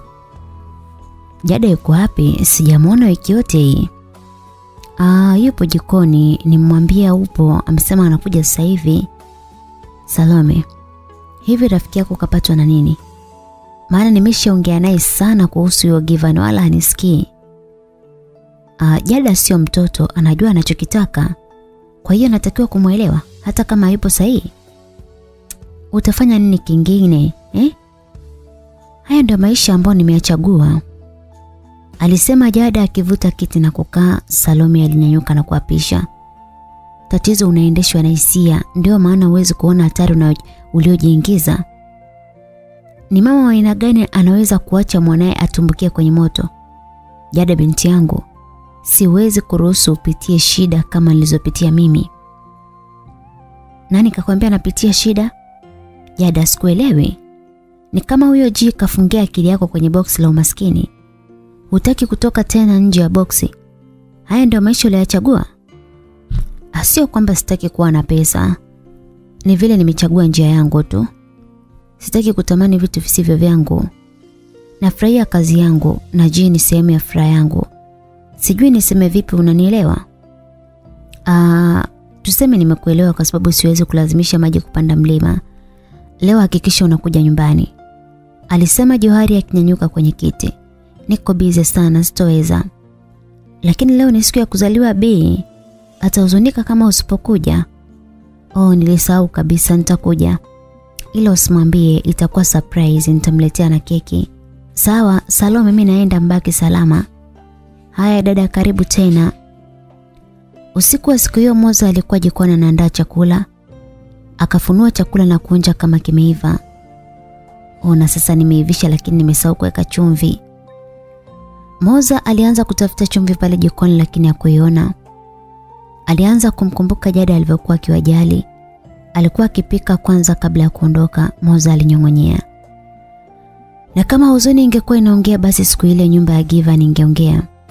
Alikuwa na huzuni sana kwa kitendo cha Jada kutokupokea simu yake, kiliashiria hataki mazoea. Usiku huo huo Jada alikuwa nyumbani kwa dada yake na ulikuwa ni wakati wa bariki kukata keki. Familia nzima ya Mr. Tadei na baadhi ya ndugu na jamaa walikuwa kwenye furaha hiyo. Waliimba na kucheza mziki bila kusahau vyakula na vinywaji. Johari na mumewe walimwagilia moyo ipasavyo. Muda ulienda na wageni wakaondoka, hata Salome alimwaga Jada na kuondoka. Jada aliamua kuingia chumbani kwake kulala lakini ni kama alianza upya. Hakupata usingizi kabisa. Alishika simu yake na kupitia jumbe ambazo alitumiwa na Given. Zilimuumiza sana lakini hakuwa na namna. Sauti ya mlango kugongwa ikamtoa kwenye mawazo. Akanyanyuka na kwenda kufungua mlango. Kabla hajafungua vizuri na kumwona aliyegonga, mlango ulisukumwa na Mr. Tadia akaingia. Wewe unafanya nini hapa? Umeshanikimbia vya kutosha leo lazima unipe. Alisema akifunga mlango. Hebu ondoka humu ndani kabla sijapiga kelele. Fanya vyovyote utakavyo lakini mimi sitoki. Mr. Tadia alisema akijitupia kitandani, Jada alibaki amesimama kama sanamu ajue nini afanye. Mr. Tadia akanyanyuka na kumvutia kitandani na kumkandamiza na mwili wake mkubwa. Jada alitamani kufurukuta lakini alibanwa vilivyo kiasi kwamba akaanza kukosa pumzi na upumuaji wake ukawa wa shida. Yule mlevi hata hakujali akaendelea kumvua nguo. Mr. Tadia kabla hajakamilisha azma yake mlango uligongwa. Jada kipenzi fungua tuzungumze. Ilikuwa sauti ya dada yake Johari. Wote walipata mshtuko na Jada akapata nguvu ya kumsukumia shemeji yake pembeni. Usiitikie kaa kimya, Tadei alitoa onyo. Dada anakuja. Alisema Jada aliwalo na liwe. Unafanya nini pombavu? Mr. Tadei alichukia akanyanyuka kwa ghadhabu akapandisha suruali yake na kuifunga zipo. Jada alipoamka akamvuta Mr. Tadei nyuma ya mlango. Akajitengeneza vizuri kisha akafungua. Dada, unataka nini? Binti yangu mrembo, unang'aa kama mbala mwezi. Umelewa sana dada, nenda akapumzike. Kwa nini hautoki hapa mlangoni? Tuingie basi, nataka tuongee kuhusu baba yako. Dada jamani, tutaongea kesho, sasa hivi nina usingizi. Alisema Jada akimkokota mama yake na kumpeleka chumbani kwake ili asiendelee kuvujisha siri yao. Alimfikisha mama yake mpaka kitandani. Hakuwa na hofu kuingia kwa sababu anajua Mr. Tadia hayupo ndani. Akamfunika shuka akakaa akimtazama. Pumzika mamangu kipenzi, tutaongea kesho. Oe ni mrembo sana binti yangu. Yule mwanaume hakufai. Sawa mama. Jada alitoka chumbani kwa mama yake na kurudi katika chumba chake na kumkuta shemeji yake amekaa kitandani. Akasimama mlangoni kwa tahadhari sana. Hivi bado uko hapa? Ilibaki kidogo ufumaniwe. Kama angekuona sijui ungemwambia nini. Jada, unaweza kuniambia ni kitu gani kinachotuzuia kuwa pamoja? Hivi unaona ni sahihi kulala na shemeji yako? Shemeji yangu? Mr. Teddy aliacha tabasamu akanyanyuka na kusogea mlangoni alipo Jada. Tafadhali usifikiria kufanya hivyo tena. Jada alimbembeleza huku akirudi nyuma, ghafla alivutwa mkono na kuingizwa ndani. Mlango ukafungwa kwa mara nyingine. Unataka kufanya nini? Unaweza kupiga kelele ukitaka lakini sintokuacha uende. Na kuomba uniache niende. Jada aliogopa baada ya kuona sura ya shemeji yake mbadilika na alionekana amedhamiria kumbaka. Alianza kulia. Usinifanyie hivyo tafadhali. Kwa sababu wewe ni binti yake? Mr. T alifoka. Hapana, yeye kuniita binti yake maanishi kanizaa. Kwa hiyo wewe ni shemeji yangu. Tadea alisema akimsogelea na kumtazama kwa macho makali sana. Ndiyo. Jada akaingiwa woga na kurudi kinyumenyume mpaka akajigonga ukutani na ukawa ni mwisho wa mbio zake. Mr. T akamsogelea karibu zaidi Jada, aliona aibu akatazama chini akiendelea kulia. Kwa hiyo Johari sio mama yako. Alisema akimshika kidevu na kumnyanyua uso ili amtizame. Jada akatikisa kichwa kukubali na akatikisa kukataa kwa pamoja. Nikueleweje sasa? Nitazame na ufungue mdomo wako. Jada akajikaza mikono yake kukabiliana na hofu, akamtazama Mr. T machoni akajibu, "Sio mama yangu." Basi toa nguo zako na unithibitishie hilo. Nini? Alishtuka sana. Nitakuamini kama utalala na mimi sasa hivi. Haiwezekani. Alisema Jada na kumsukuma ili atoke pale ukutani. Mr. T hakuwa mzembe akamshika kwa nguvu na kumrudisha ukutani. Sina mpango wa kukuumiza lakini nataka ufahamu hautatoka hapa mpaka unithibitishie. Na mimi nitarizika wala sintokuuliza jambo hili tena. Alisema akimpapasa Jada shingo yake na kuzungusha mkono wake mpaka mgongoni kwa Jada. Akashika zipu ya gauni lake taratibu akaanza kuishusha. Mimi ni binti yake. Alisema Jada akiwa amefumba macho na machozi yakitiririka mashavuni. Aliogopa sana na alikuwa tayari kwa adhabu nyingine tofauti na hiyo. Una uhakika? Mr. T aliuliza akiwa anamtazama kwa hasira. Johari ni mama yangu mzazi. Nilikuongopea tangu siku tulipoonana, ni makosa yangu. Nimemfanya mama yangu aishi kwenye uongo ili nitimize lengo langu la kusoma chuo. Jada baada ya kusema hayo akafumbua macho na kumwona Mr. Tadia anarudi kukaa kitandani. Alikuwa amejinamia siamini alichokisikia. Jada aliona ni nafasi amepata akachukua mkoba wake mdogo na simu akatoka nje kabla Mr. T hajabadilisha mawazo yake. Alipofika nje akatoa simu yake na kumpigia Salome. "Halo? Salome uko wapi?" Yada sauti yako ina nini?" "Nisipokuambia kilichonikuta naweza kulipuka." "Kwanza uko wapi?" "Njiani, unaenda wapi?" "Hata sijui." "Nenda kwangu namalizana na sponsor hapa na kuja." "Sawa." Baada ya safari ya muda mfupi Jada aliwasili nyumbani kwa Salome akiwa na mawazo tele. Akajilaza kitandani huku mawazo yakiendelea kumsonga kichwani mwake. Nimefanya nini? Nini kitatokea kwa mama yangu? Kelele za mlango kugongwa zilimtoa Jada kwenye mawazo, akanyanyuka haraka kwenda kufungua, akijitayarisha kulia na kumkumbatia Salome. Afadhali umewahi rafiki.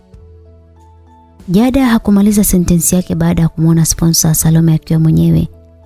Akaangaza nje labda amekuja naye lakini hakumwona rafiki yake. Salome atakuwa wapi? Kwa nini kanidanganya yupo naye?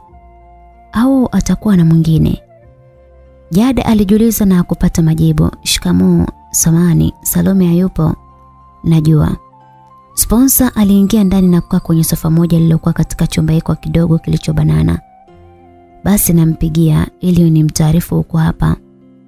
Alisema Jada akitafuta simu yake kitandani. Hakuna haja. Usifanye hivyo. Nipo hapa kwa ajili yako. Kwa ajili yangu? Jada akaacha kumpigia Salome akamtazama ule mwanaume mtu mzima. Na kwa mwonekano wake Jada aliona umri wake ni zaidi ya baba yake. Unataka nini kwangu? Aliuliza akikaa kitandani. Nataka kuachana na Salome niwe na wewe. Hii ni zamu yako. Nataka ufurahie maisha sawa binti. Mimi sijui kutoa hadi ya uongo. Nitakupangishia nyumba nzuri zaidi ya hii.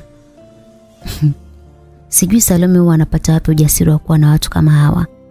Wakati mimi kuongea naye tu nahisi kuchanganyikiwa. Aliwaza Jada akimtazama ule bwana. Sikiliza mzee. Leo nimekuwa na siku mbaya sana na kuomba uende. Jada tayari alikuwa amekasirika akasogea mlangoni na kufungua. Fikiria kwanza binti. Hii ni bahati utaijutia. Uwe na usiku mwema. Alisema akimpa ishara za kunyanyuka na kumtaka aondoke. Yule bwana akanyanyuka na kupiga hatua mpaka pale mlangoni. Jada alishangaa sana baada ya bwana yule kufanya jambo la ajabu la kuufunga mlango. Alibaki akitabasamu asiamini anachokiona. Kwa hiyo mzee unataka kufanya nini? Wewe ndiye ambaye umenifuata kwangu, naweza kufanya chochote. Mungu wangu, nisaidie. Badilisha mawazo ya huyo kiumbe anipishe kabla sijafanya jambo la ajabu. Mawazo yalipishana kichwani mwake wakati bwana yule akimsogelea. Uvumilivu ulikuwa karibu kuisha na hasira zikimjaa. Unajua na kuheshimu sana. Tafadhali acha ujinga. Salome anakuja sasa hivi. Usiogope. Hawezi kuja, nimwambia nisubiri huko, alisema akimshika. Najua uko tayari kuwa na mimi, basi toa nguo zote tufurahie usiku huu. Jada alifumba macho na kumbukumbu zinamrudisha nyuma alipokuwa na shemeji yake. Ni tukio moja limejirudia ndani ya siku moja. Mimi ni binti yake. Jada alijikuta akitamka maneno yale tena na machozi akijitengeneza machoni. Binti unasema nini? Yule bwana aliuliza akimtazama kwa mshangao. Johari ni mama yangu mzazi, tafadhali niache. Ba binti, umechanganyikiwa? Johari ni nani? Yule bwana alimtazama kwa huruma. Jada akafungua macho akiamini mtu ule atamwacha aende. Badala yake alishangaa kumwona bado yuko mbele yake. Inaonekana huko sawa binti, lakini usijali. Nitakubadilishia siku yako iwe ya kufurahisha sana. Jada hakusema kitu akatoa mikono ule bwana mwilini mwake akataka kupita atoke nje. Yule bwana hakutaka atoke akamzuia. Jada akajitahidi kutoka hata kwa kumsukuma lakini licha ya umri kumtupa mkono bado bwana ule alikuwa na nguvu sana kama mwanaume. Purukushani zikaibuka nivute ni kuvute huku Jada anapambana toke nje na bwana ule anamzuia. Acha mambo ya kitoto nipe kidogo nichangamshe damu. Bwana yule alimvuta Jada mpaka kumchania gauni lake kifuani. Usijali, nitakunulia nyingine, lakini ungevua mwenyewe yasingekukuta haya. Alisema akimsogelea kwa mara nyingine tena na Jada alikuwa amedondokea pembeni ya kitanda. Alipotaka kunyanyuka aliona chupa ya bia akaibeba na kuificha nyuma ya mgongo wake. Usisogee. Nitavua mwenyewe. Jada alifanya kama anataka kuvua. Mambo si ndo hayo sasa. Ulitaka nikuvue kwa shida na bado hela nitoe mimi? Alisema ule bwana kwa furaha akipunguza nguo mwilini mwake kisha akamsogelea. Usihangaike sana pandisha juu. Bwana yule alipomfikia Jada bila kufikiria mara mbili akampiga chupa ya kichwa ule bwana. Akadondoka chini kama mfuko wa simenti. Kwa upande wa Givani alikuwa ndani kwake akizunguka na gongo lake, Edgar alimfuata. Kaka, pumzika sasa, umefanya mazoezi vya kutosha. Sipati usingizi, sina ya chakula, hata sijui nataka nini. Hayo yote ni kwa sababu yake.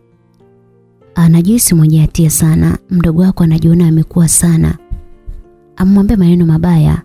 Aibu naona mimi nimeshindwa kualia vizuri. Kwani huyo Jada akakupa nini? Sawa, inawezekana anakusaidia. Lakini usiweke malengo naye hakufai.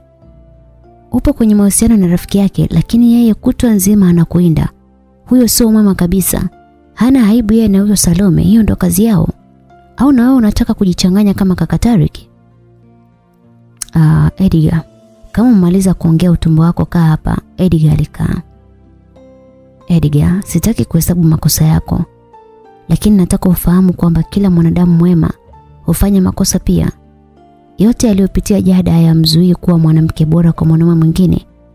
Iwe ni kweli ama uongo, huwezi kunizuia kumpenda kwa sababu yoyote ile. Alichopitia ilikuwa darasa la lake mwenyewe. Jada ana sifa nyingi sana. Labda wao waliona seksi tu. Mimi nimeona future ndani yake. Oh. Endelea kujifanya shujaa utayakanyaga. Ah, yeye ndiye shujaa hapa.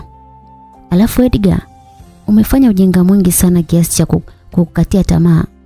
Nilitaka kukufukuza kwangu, lakini wewe unayemuita malaya alikutetea wewe. Wewe na Moza amenipitisha kwenye kipindi kigumu sana. Na Jada amekuwa nguvu yangu sana. Sasa umuhimu wa Karista uko wapi? Hivi unajua ni mara ngapi amenisaidia amenisaidia familia yako wakati wewe unatumia pesa za biashara na wewe una mke wako? Lakini kaka, hakuna cha lakini. Nenda kalale, nataka kuwa mwenyewe. Edgar alinyanyuka kinyonge na kuelekea chumbani kwake. Alichoambiwa na kaka yake ni ukweli mchungu, anatamani angenyamaza. Salome baada ya kumsubiri sponsor wake kwa zaidi ya nusu saa bila kumuona, akaamua kurudi nyumbani kwake. Alipata mshtuko baada ya kufungua mlango wake na kumwona Jada akiwa akajikunyata kwenye kona ya kitanda anatetemeka. Huku mkono wake mmoja akiwa ameshika kipande cha chupa kikiwa na damu. Salome alipagawa zaidi alipomwona bwana yule akiwa chini ajitambui Jada umefanya nini? Salome aliwahi pale chini na kumwangalia yule bwana ambaye alimgeuza na kumsikiliza mapigo yake ya moyo. Alishusha pumzi ndefu baada ya kugundua bado anapumua. Salome nimeua, nimeua mimi. Salome akanyanyuka na kusogea alipo Jada. Haujaua. Hembo tulia kwanza nifikirie cha kufanya. Una uhakika yupo hai? Usiogope kipenzi, huyo mpumbavu anastahili. Nilihisi tu anakutaka siku nyingi, amekuwa akiniuliza kuhusu wewe. Nipe hii chupa, kanae mikono yako ondoke hapa, mimi nitajua cha kufanya. Tunatakiwa kumpeleka hospitali. Nenda Jada, hilo nitalishughulikia mwenyewe. Salamu, unataka kufanya nini? Au utamfukia? Jada, acha ujinga, huyu mshenzi hajafa au unataka akipata fahamu akukute hapa? Hapana. Haya nenda. Jada alimkabidhi ile chupa akajifuta mikono yake na kitambaa. Salome, naogopa sana. Jada nenda. au Hauna hamu ya kuua.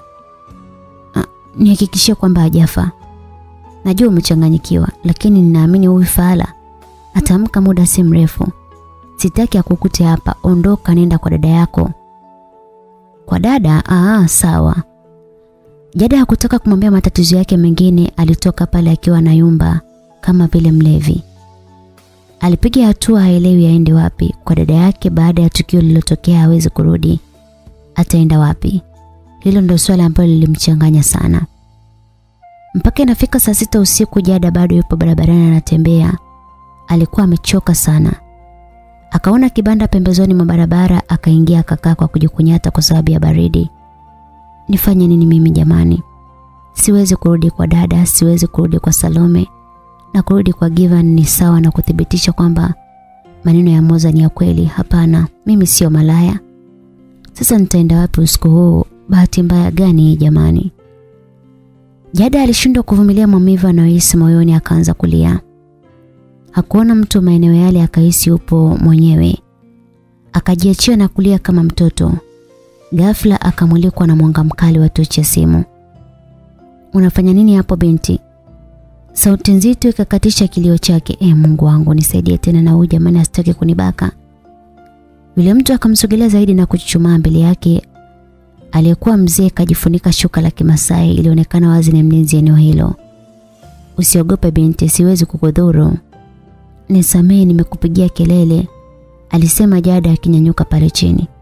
Hii sehemu hairuhusiwi kukaa. Aya, nenda nenda nyumbani. Sina pa kwenda. Umetoroka nyumbani? Haiwezekani binti kama wewe ukose hata rafiki. Rafiki ni naye. Aya nenda, hapa si salama sana. Jada hakuwa na chaguo jingine. Alikuwa karibu na mtaa anaoishi Given. Alitembea taratibu akiburuza miguu yake huku akiwa amejikumbatia kuficha sehemu ya mbele ya gauni lake lilipochanika. Najua Giva anaweza kunifukuza.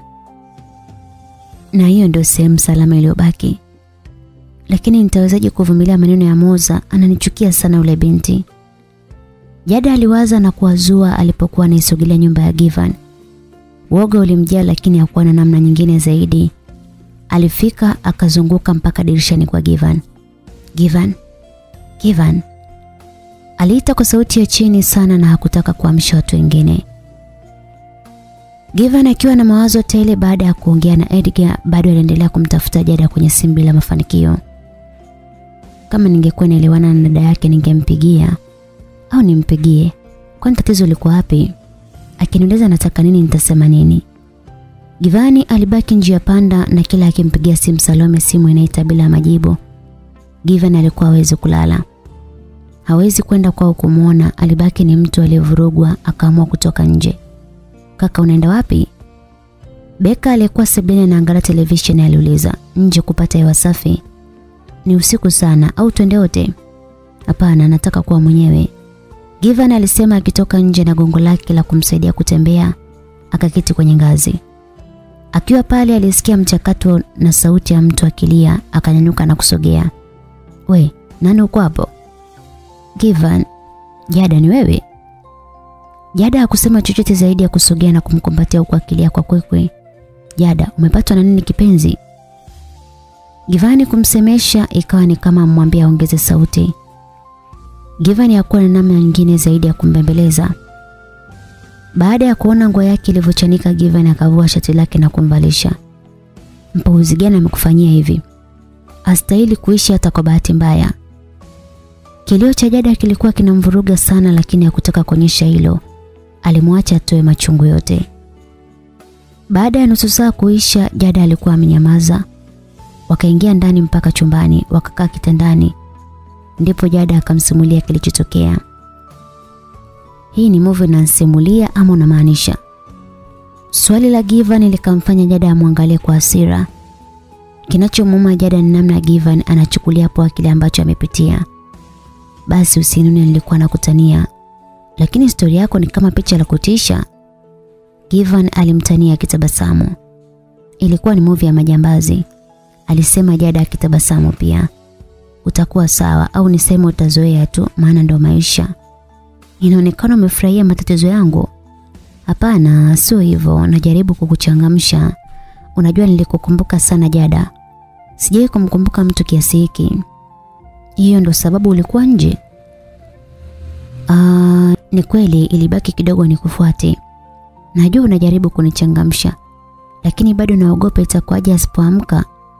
Ah, anastahili kufa. Unaongea nini chini? Nitafungwa mwenzio.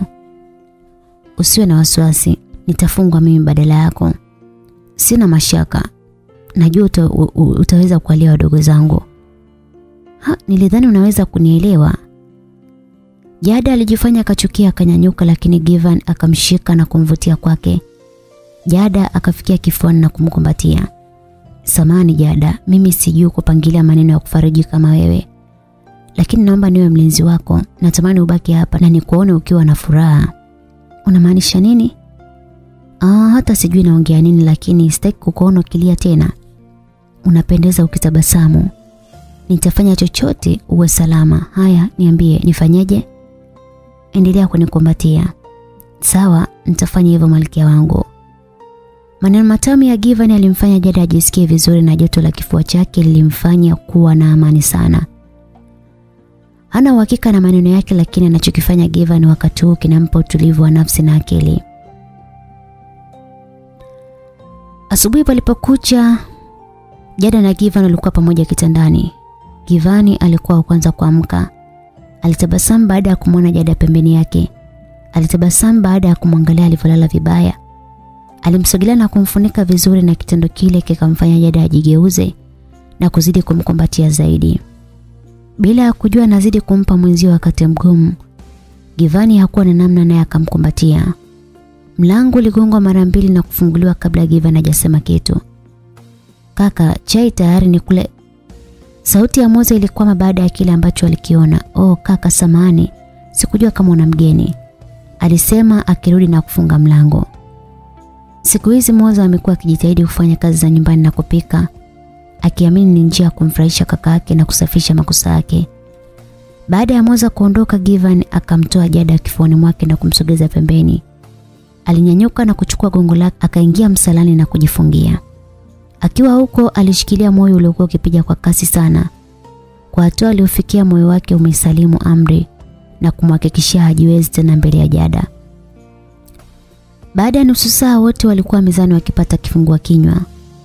Jada alikuwa akijishtukia na alihisi muda wote Moza na Edgar watamuuliza sababu za kurudi au atakumsema vibaya. Moza alipomaliza kuandaa meza na yeye akakaa. Ah, mwanzo sikujua kama mko serious namna hii. Naona mpaka mnavaliana nguo sasa. Edgar alianza uchokozi. Givani alimtazama kwa ukali Edgar akaacha kuongea.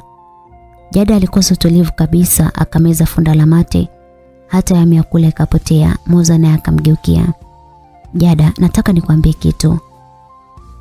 Moza kabla ya kusema chochote Jada akamkatisha. Najua mjafurahishwa na ujio wangu, lakini nataka mjue sikupanga kulala hapa na nitaondoka muda si mrefu. Um, sio hicho nachotaka kusema. Moza, sina mahusiano yoyote na kaka yako. Nguo zangu ziliko. Jada alikuwa ameanza kujitetea Giva na akamkatisha. Jada, kwa nini usimsikilize kwanza? Sawa. Alisema Jada na kumeza mate ya kuwa kwenye utulivu kabisa, anajua vizuri mdomo wa Moza. Ah, nilitaka kukuomba radhi tangu jana, lakini sikujua ni wapi nitakupata. Jada, naomba unisamehe sana. Moza alisema wakati wanatazamana na Jada alishangaa sana asiamini anachokisikia. Unaomba msamaha kwa kosa gani? Edgar alimfokea mdogo wake. kila kitu nilichomfanyia. Jada, samani kwa maneno yote mabaya niliyokuambia. Nataka ujue kwamba nimejutia sana, na sio kwa sababu kaka kaniambia, lakini hata mimi nimefikiria sana. Haijalishi sababu ya wewe kuwa hapa, lakini nimegundua tunakuhitaji sana. Moza, unafanya nini? Edgar, kunyamaza sio ujinga, alisema Given na kumtuliza Edgar. Jada hakuamini maneno ya Moza, akabaki anashangaa. akamgeukea Given ambaye alikuwa bize na bakuli la supu, kisha akamgeukea Moza. Unamaanisha unichukii tena? Ndiyo, na msamaha wako utanifanya niwe na amani Jada. Moza, unaongea nini? Umenisamehe? Bila shaka, alisema Jada kwa furaha, akaushika mkono wa Moza. Asante Jada. Moza alifurahi sana. Kuanzia sasa utaishi hapa, sitaki kusikia umerudi kule tena. Ilikuwa sauti ya mamlaka kutoka kwa Givan na kauli yake ilimchukiza Edgar na kumfanya nyanyuke mezani na kuondoka bila kuzungumza kitu. Sawa, lakini kwa siku chache tu. Unajua nimeshapata chumba cha kupanga. Jada, acha kuambishi, utakuwa salama zaidi hapa. Jada, naomba ukae hapa na kuahidi sitakuwa msumbufu kama mwanzo. Moza alikazia kumsaidia kakake kisha akanyanyuka na kuelekea jikoni. Anamaanisha nini huyo? Hivi una uhakika huu sio mtego? Jada alimuuliza Givan baada ya Moza kuingia jikoni. Sio mtego, ni kweli. Alipanga kukuomba msamaha lakini sikujua kama atatumia busara hivi. Kama ni kweli basi kuna kitu kimetokea sio bure. Alisema Jada akimtazama Givan usoni na hakutegemea kumwona akitabasamu. Je, unafahamu? Niambie basi. Hapana, sijui lakini sina uhakika kama pozi lako kitandani kwangu limbalisha mawazo yake. Givan alisema kwa mzaa akitabasamu. We unasema nini? Ina maana Moza aliingia na kuniona nimelala? Mungu wangu. Alisema Jada huku akifunika uso wake kwa kiganja, alijihisi aibu sana. Moza alipoingia jikoni akamkuta Edgar akimgoja na alionekana mwenye hasira sana. Moza, tuliongea nini na umefanya nini? Au umepa, ume, ume, umepanga kufanya kitu gani? Hapana, nimefanya nilichotakiwa kufanya. Amekupa nini ambacho kimbalisha mawazo yako? Edgar. Unakumbuka nilikwambia nataka kuwasiliana na Karista? Ili nimwambie kila kitu. Nakumbuka. Lakini ulisema namba yake haikupatikana, kwa hiyo umekata tamaa? Hapana, nilikwenda mpaka kwao Karista. Lengo langu nipate mawasiliano yake. Lakini nilichoambiwa na rafiki yake kimbalisha mawazo yangu. Kuanzia sasa nipo upande wa Jada kwa sababu anampa furaha kaka yangu. Sitamani kuona kaka akiumia tena. Oh, sio mtu wa mafumbo. Hebu sema huyo rafiki yake alikwambia nini?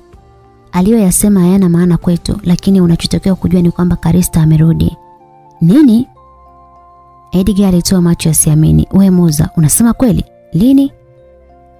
Maongezi yao yalikatishwa na hodi mlangoni. Moza alikwenda kufungua baada ya kufungua mgeni akaingia. Alikuwa ni Salome akakaribishwa mpaka sebleni na baada ya kumwona Jada alimfuata na kumkumbatia. Maskini rafiki yangu, uko salama? Ndiyo, niko salama. Givan, nashukuru kwa ukarimu wako. Nilikuwa na wasiwasi sana atakuwa wapi huyu. kuna haja ya kunishukuru. Jada anakaribishwa hapa wakati wowote ule. Sawa, kwa sasa namchukua, kuna kazi tunaenda kumalizia. Hapana Salome, leo Jada hatufanya kazi yoyote ile, atabaki hapa nyumbani. Salome, unataka twende wapi? Sema tu, Givan anajua kila kitu. Oh, basi sawa nitasema. Kuhusu lile tukio la jana, baada ya yule bwana kuamka, alisema kwamba atalipia kwa ulichokifanya. Nina hofu anaweza kurudi sasa. Nimeona ni bora twende kituo cha polisi tukachukue arabii. Jada aliogopa baada ya kusikia hivyo na Givan akamsogelea na kumkumbatia. Usiogope Jada. Huyo mpumbavu hawezi kufanya chochote sawa? Jada aliishia kutikisa kichwa tu.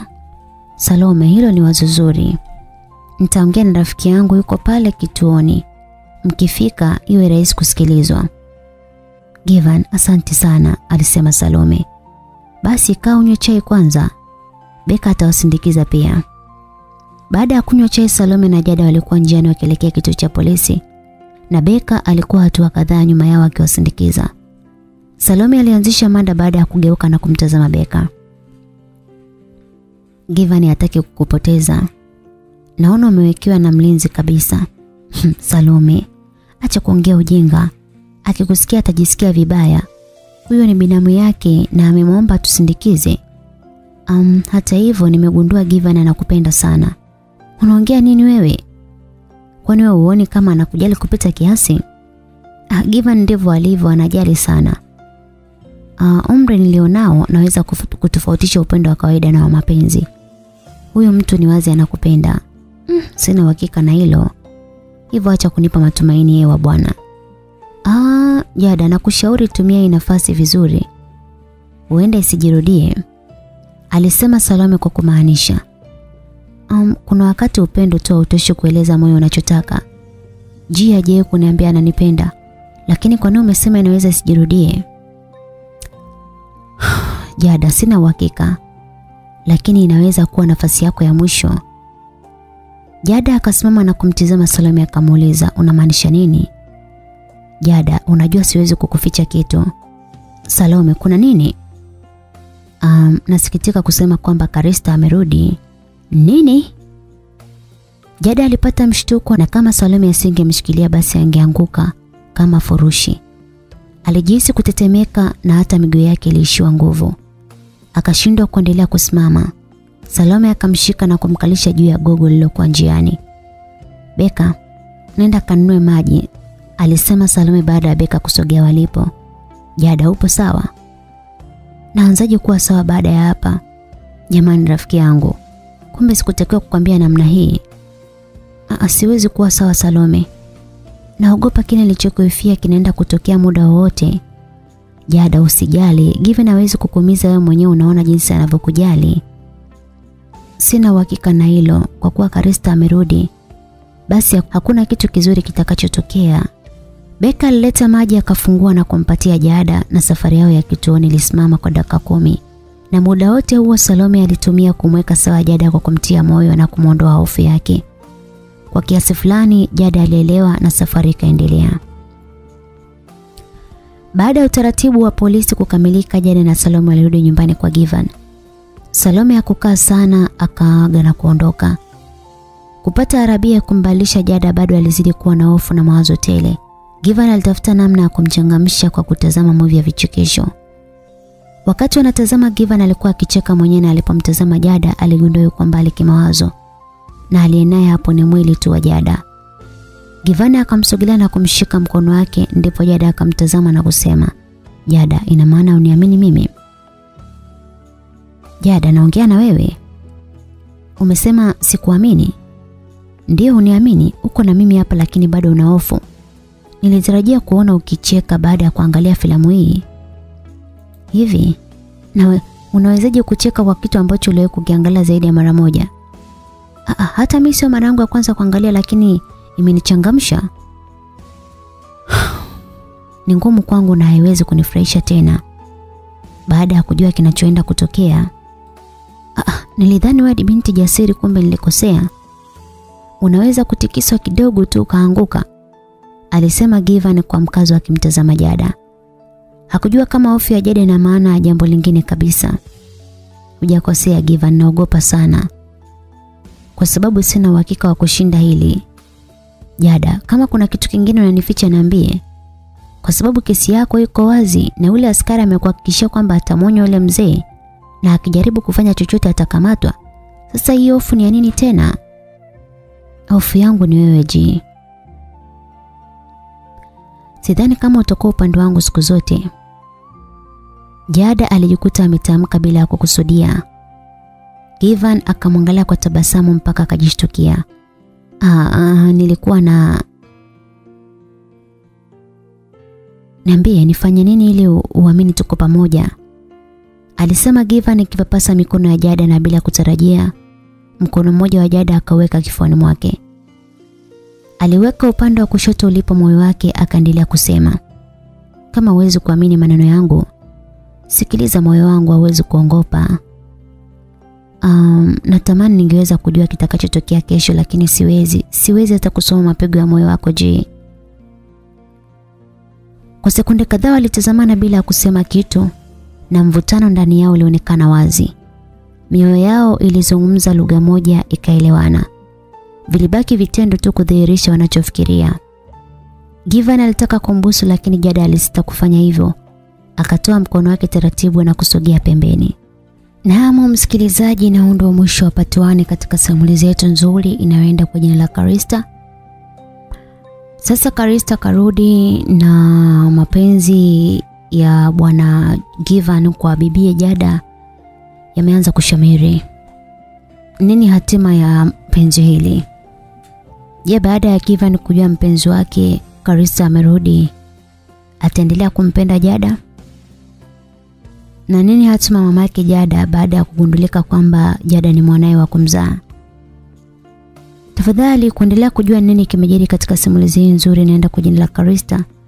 Tukutane pati tu sehemu ya pili katika simulizi hii. Asanteni kwa kuwa nami kuanzia mwanzo wa simulizi hii mpaka hapa tulipofikia. Haijafika tamati, mambo ndo kwanza yanazidi kunoga. Tukutane sehemu ya pili na kwaherini wasikilizaji.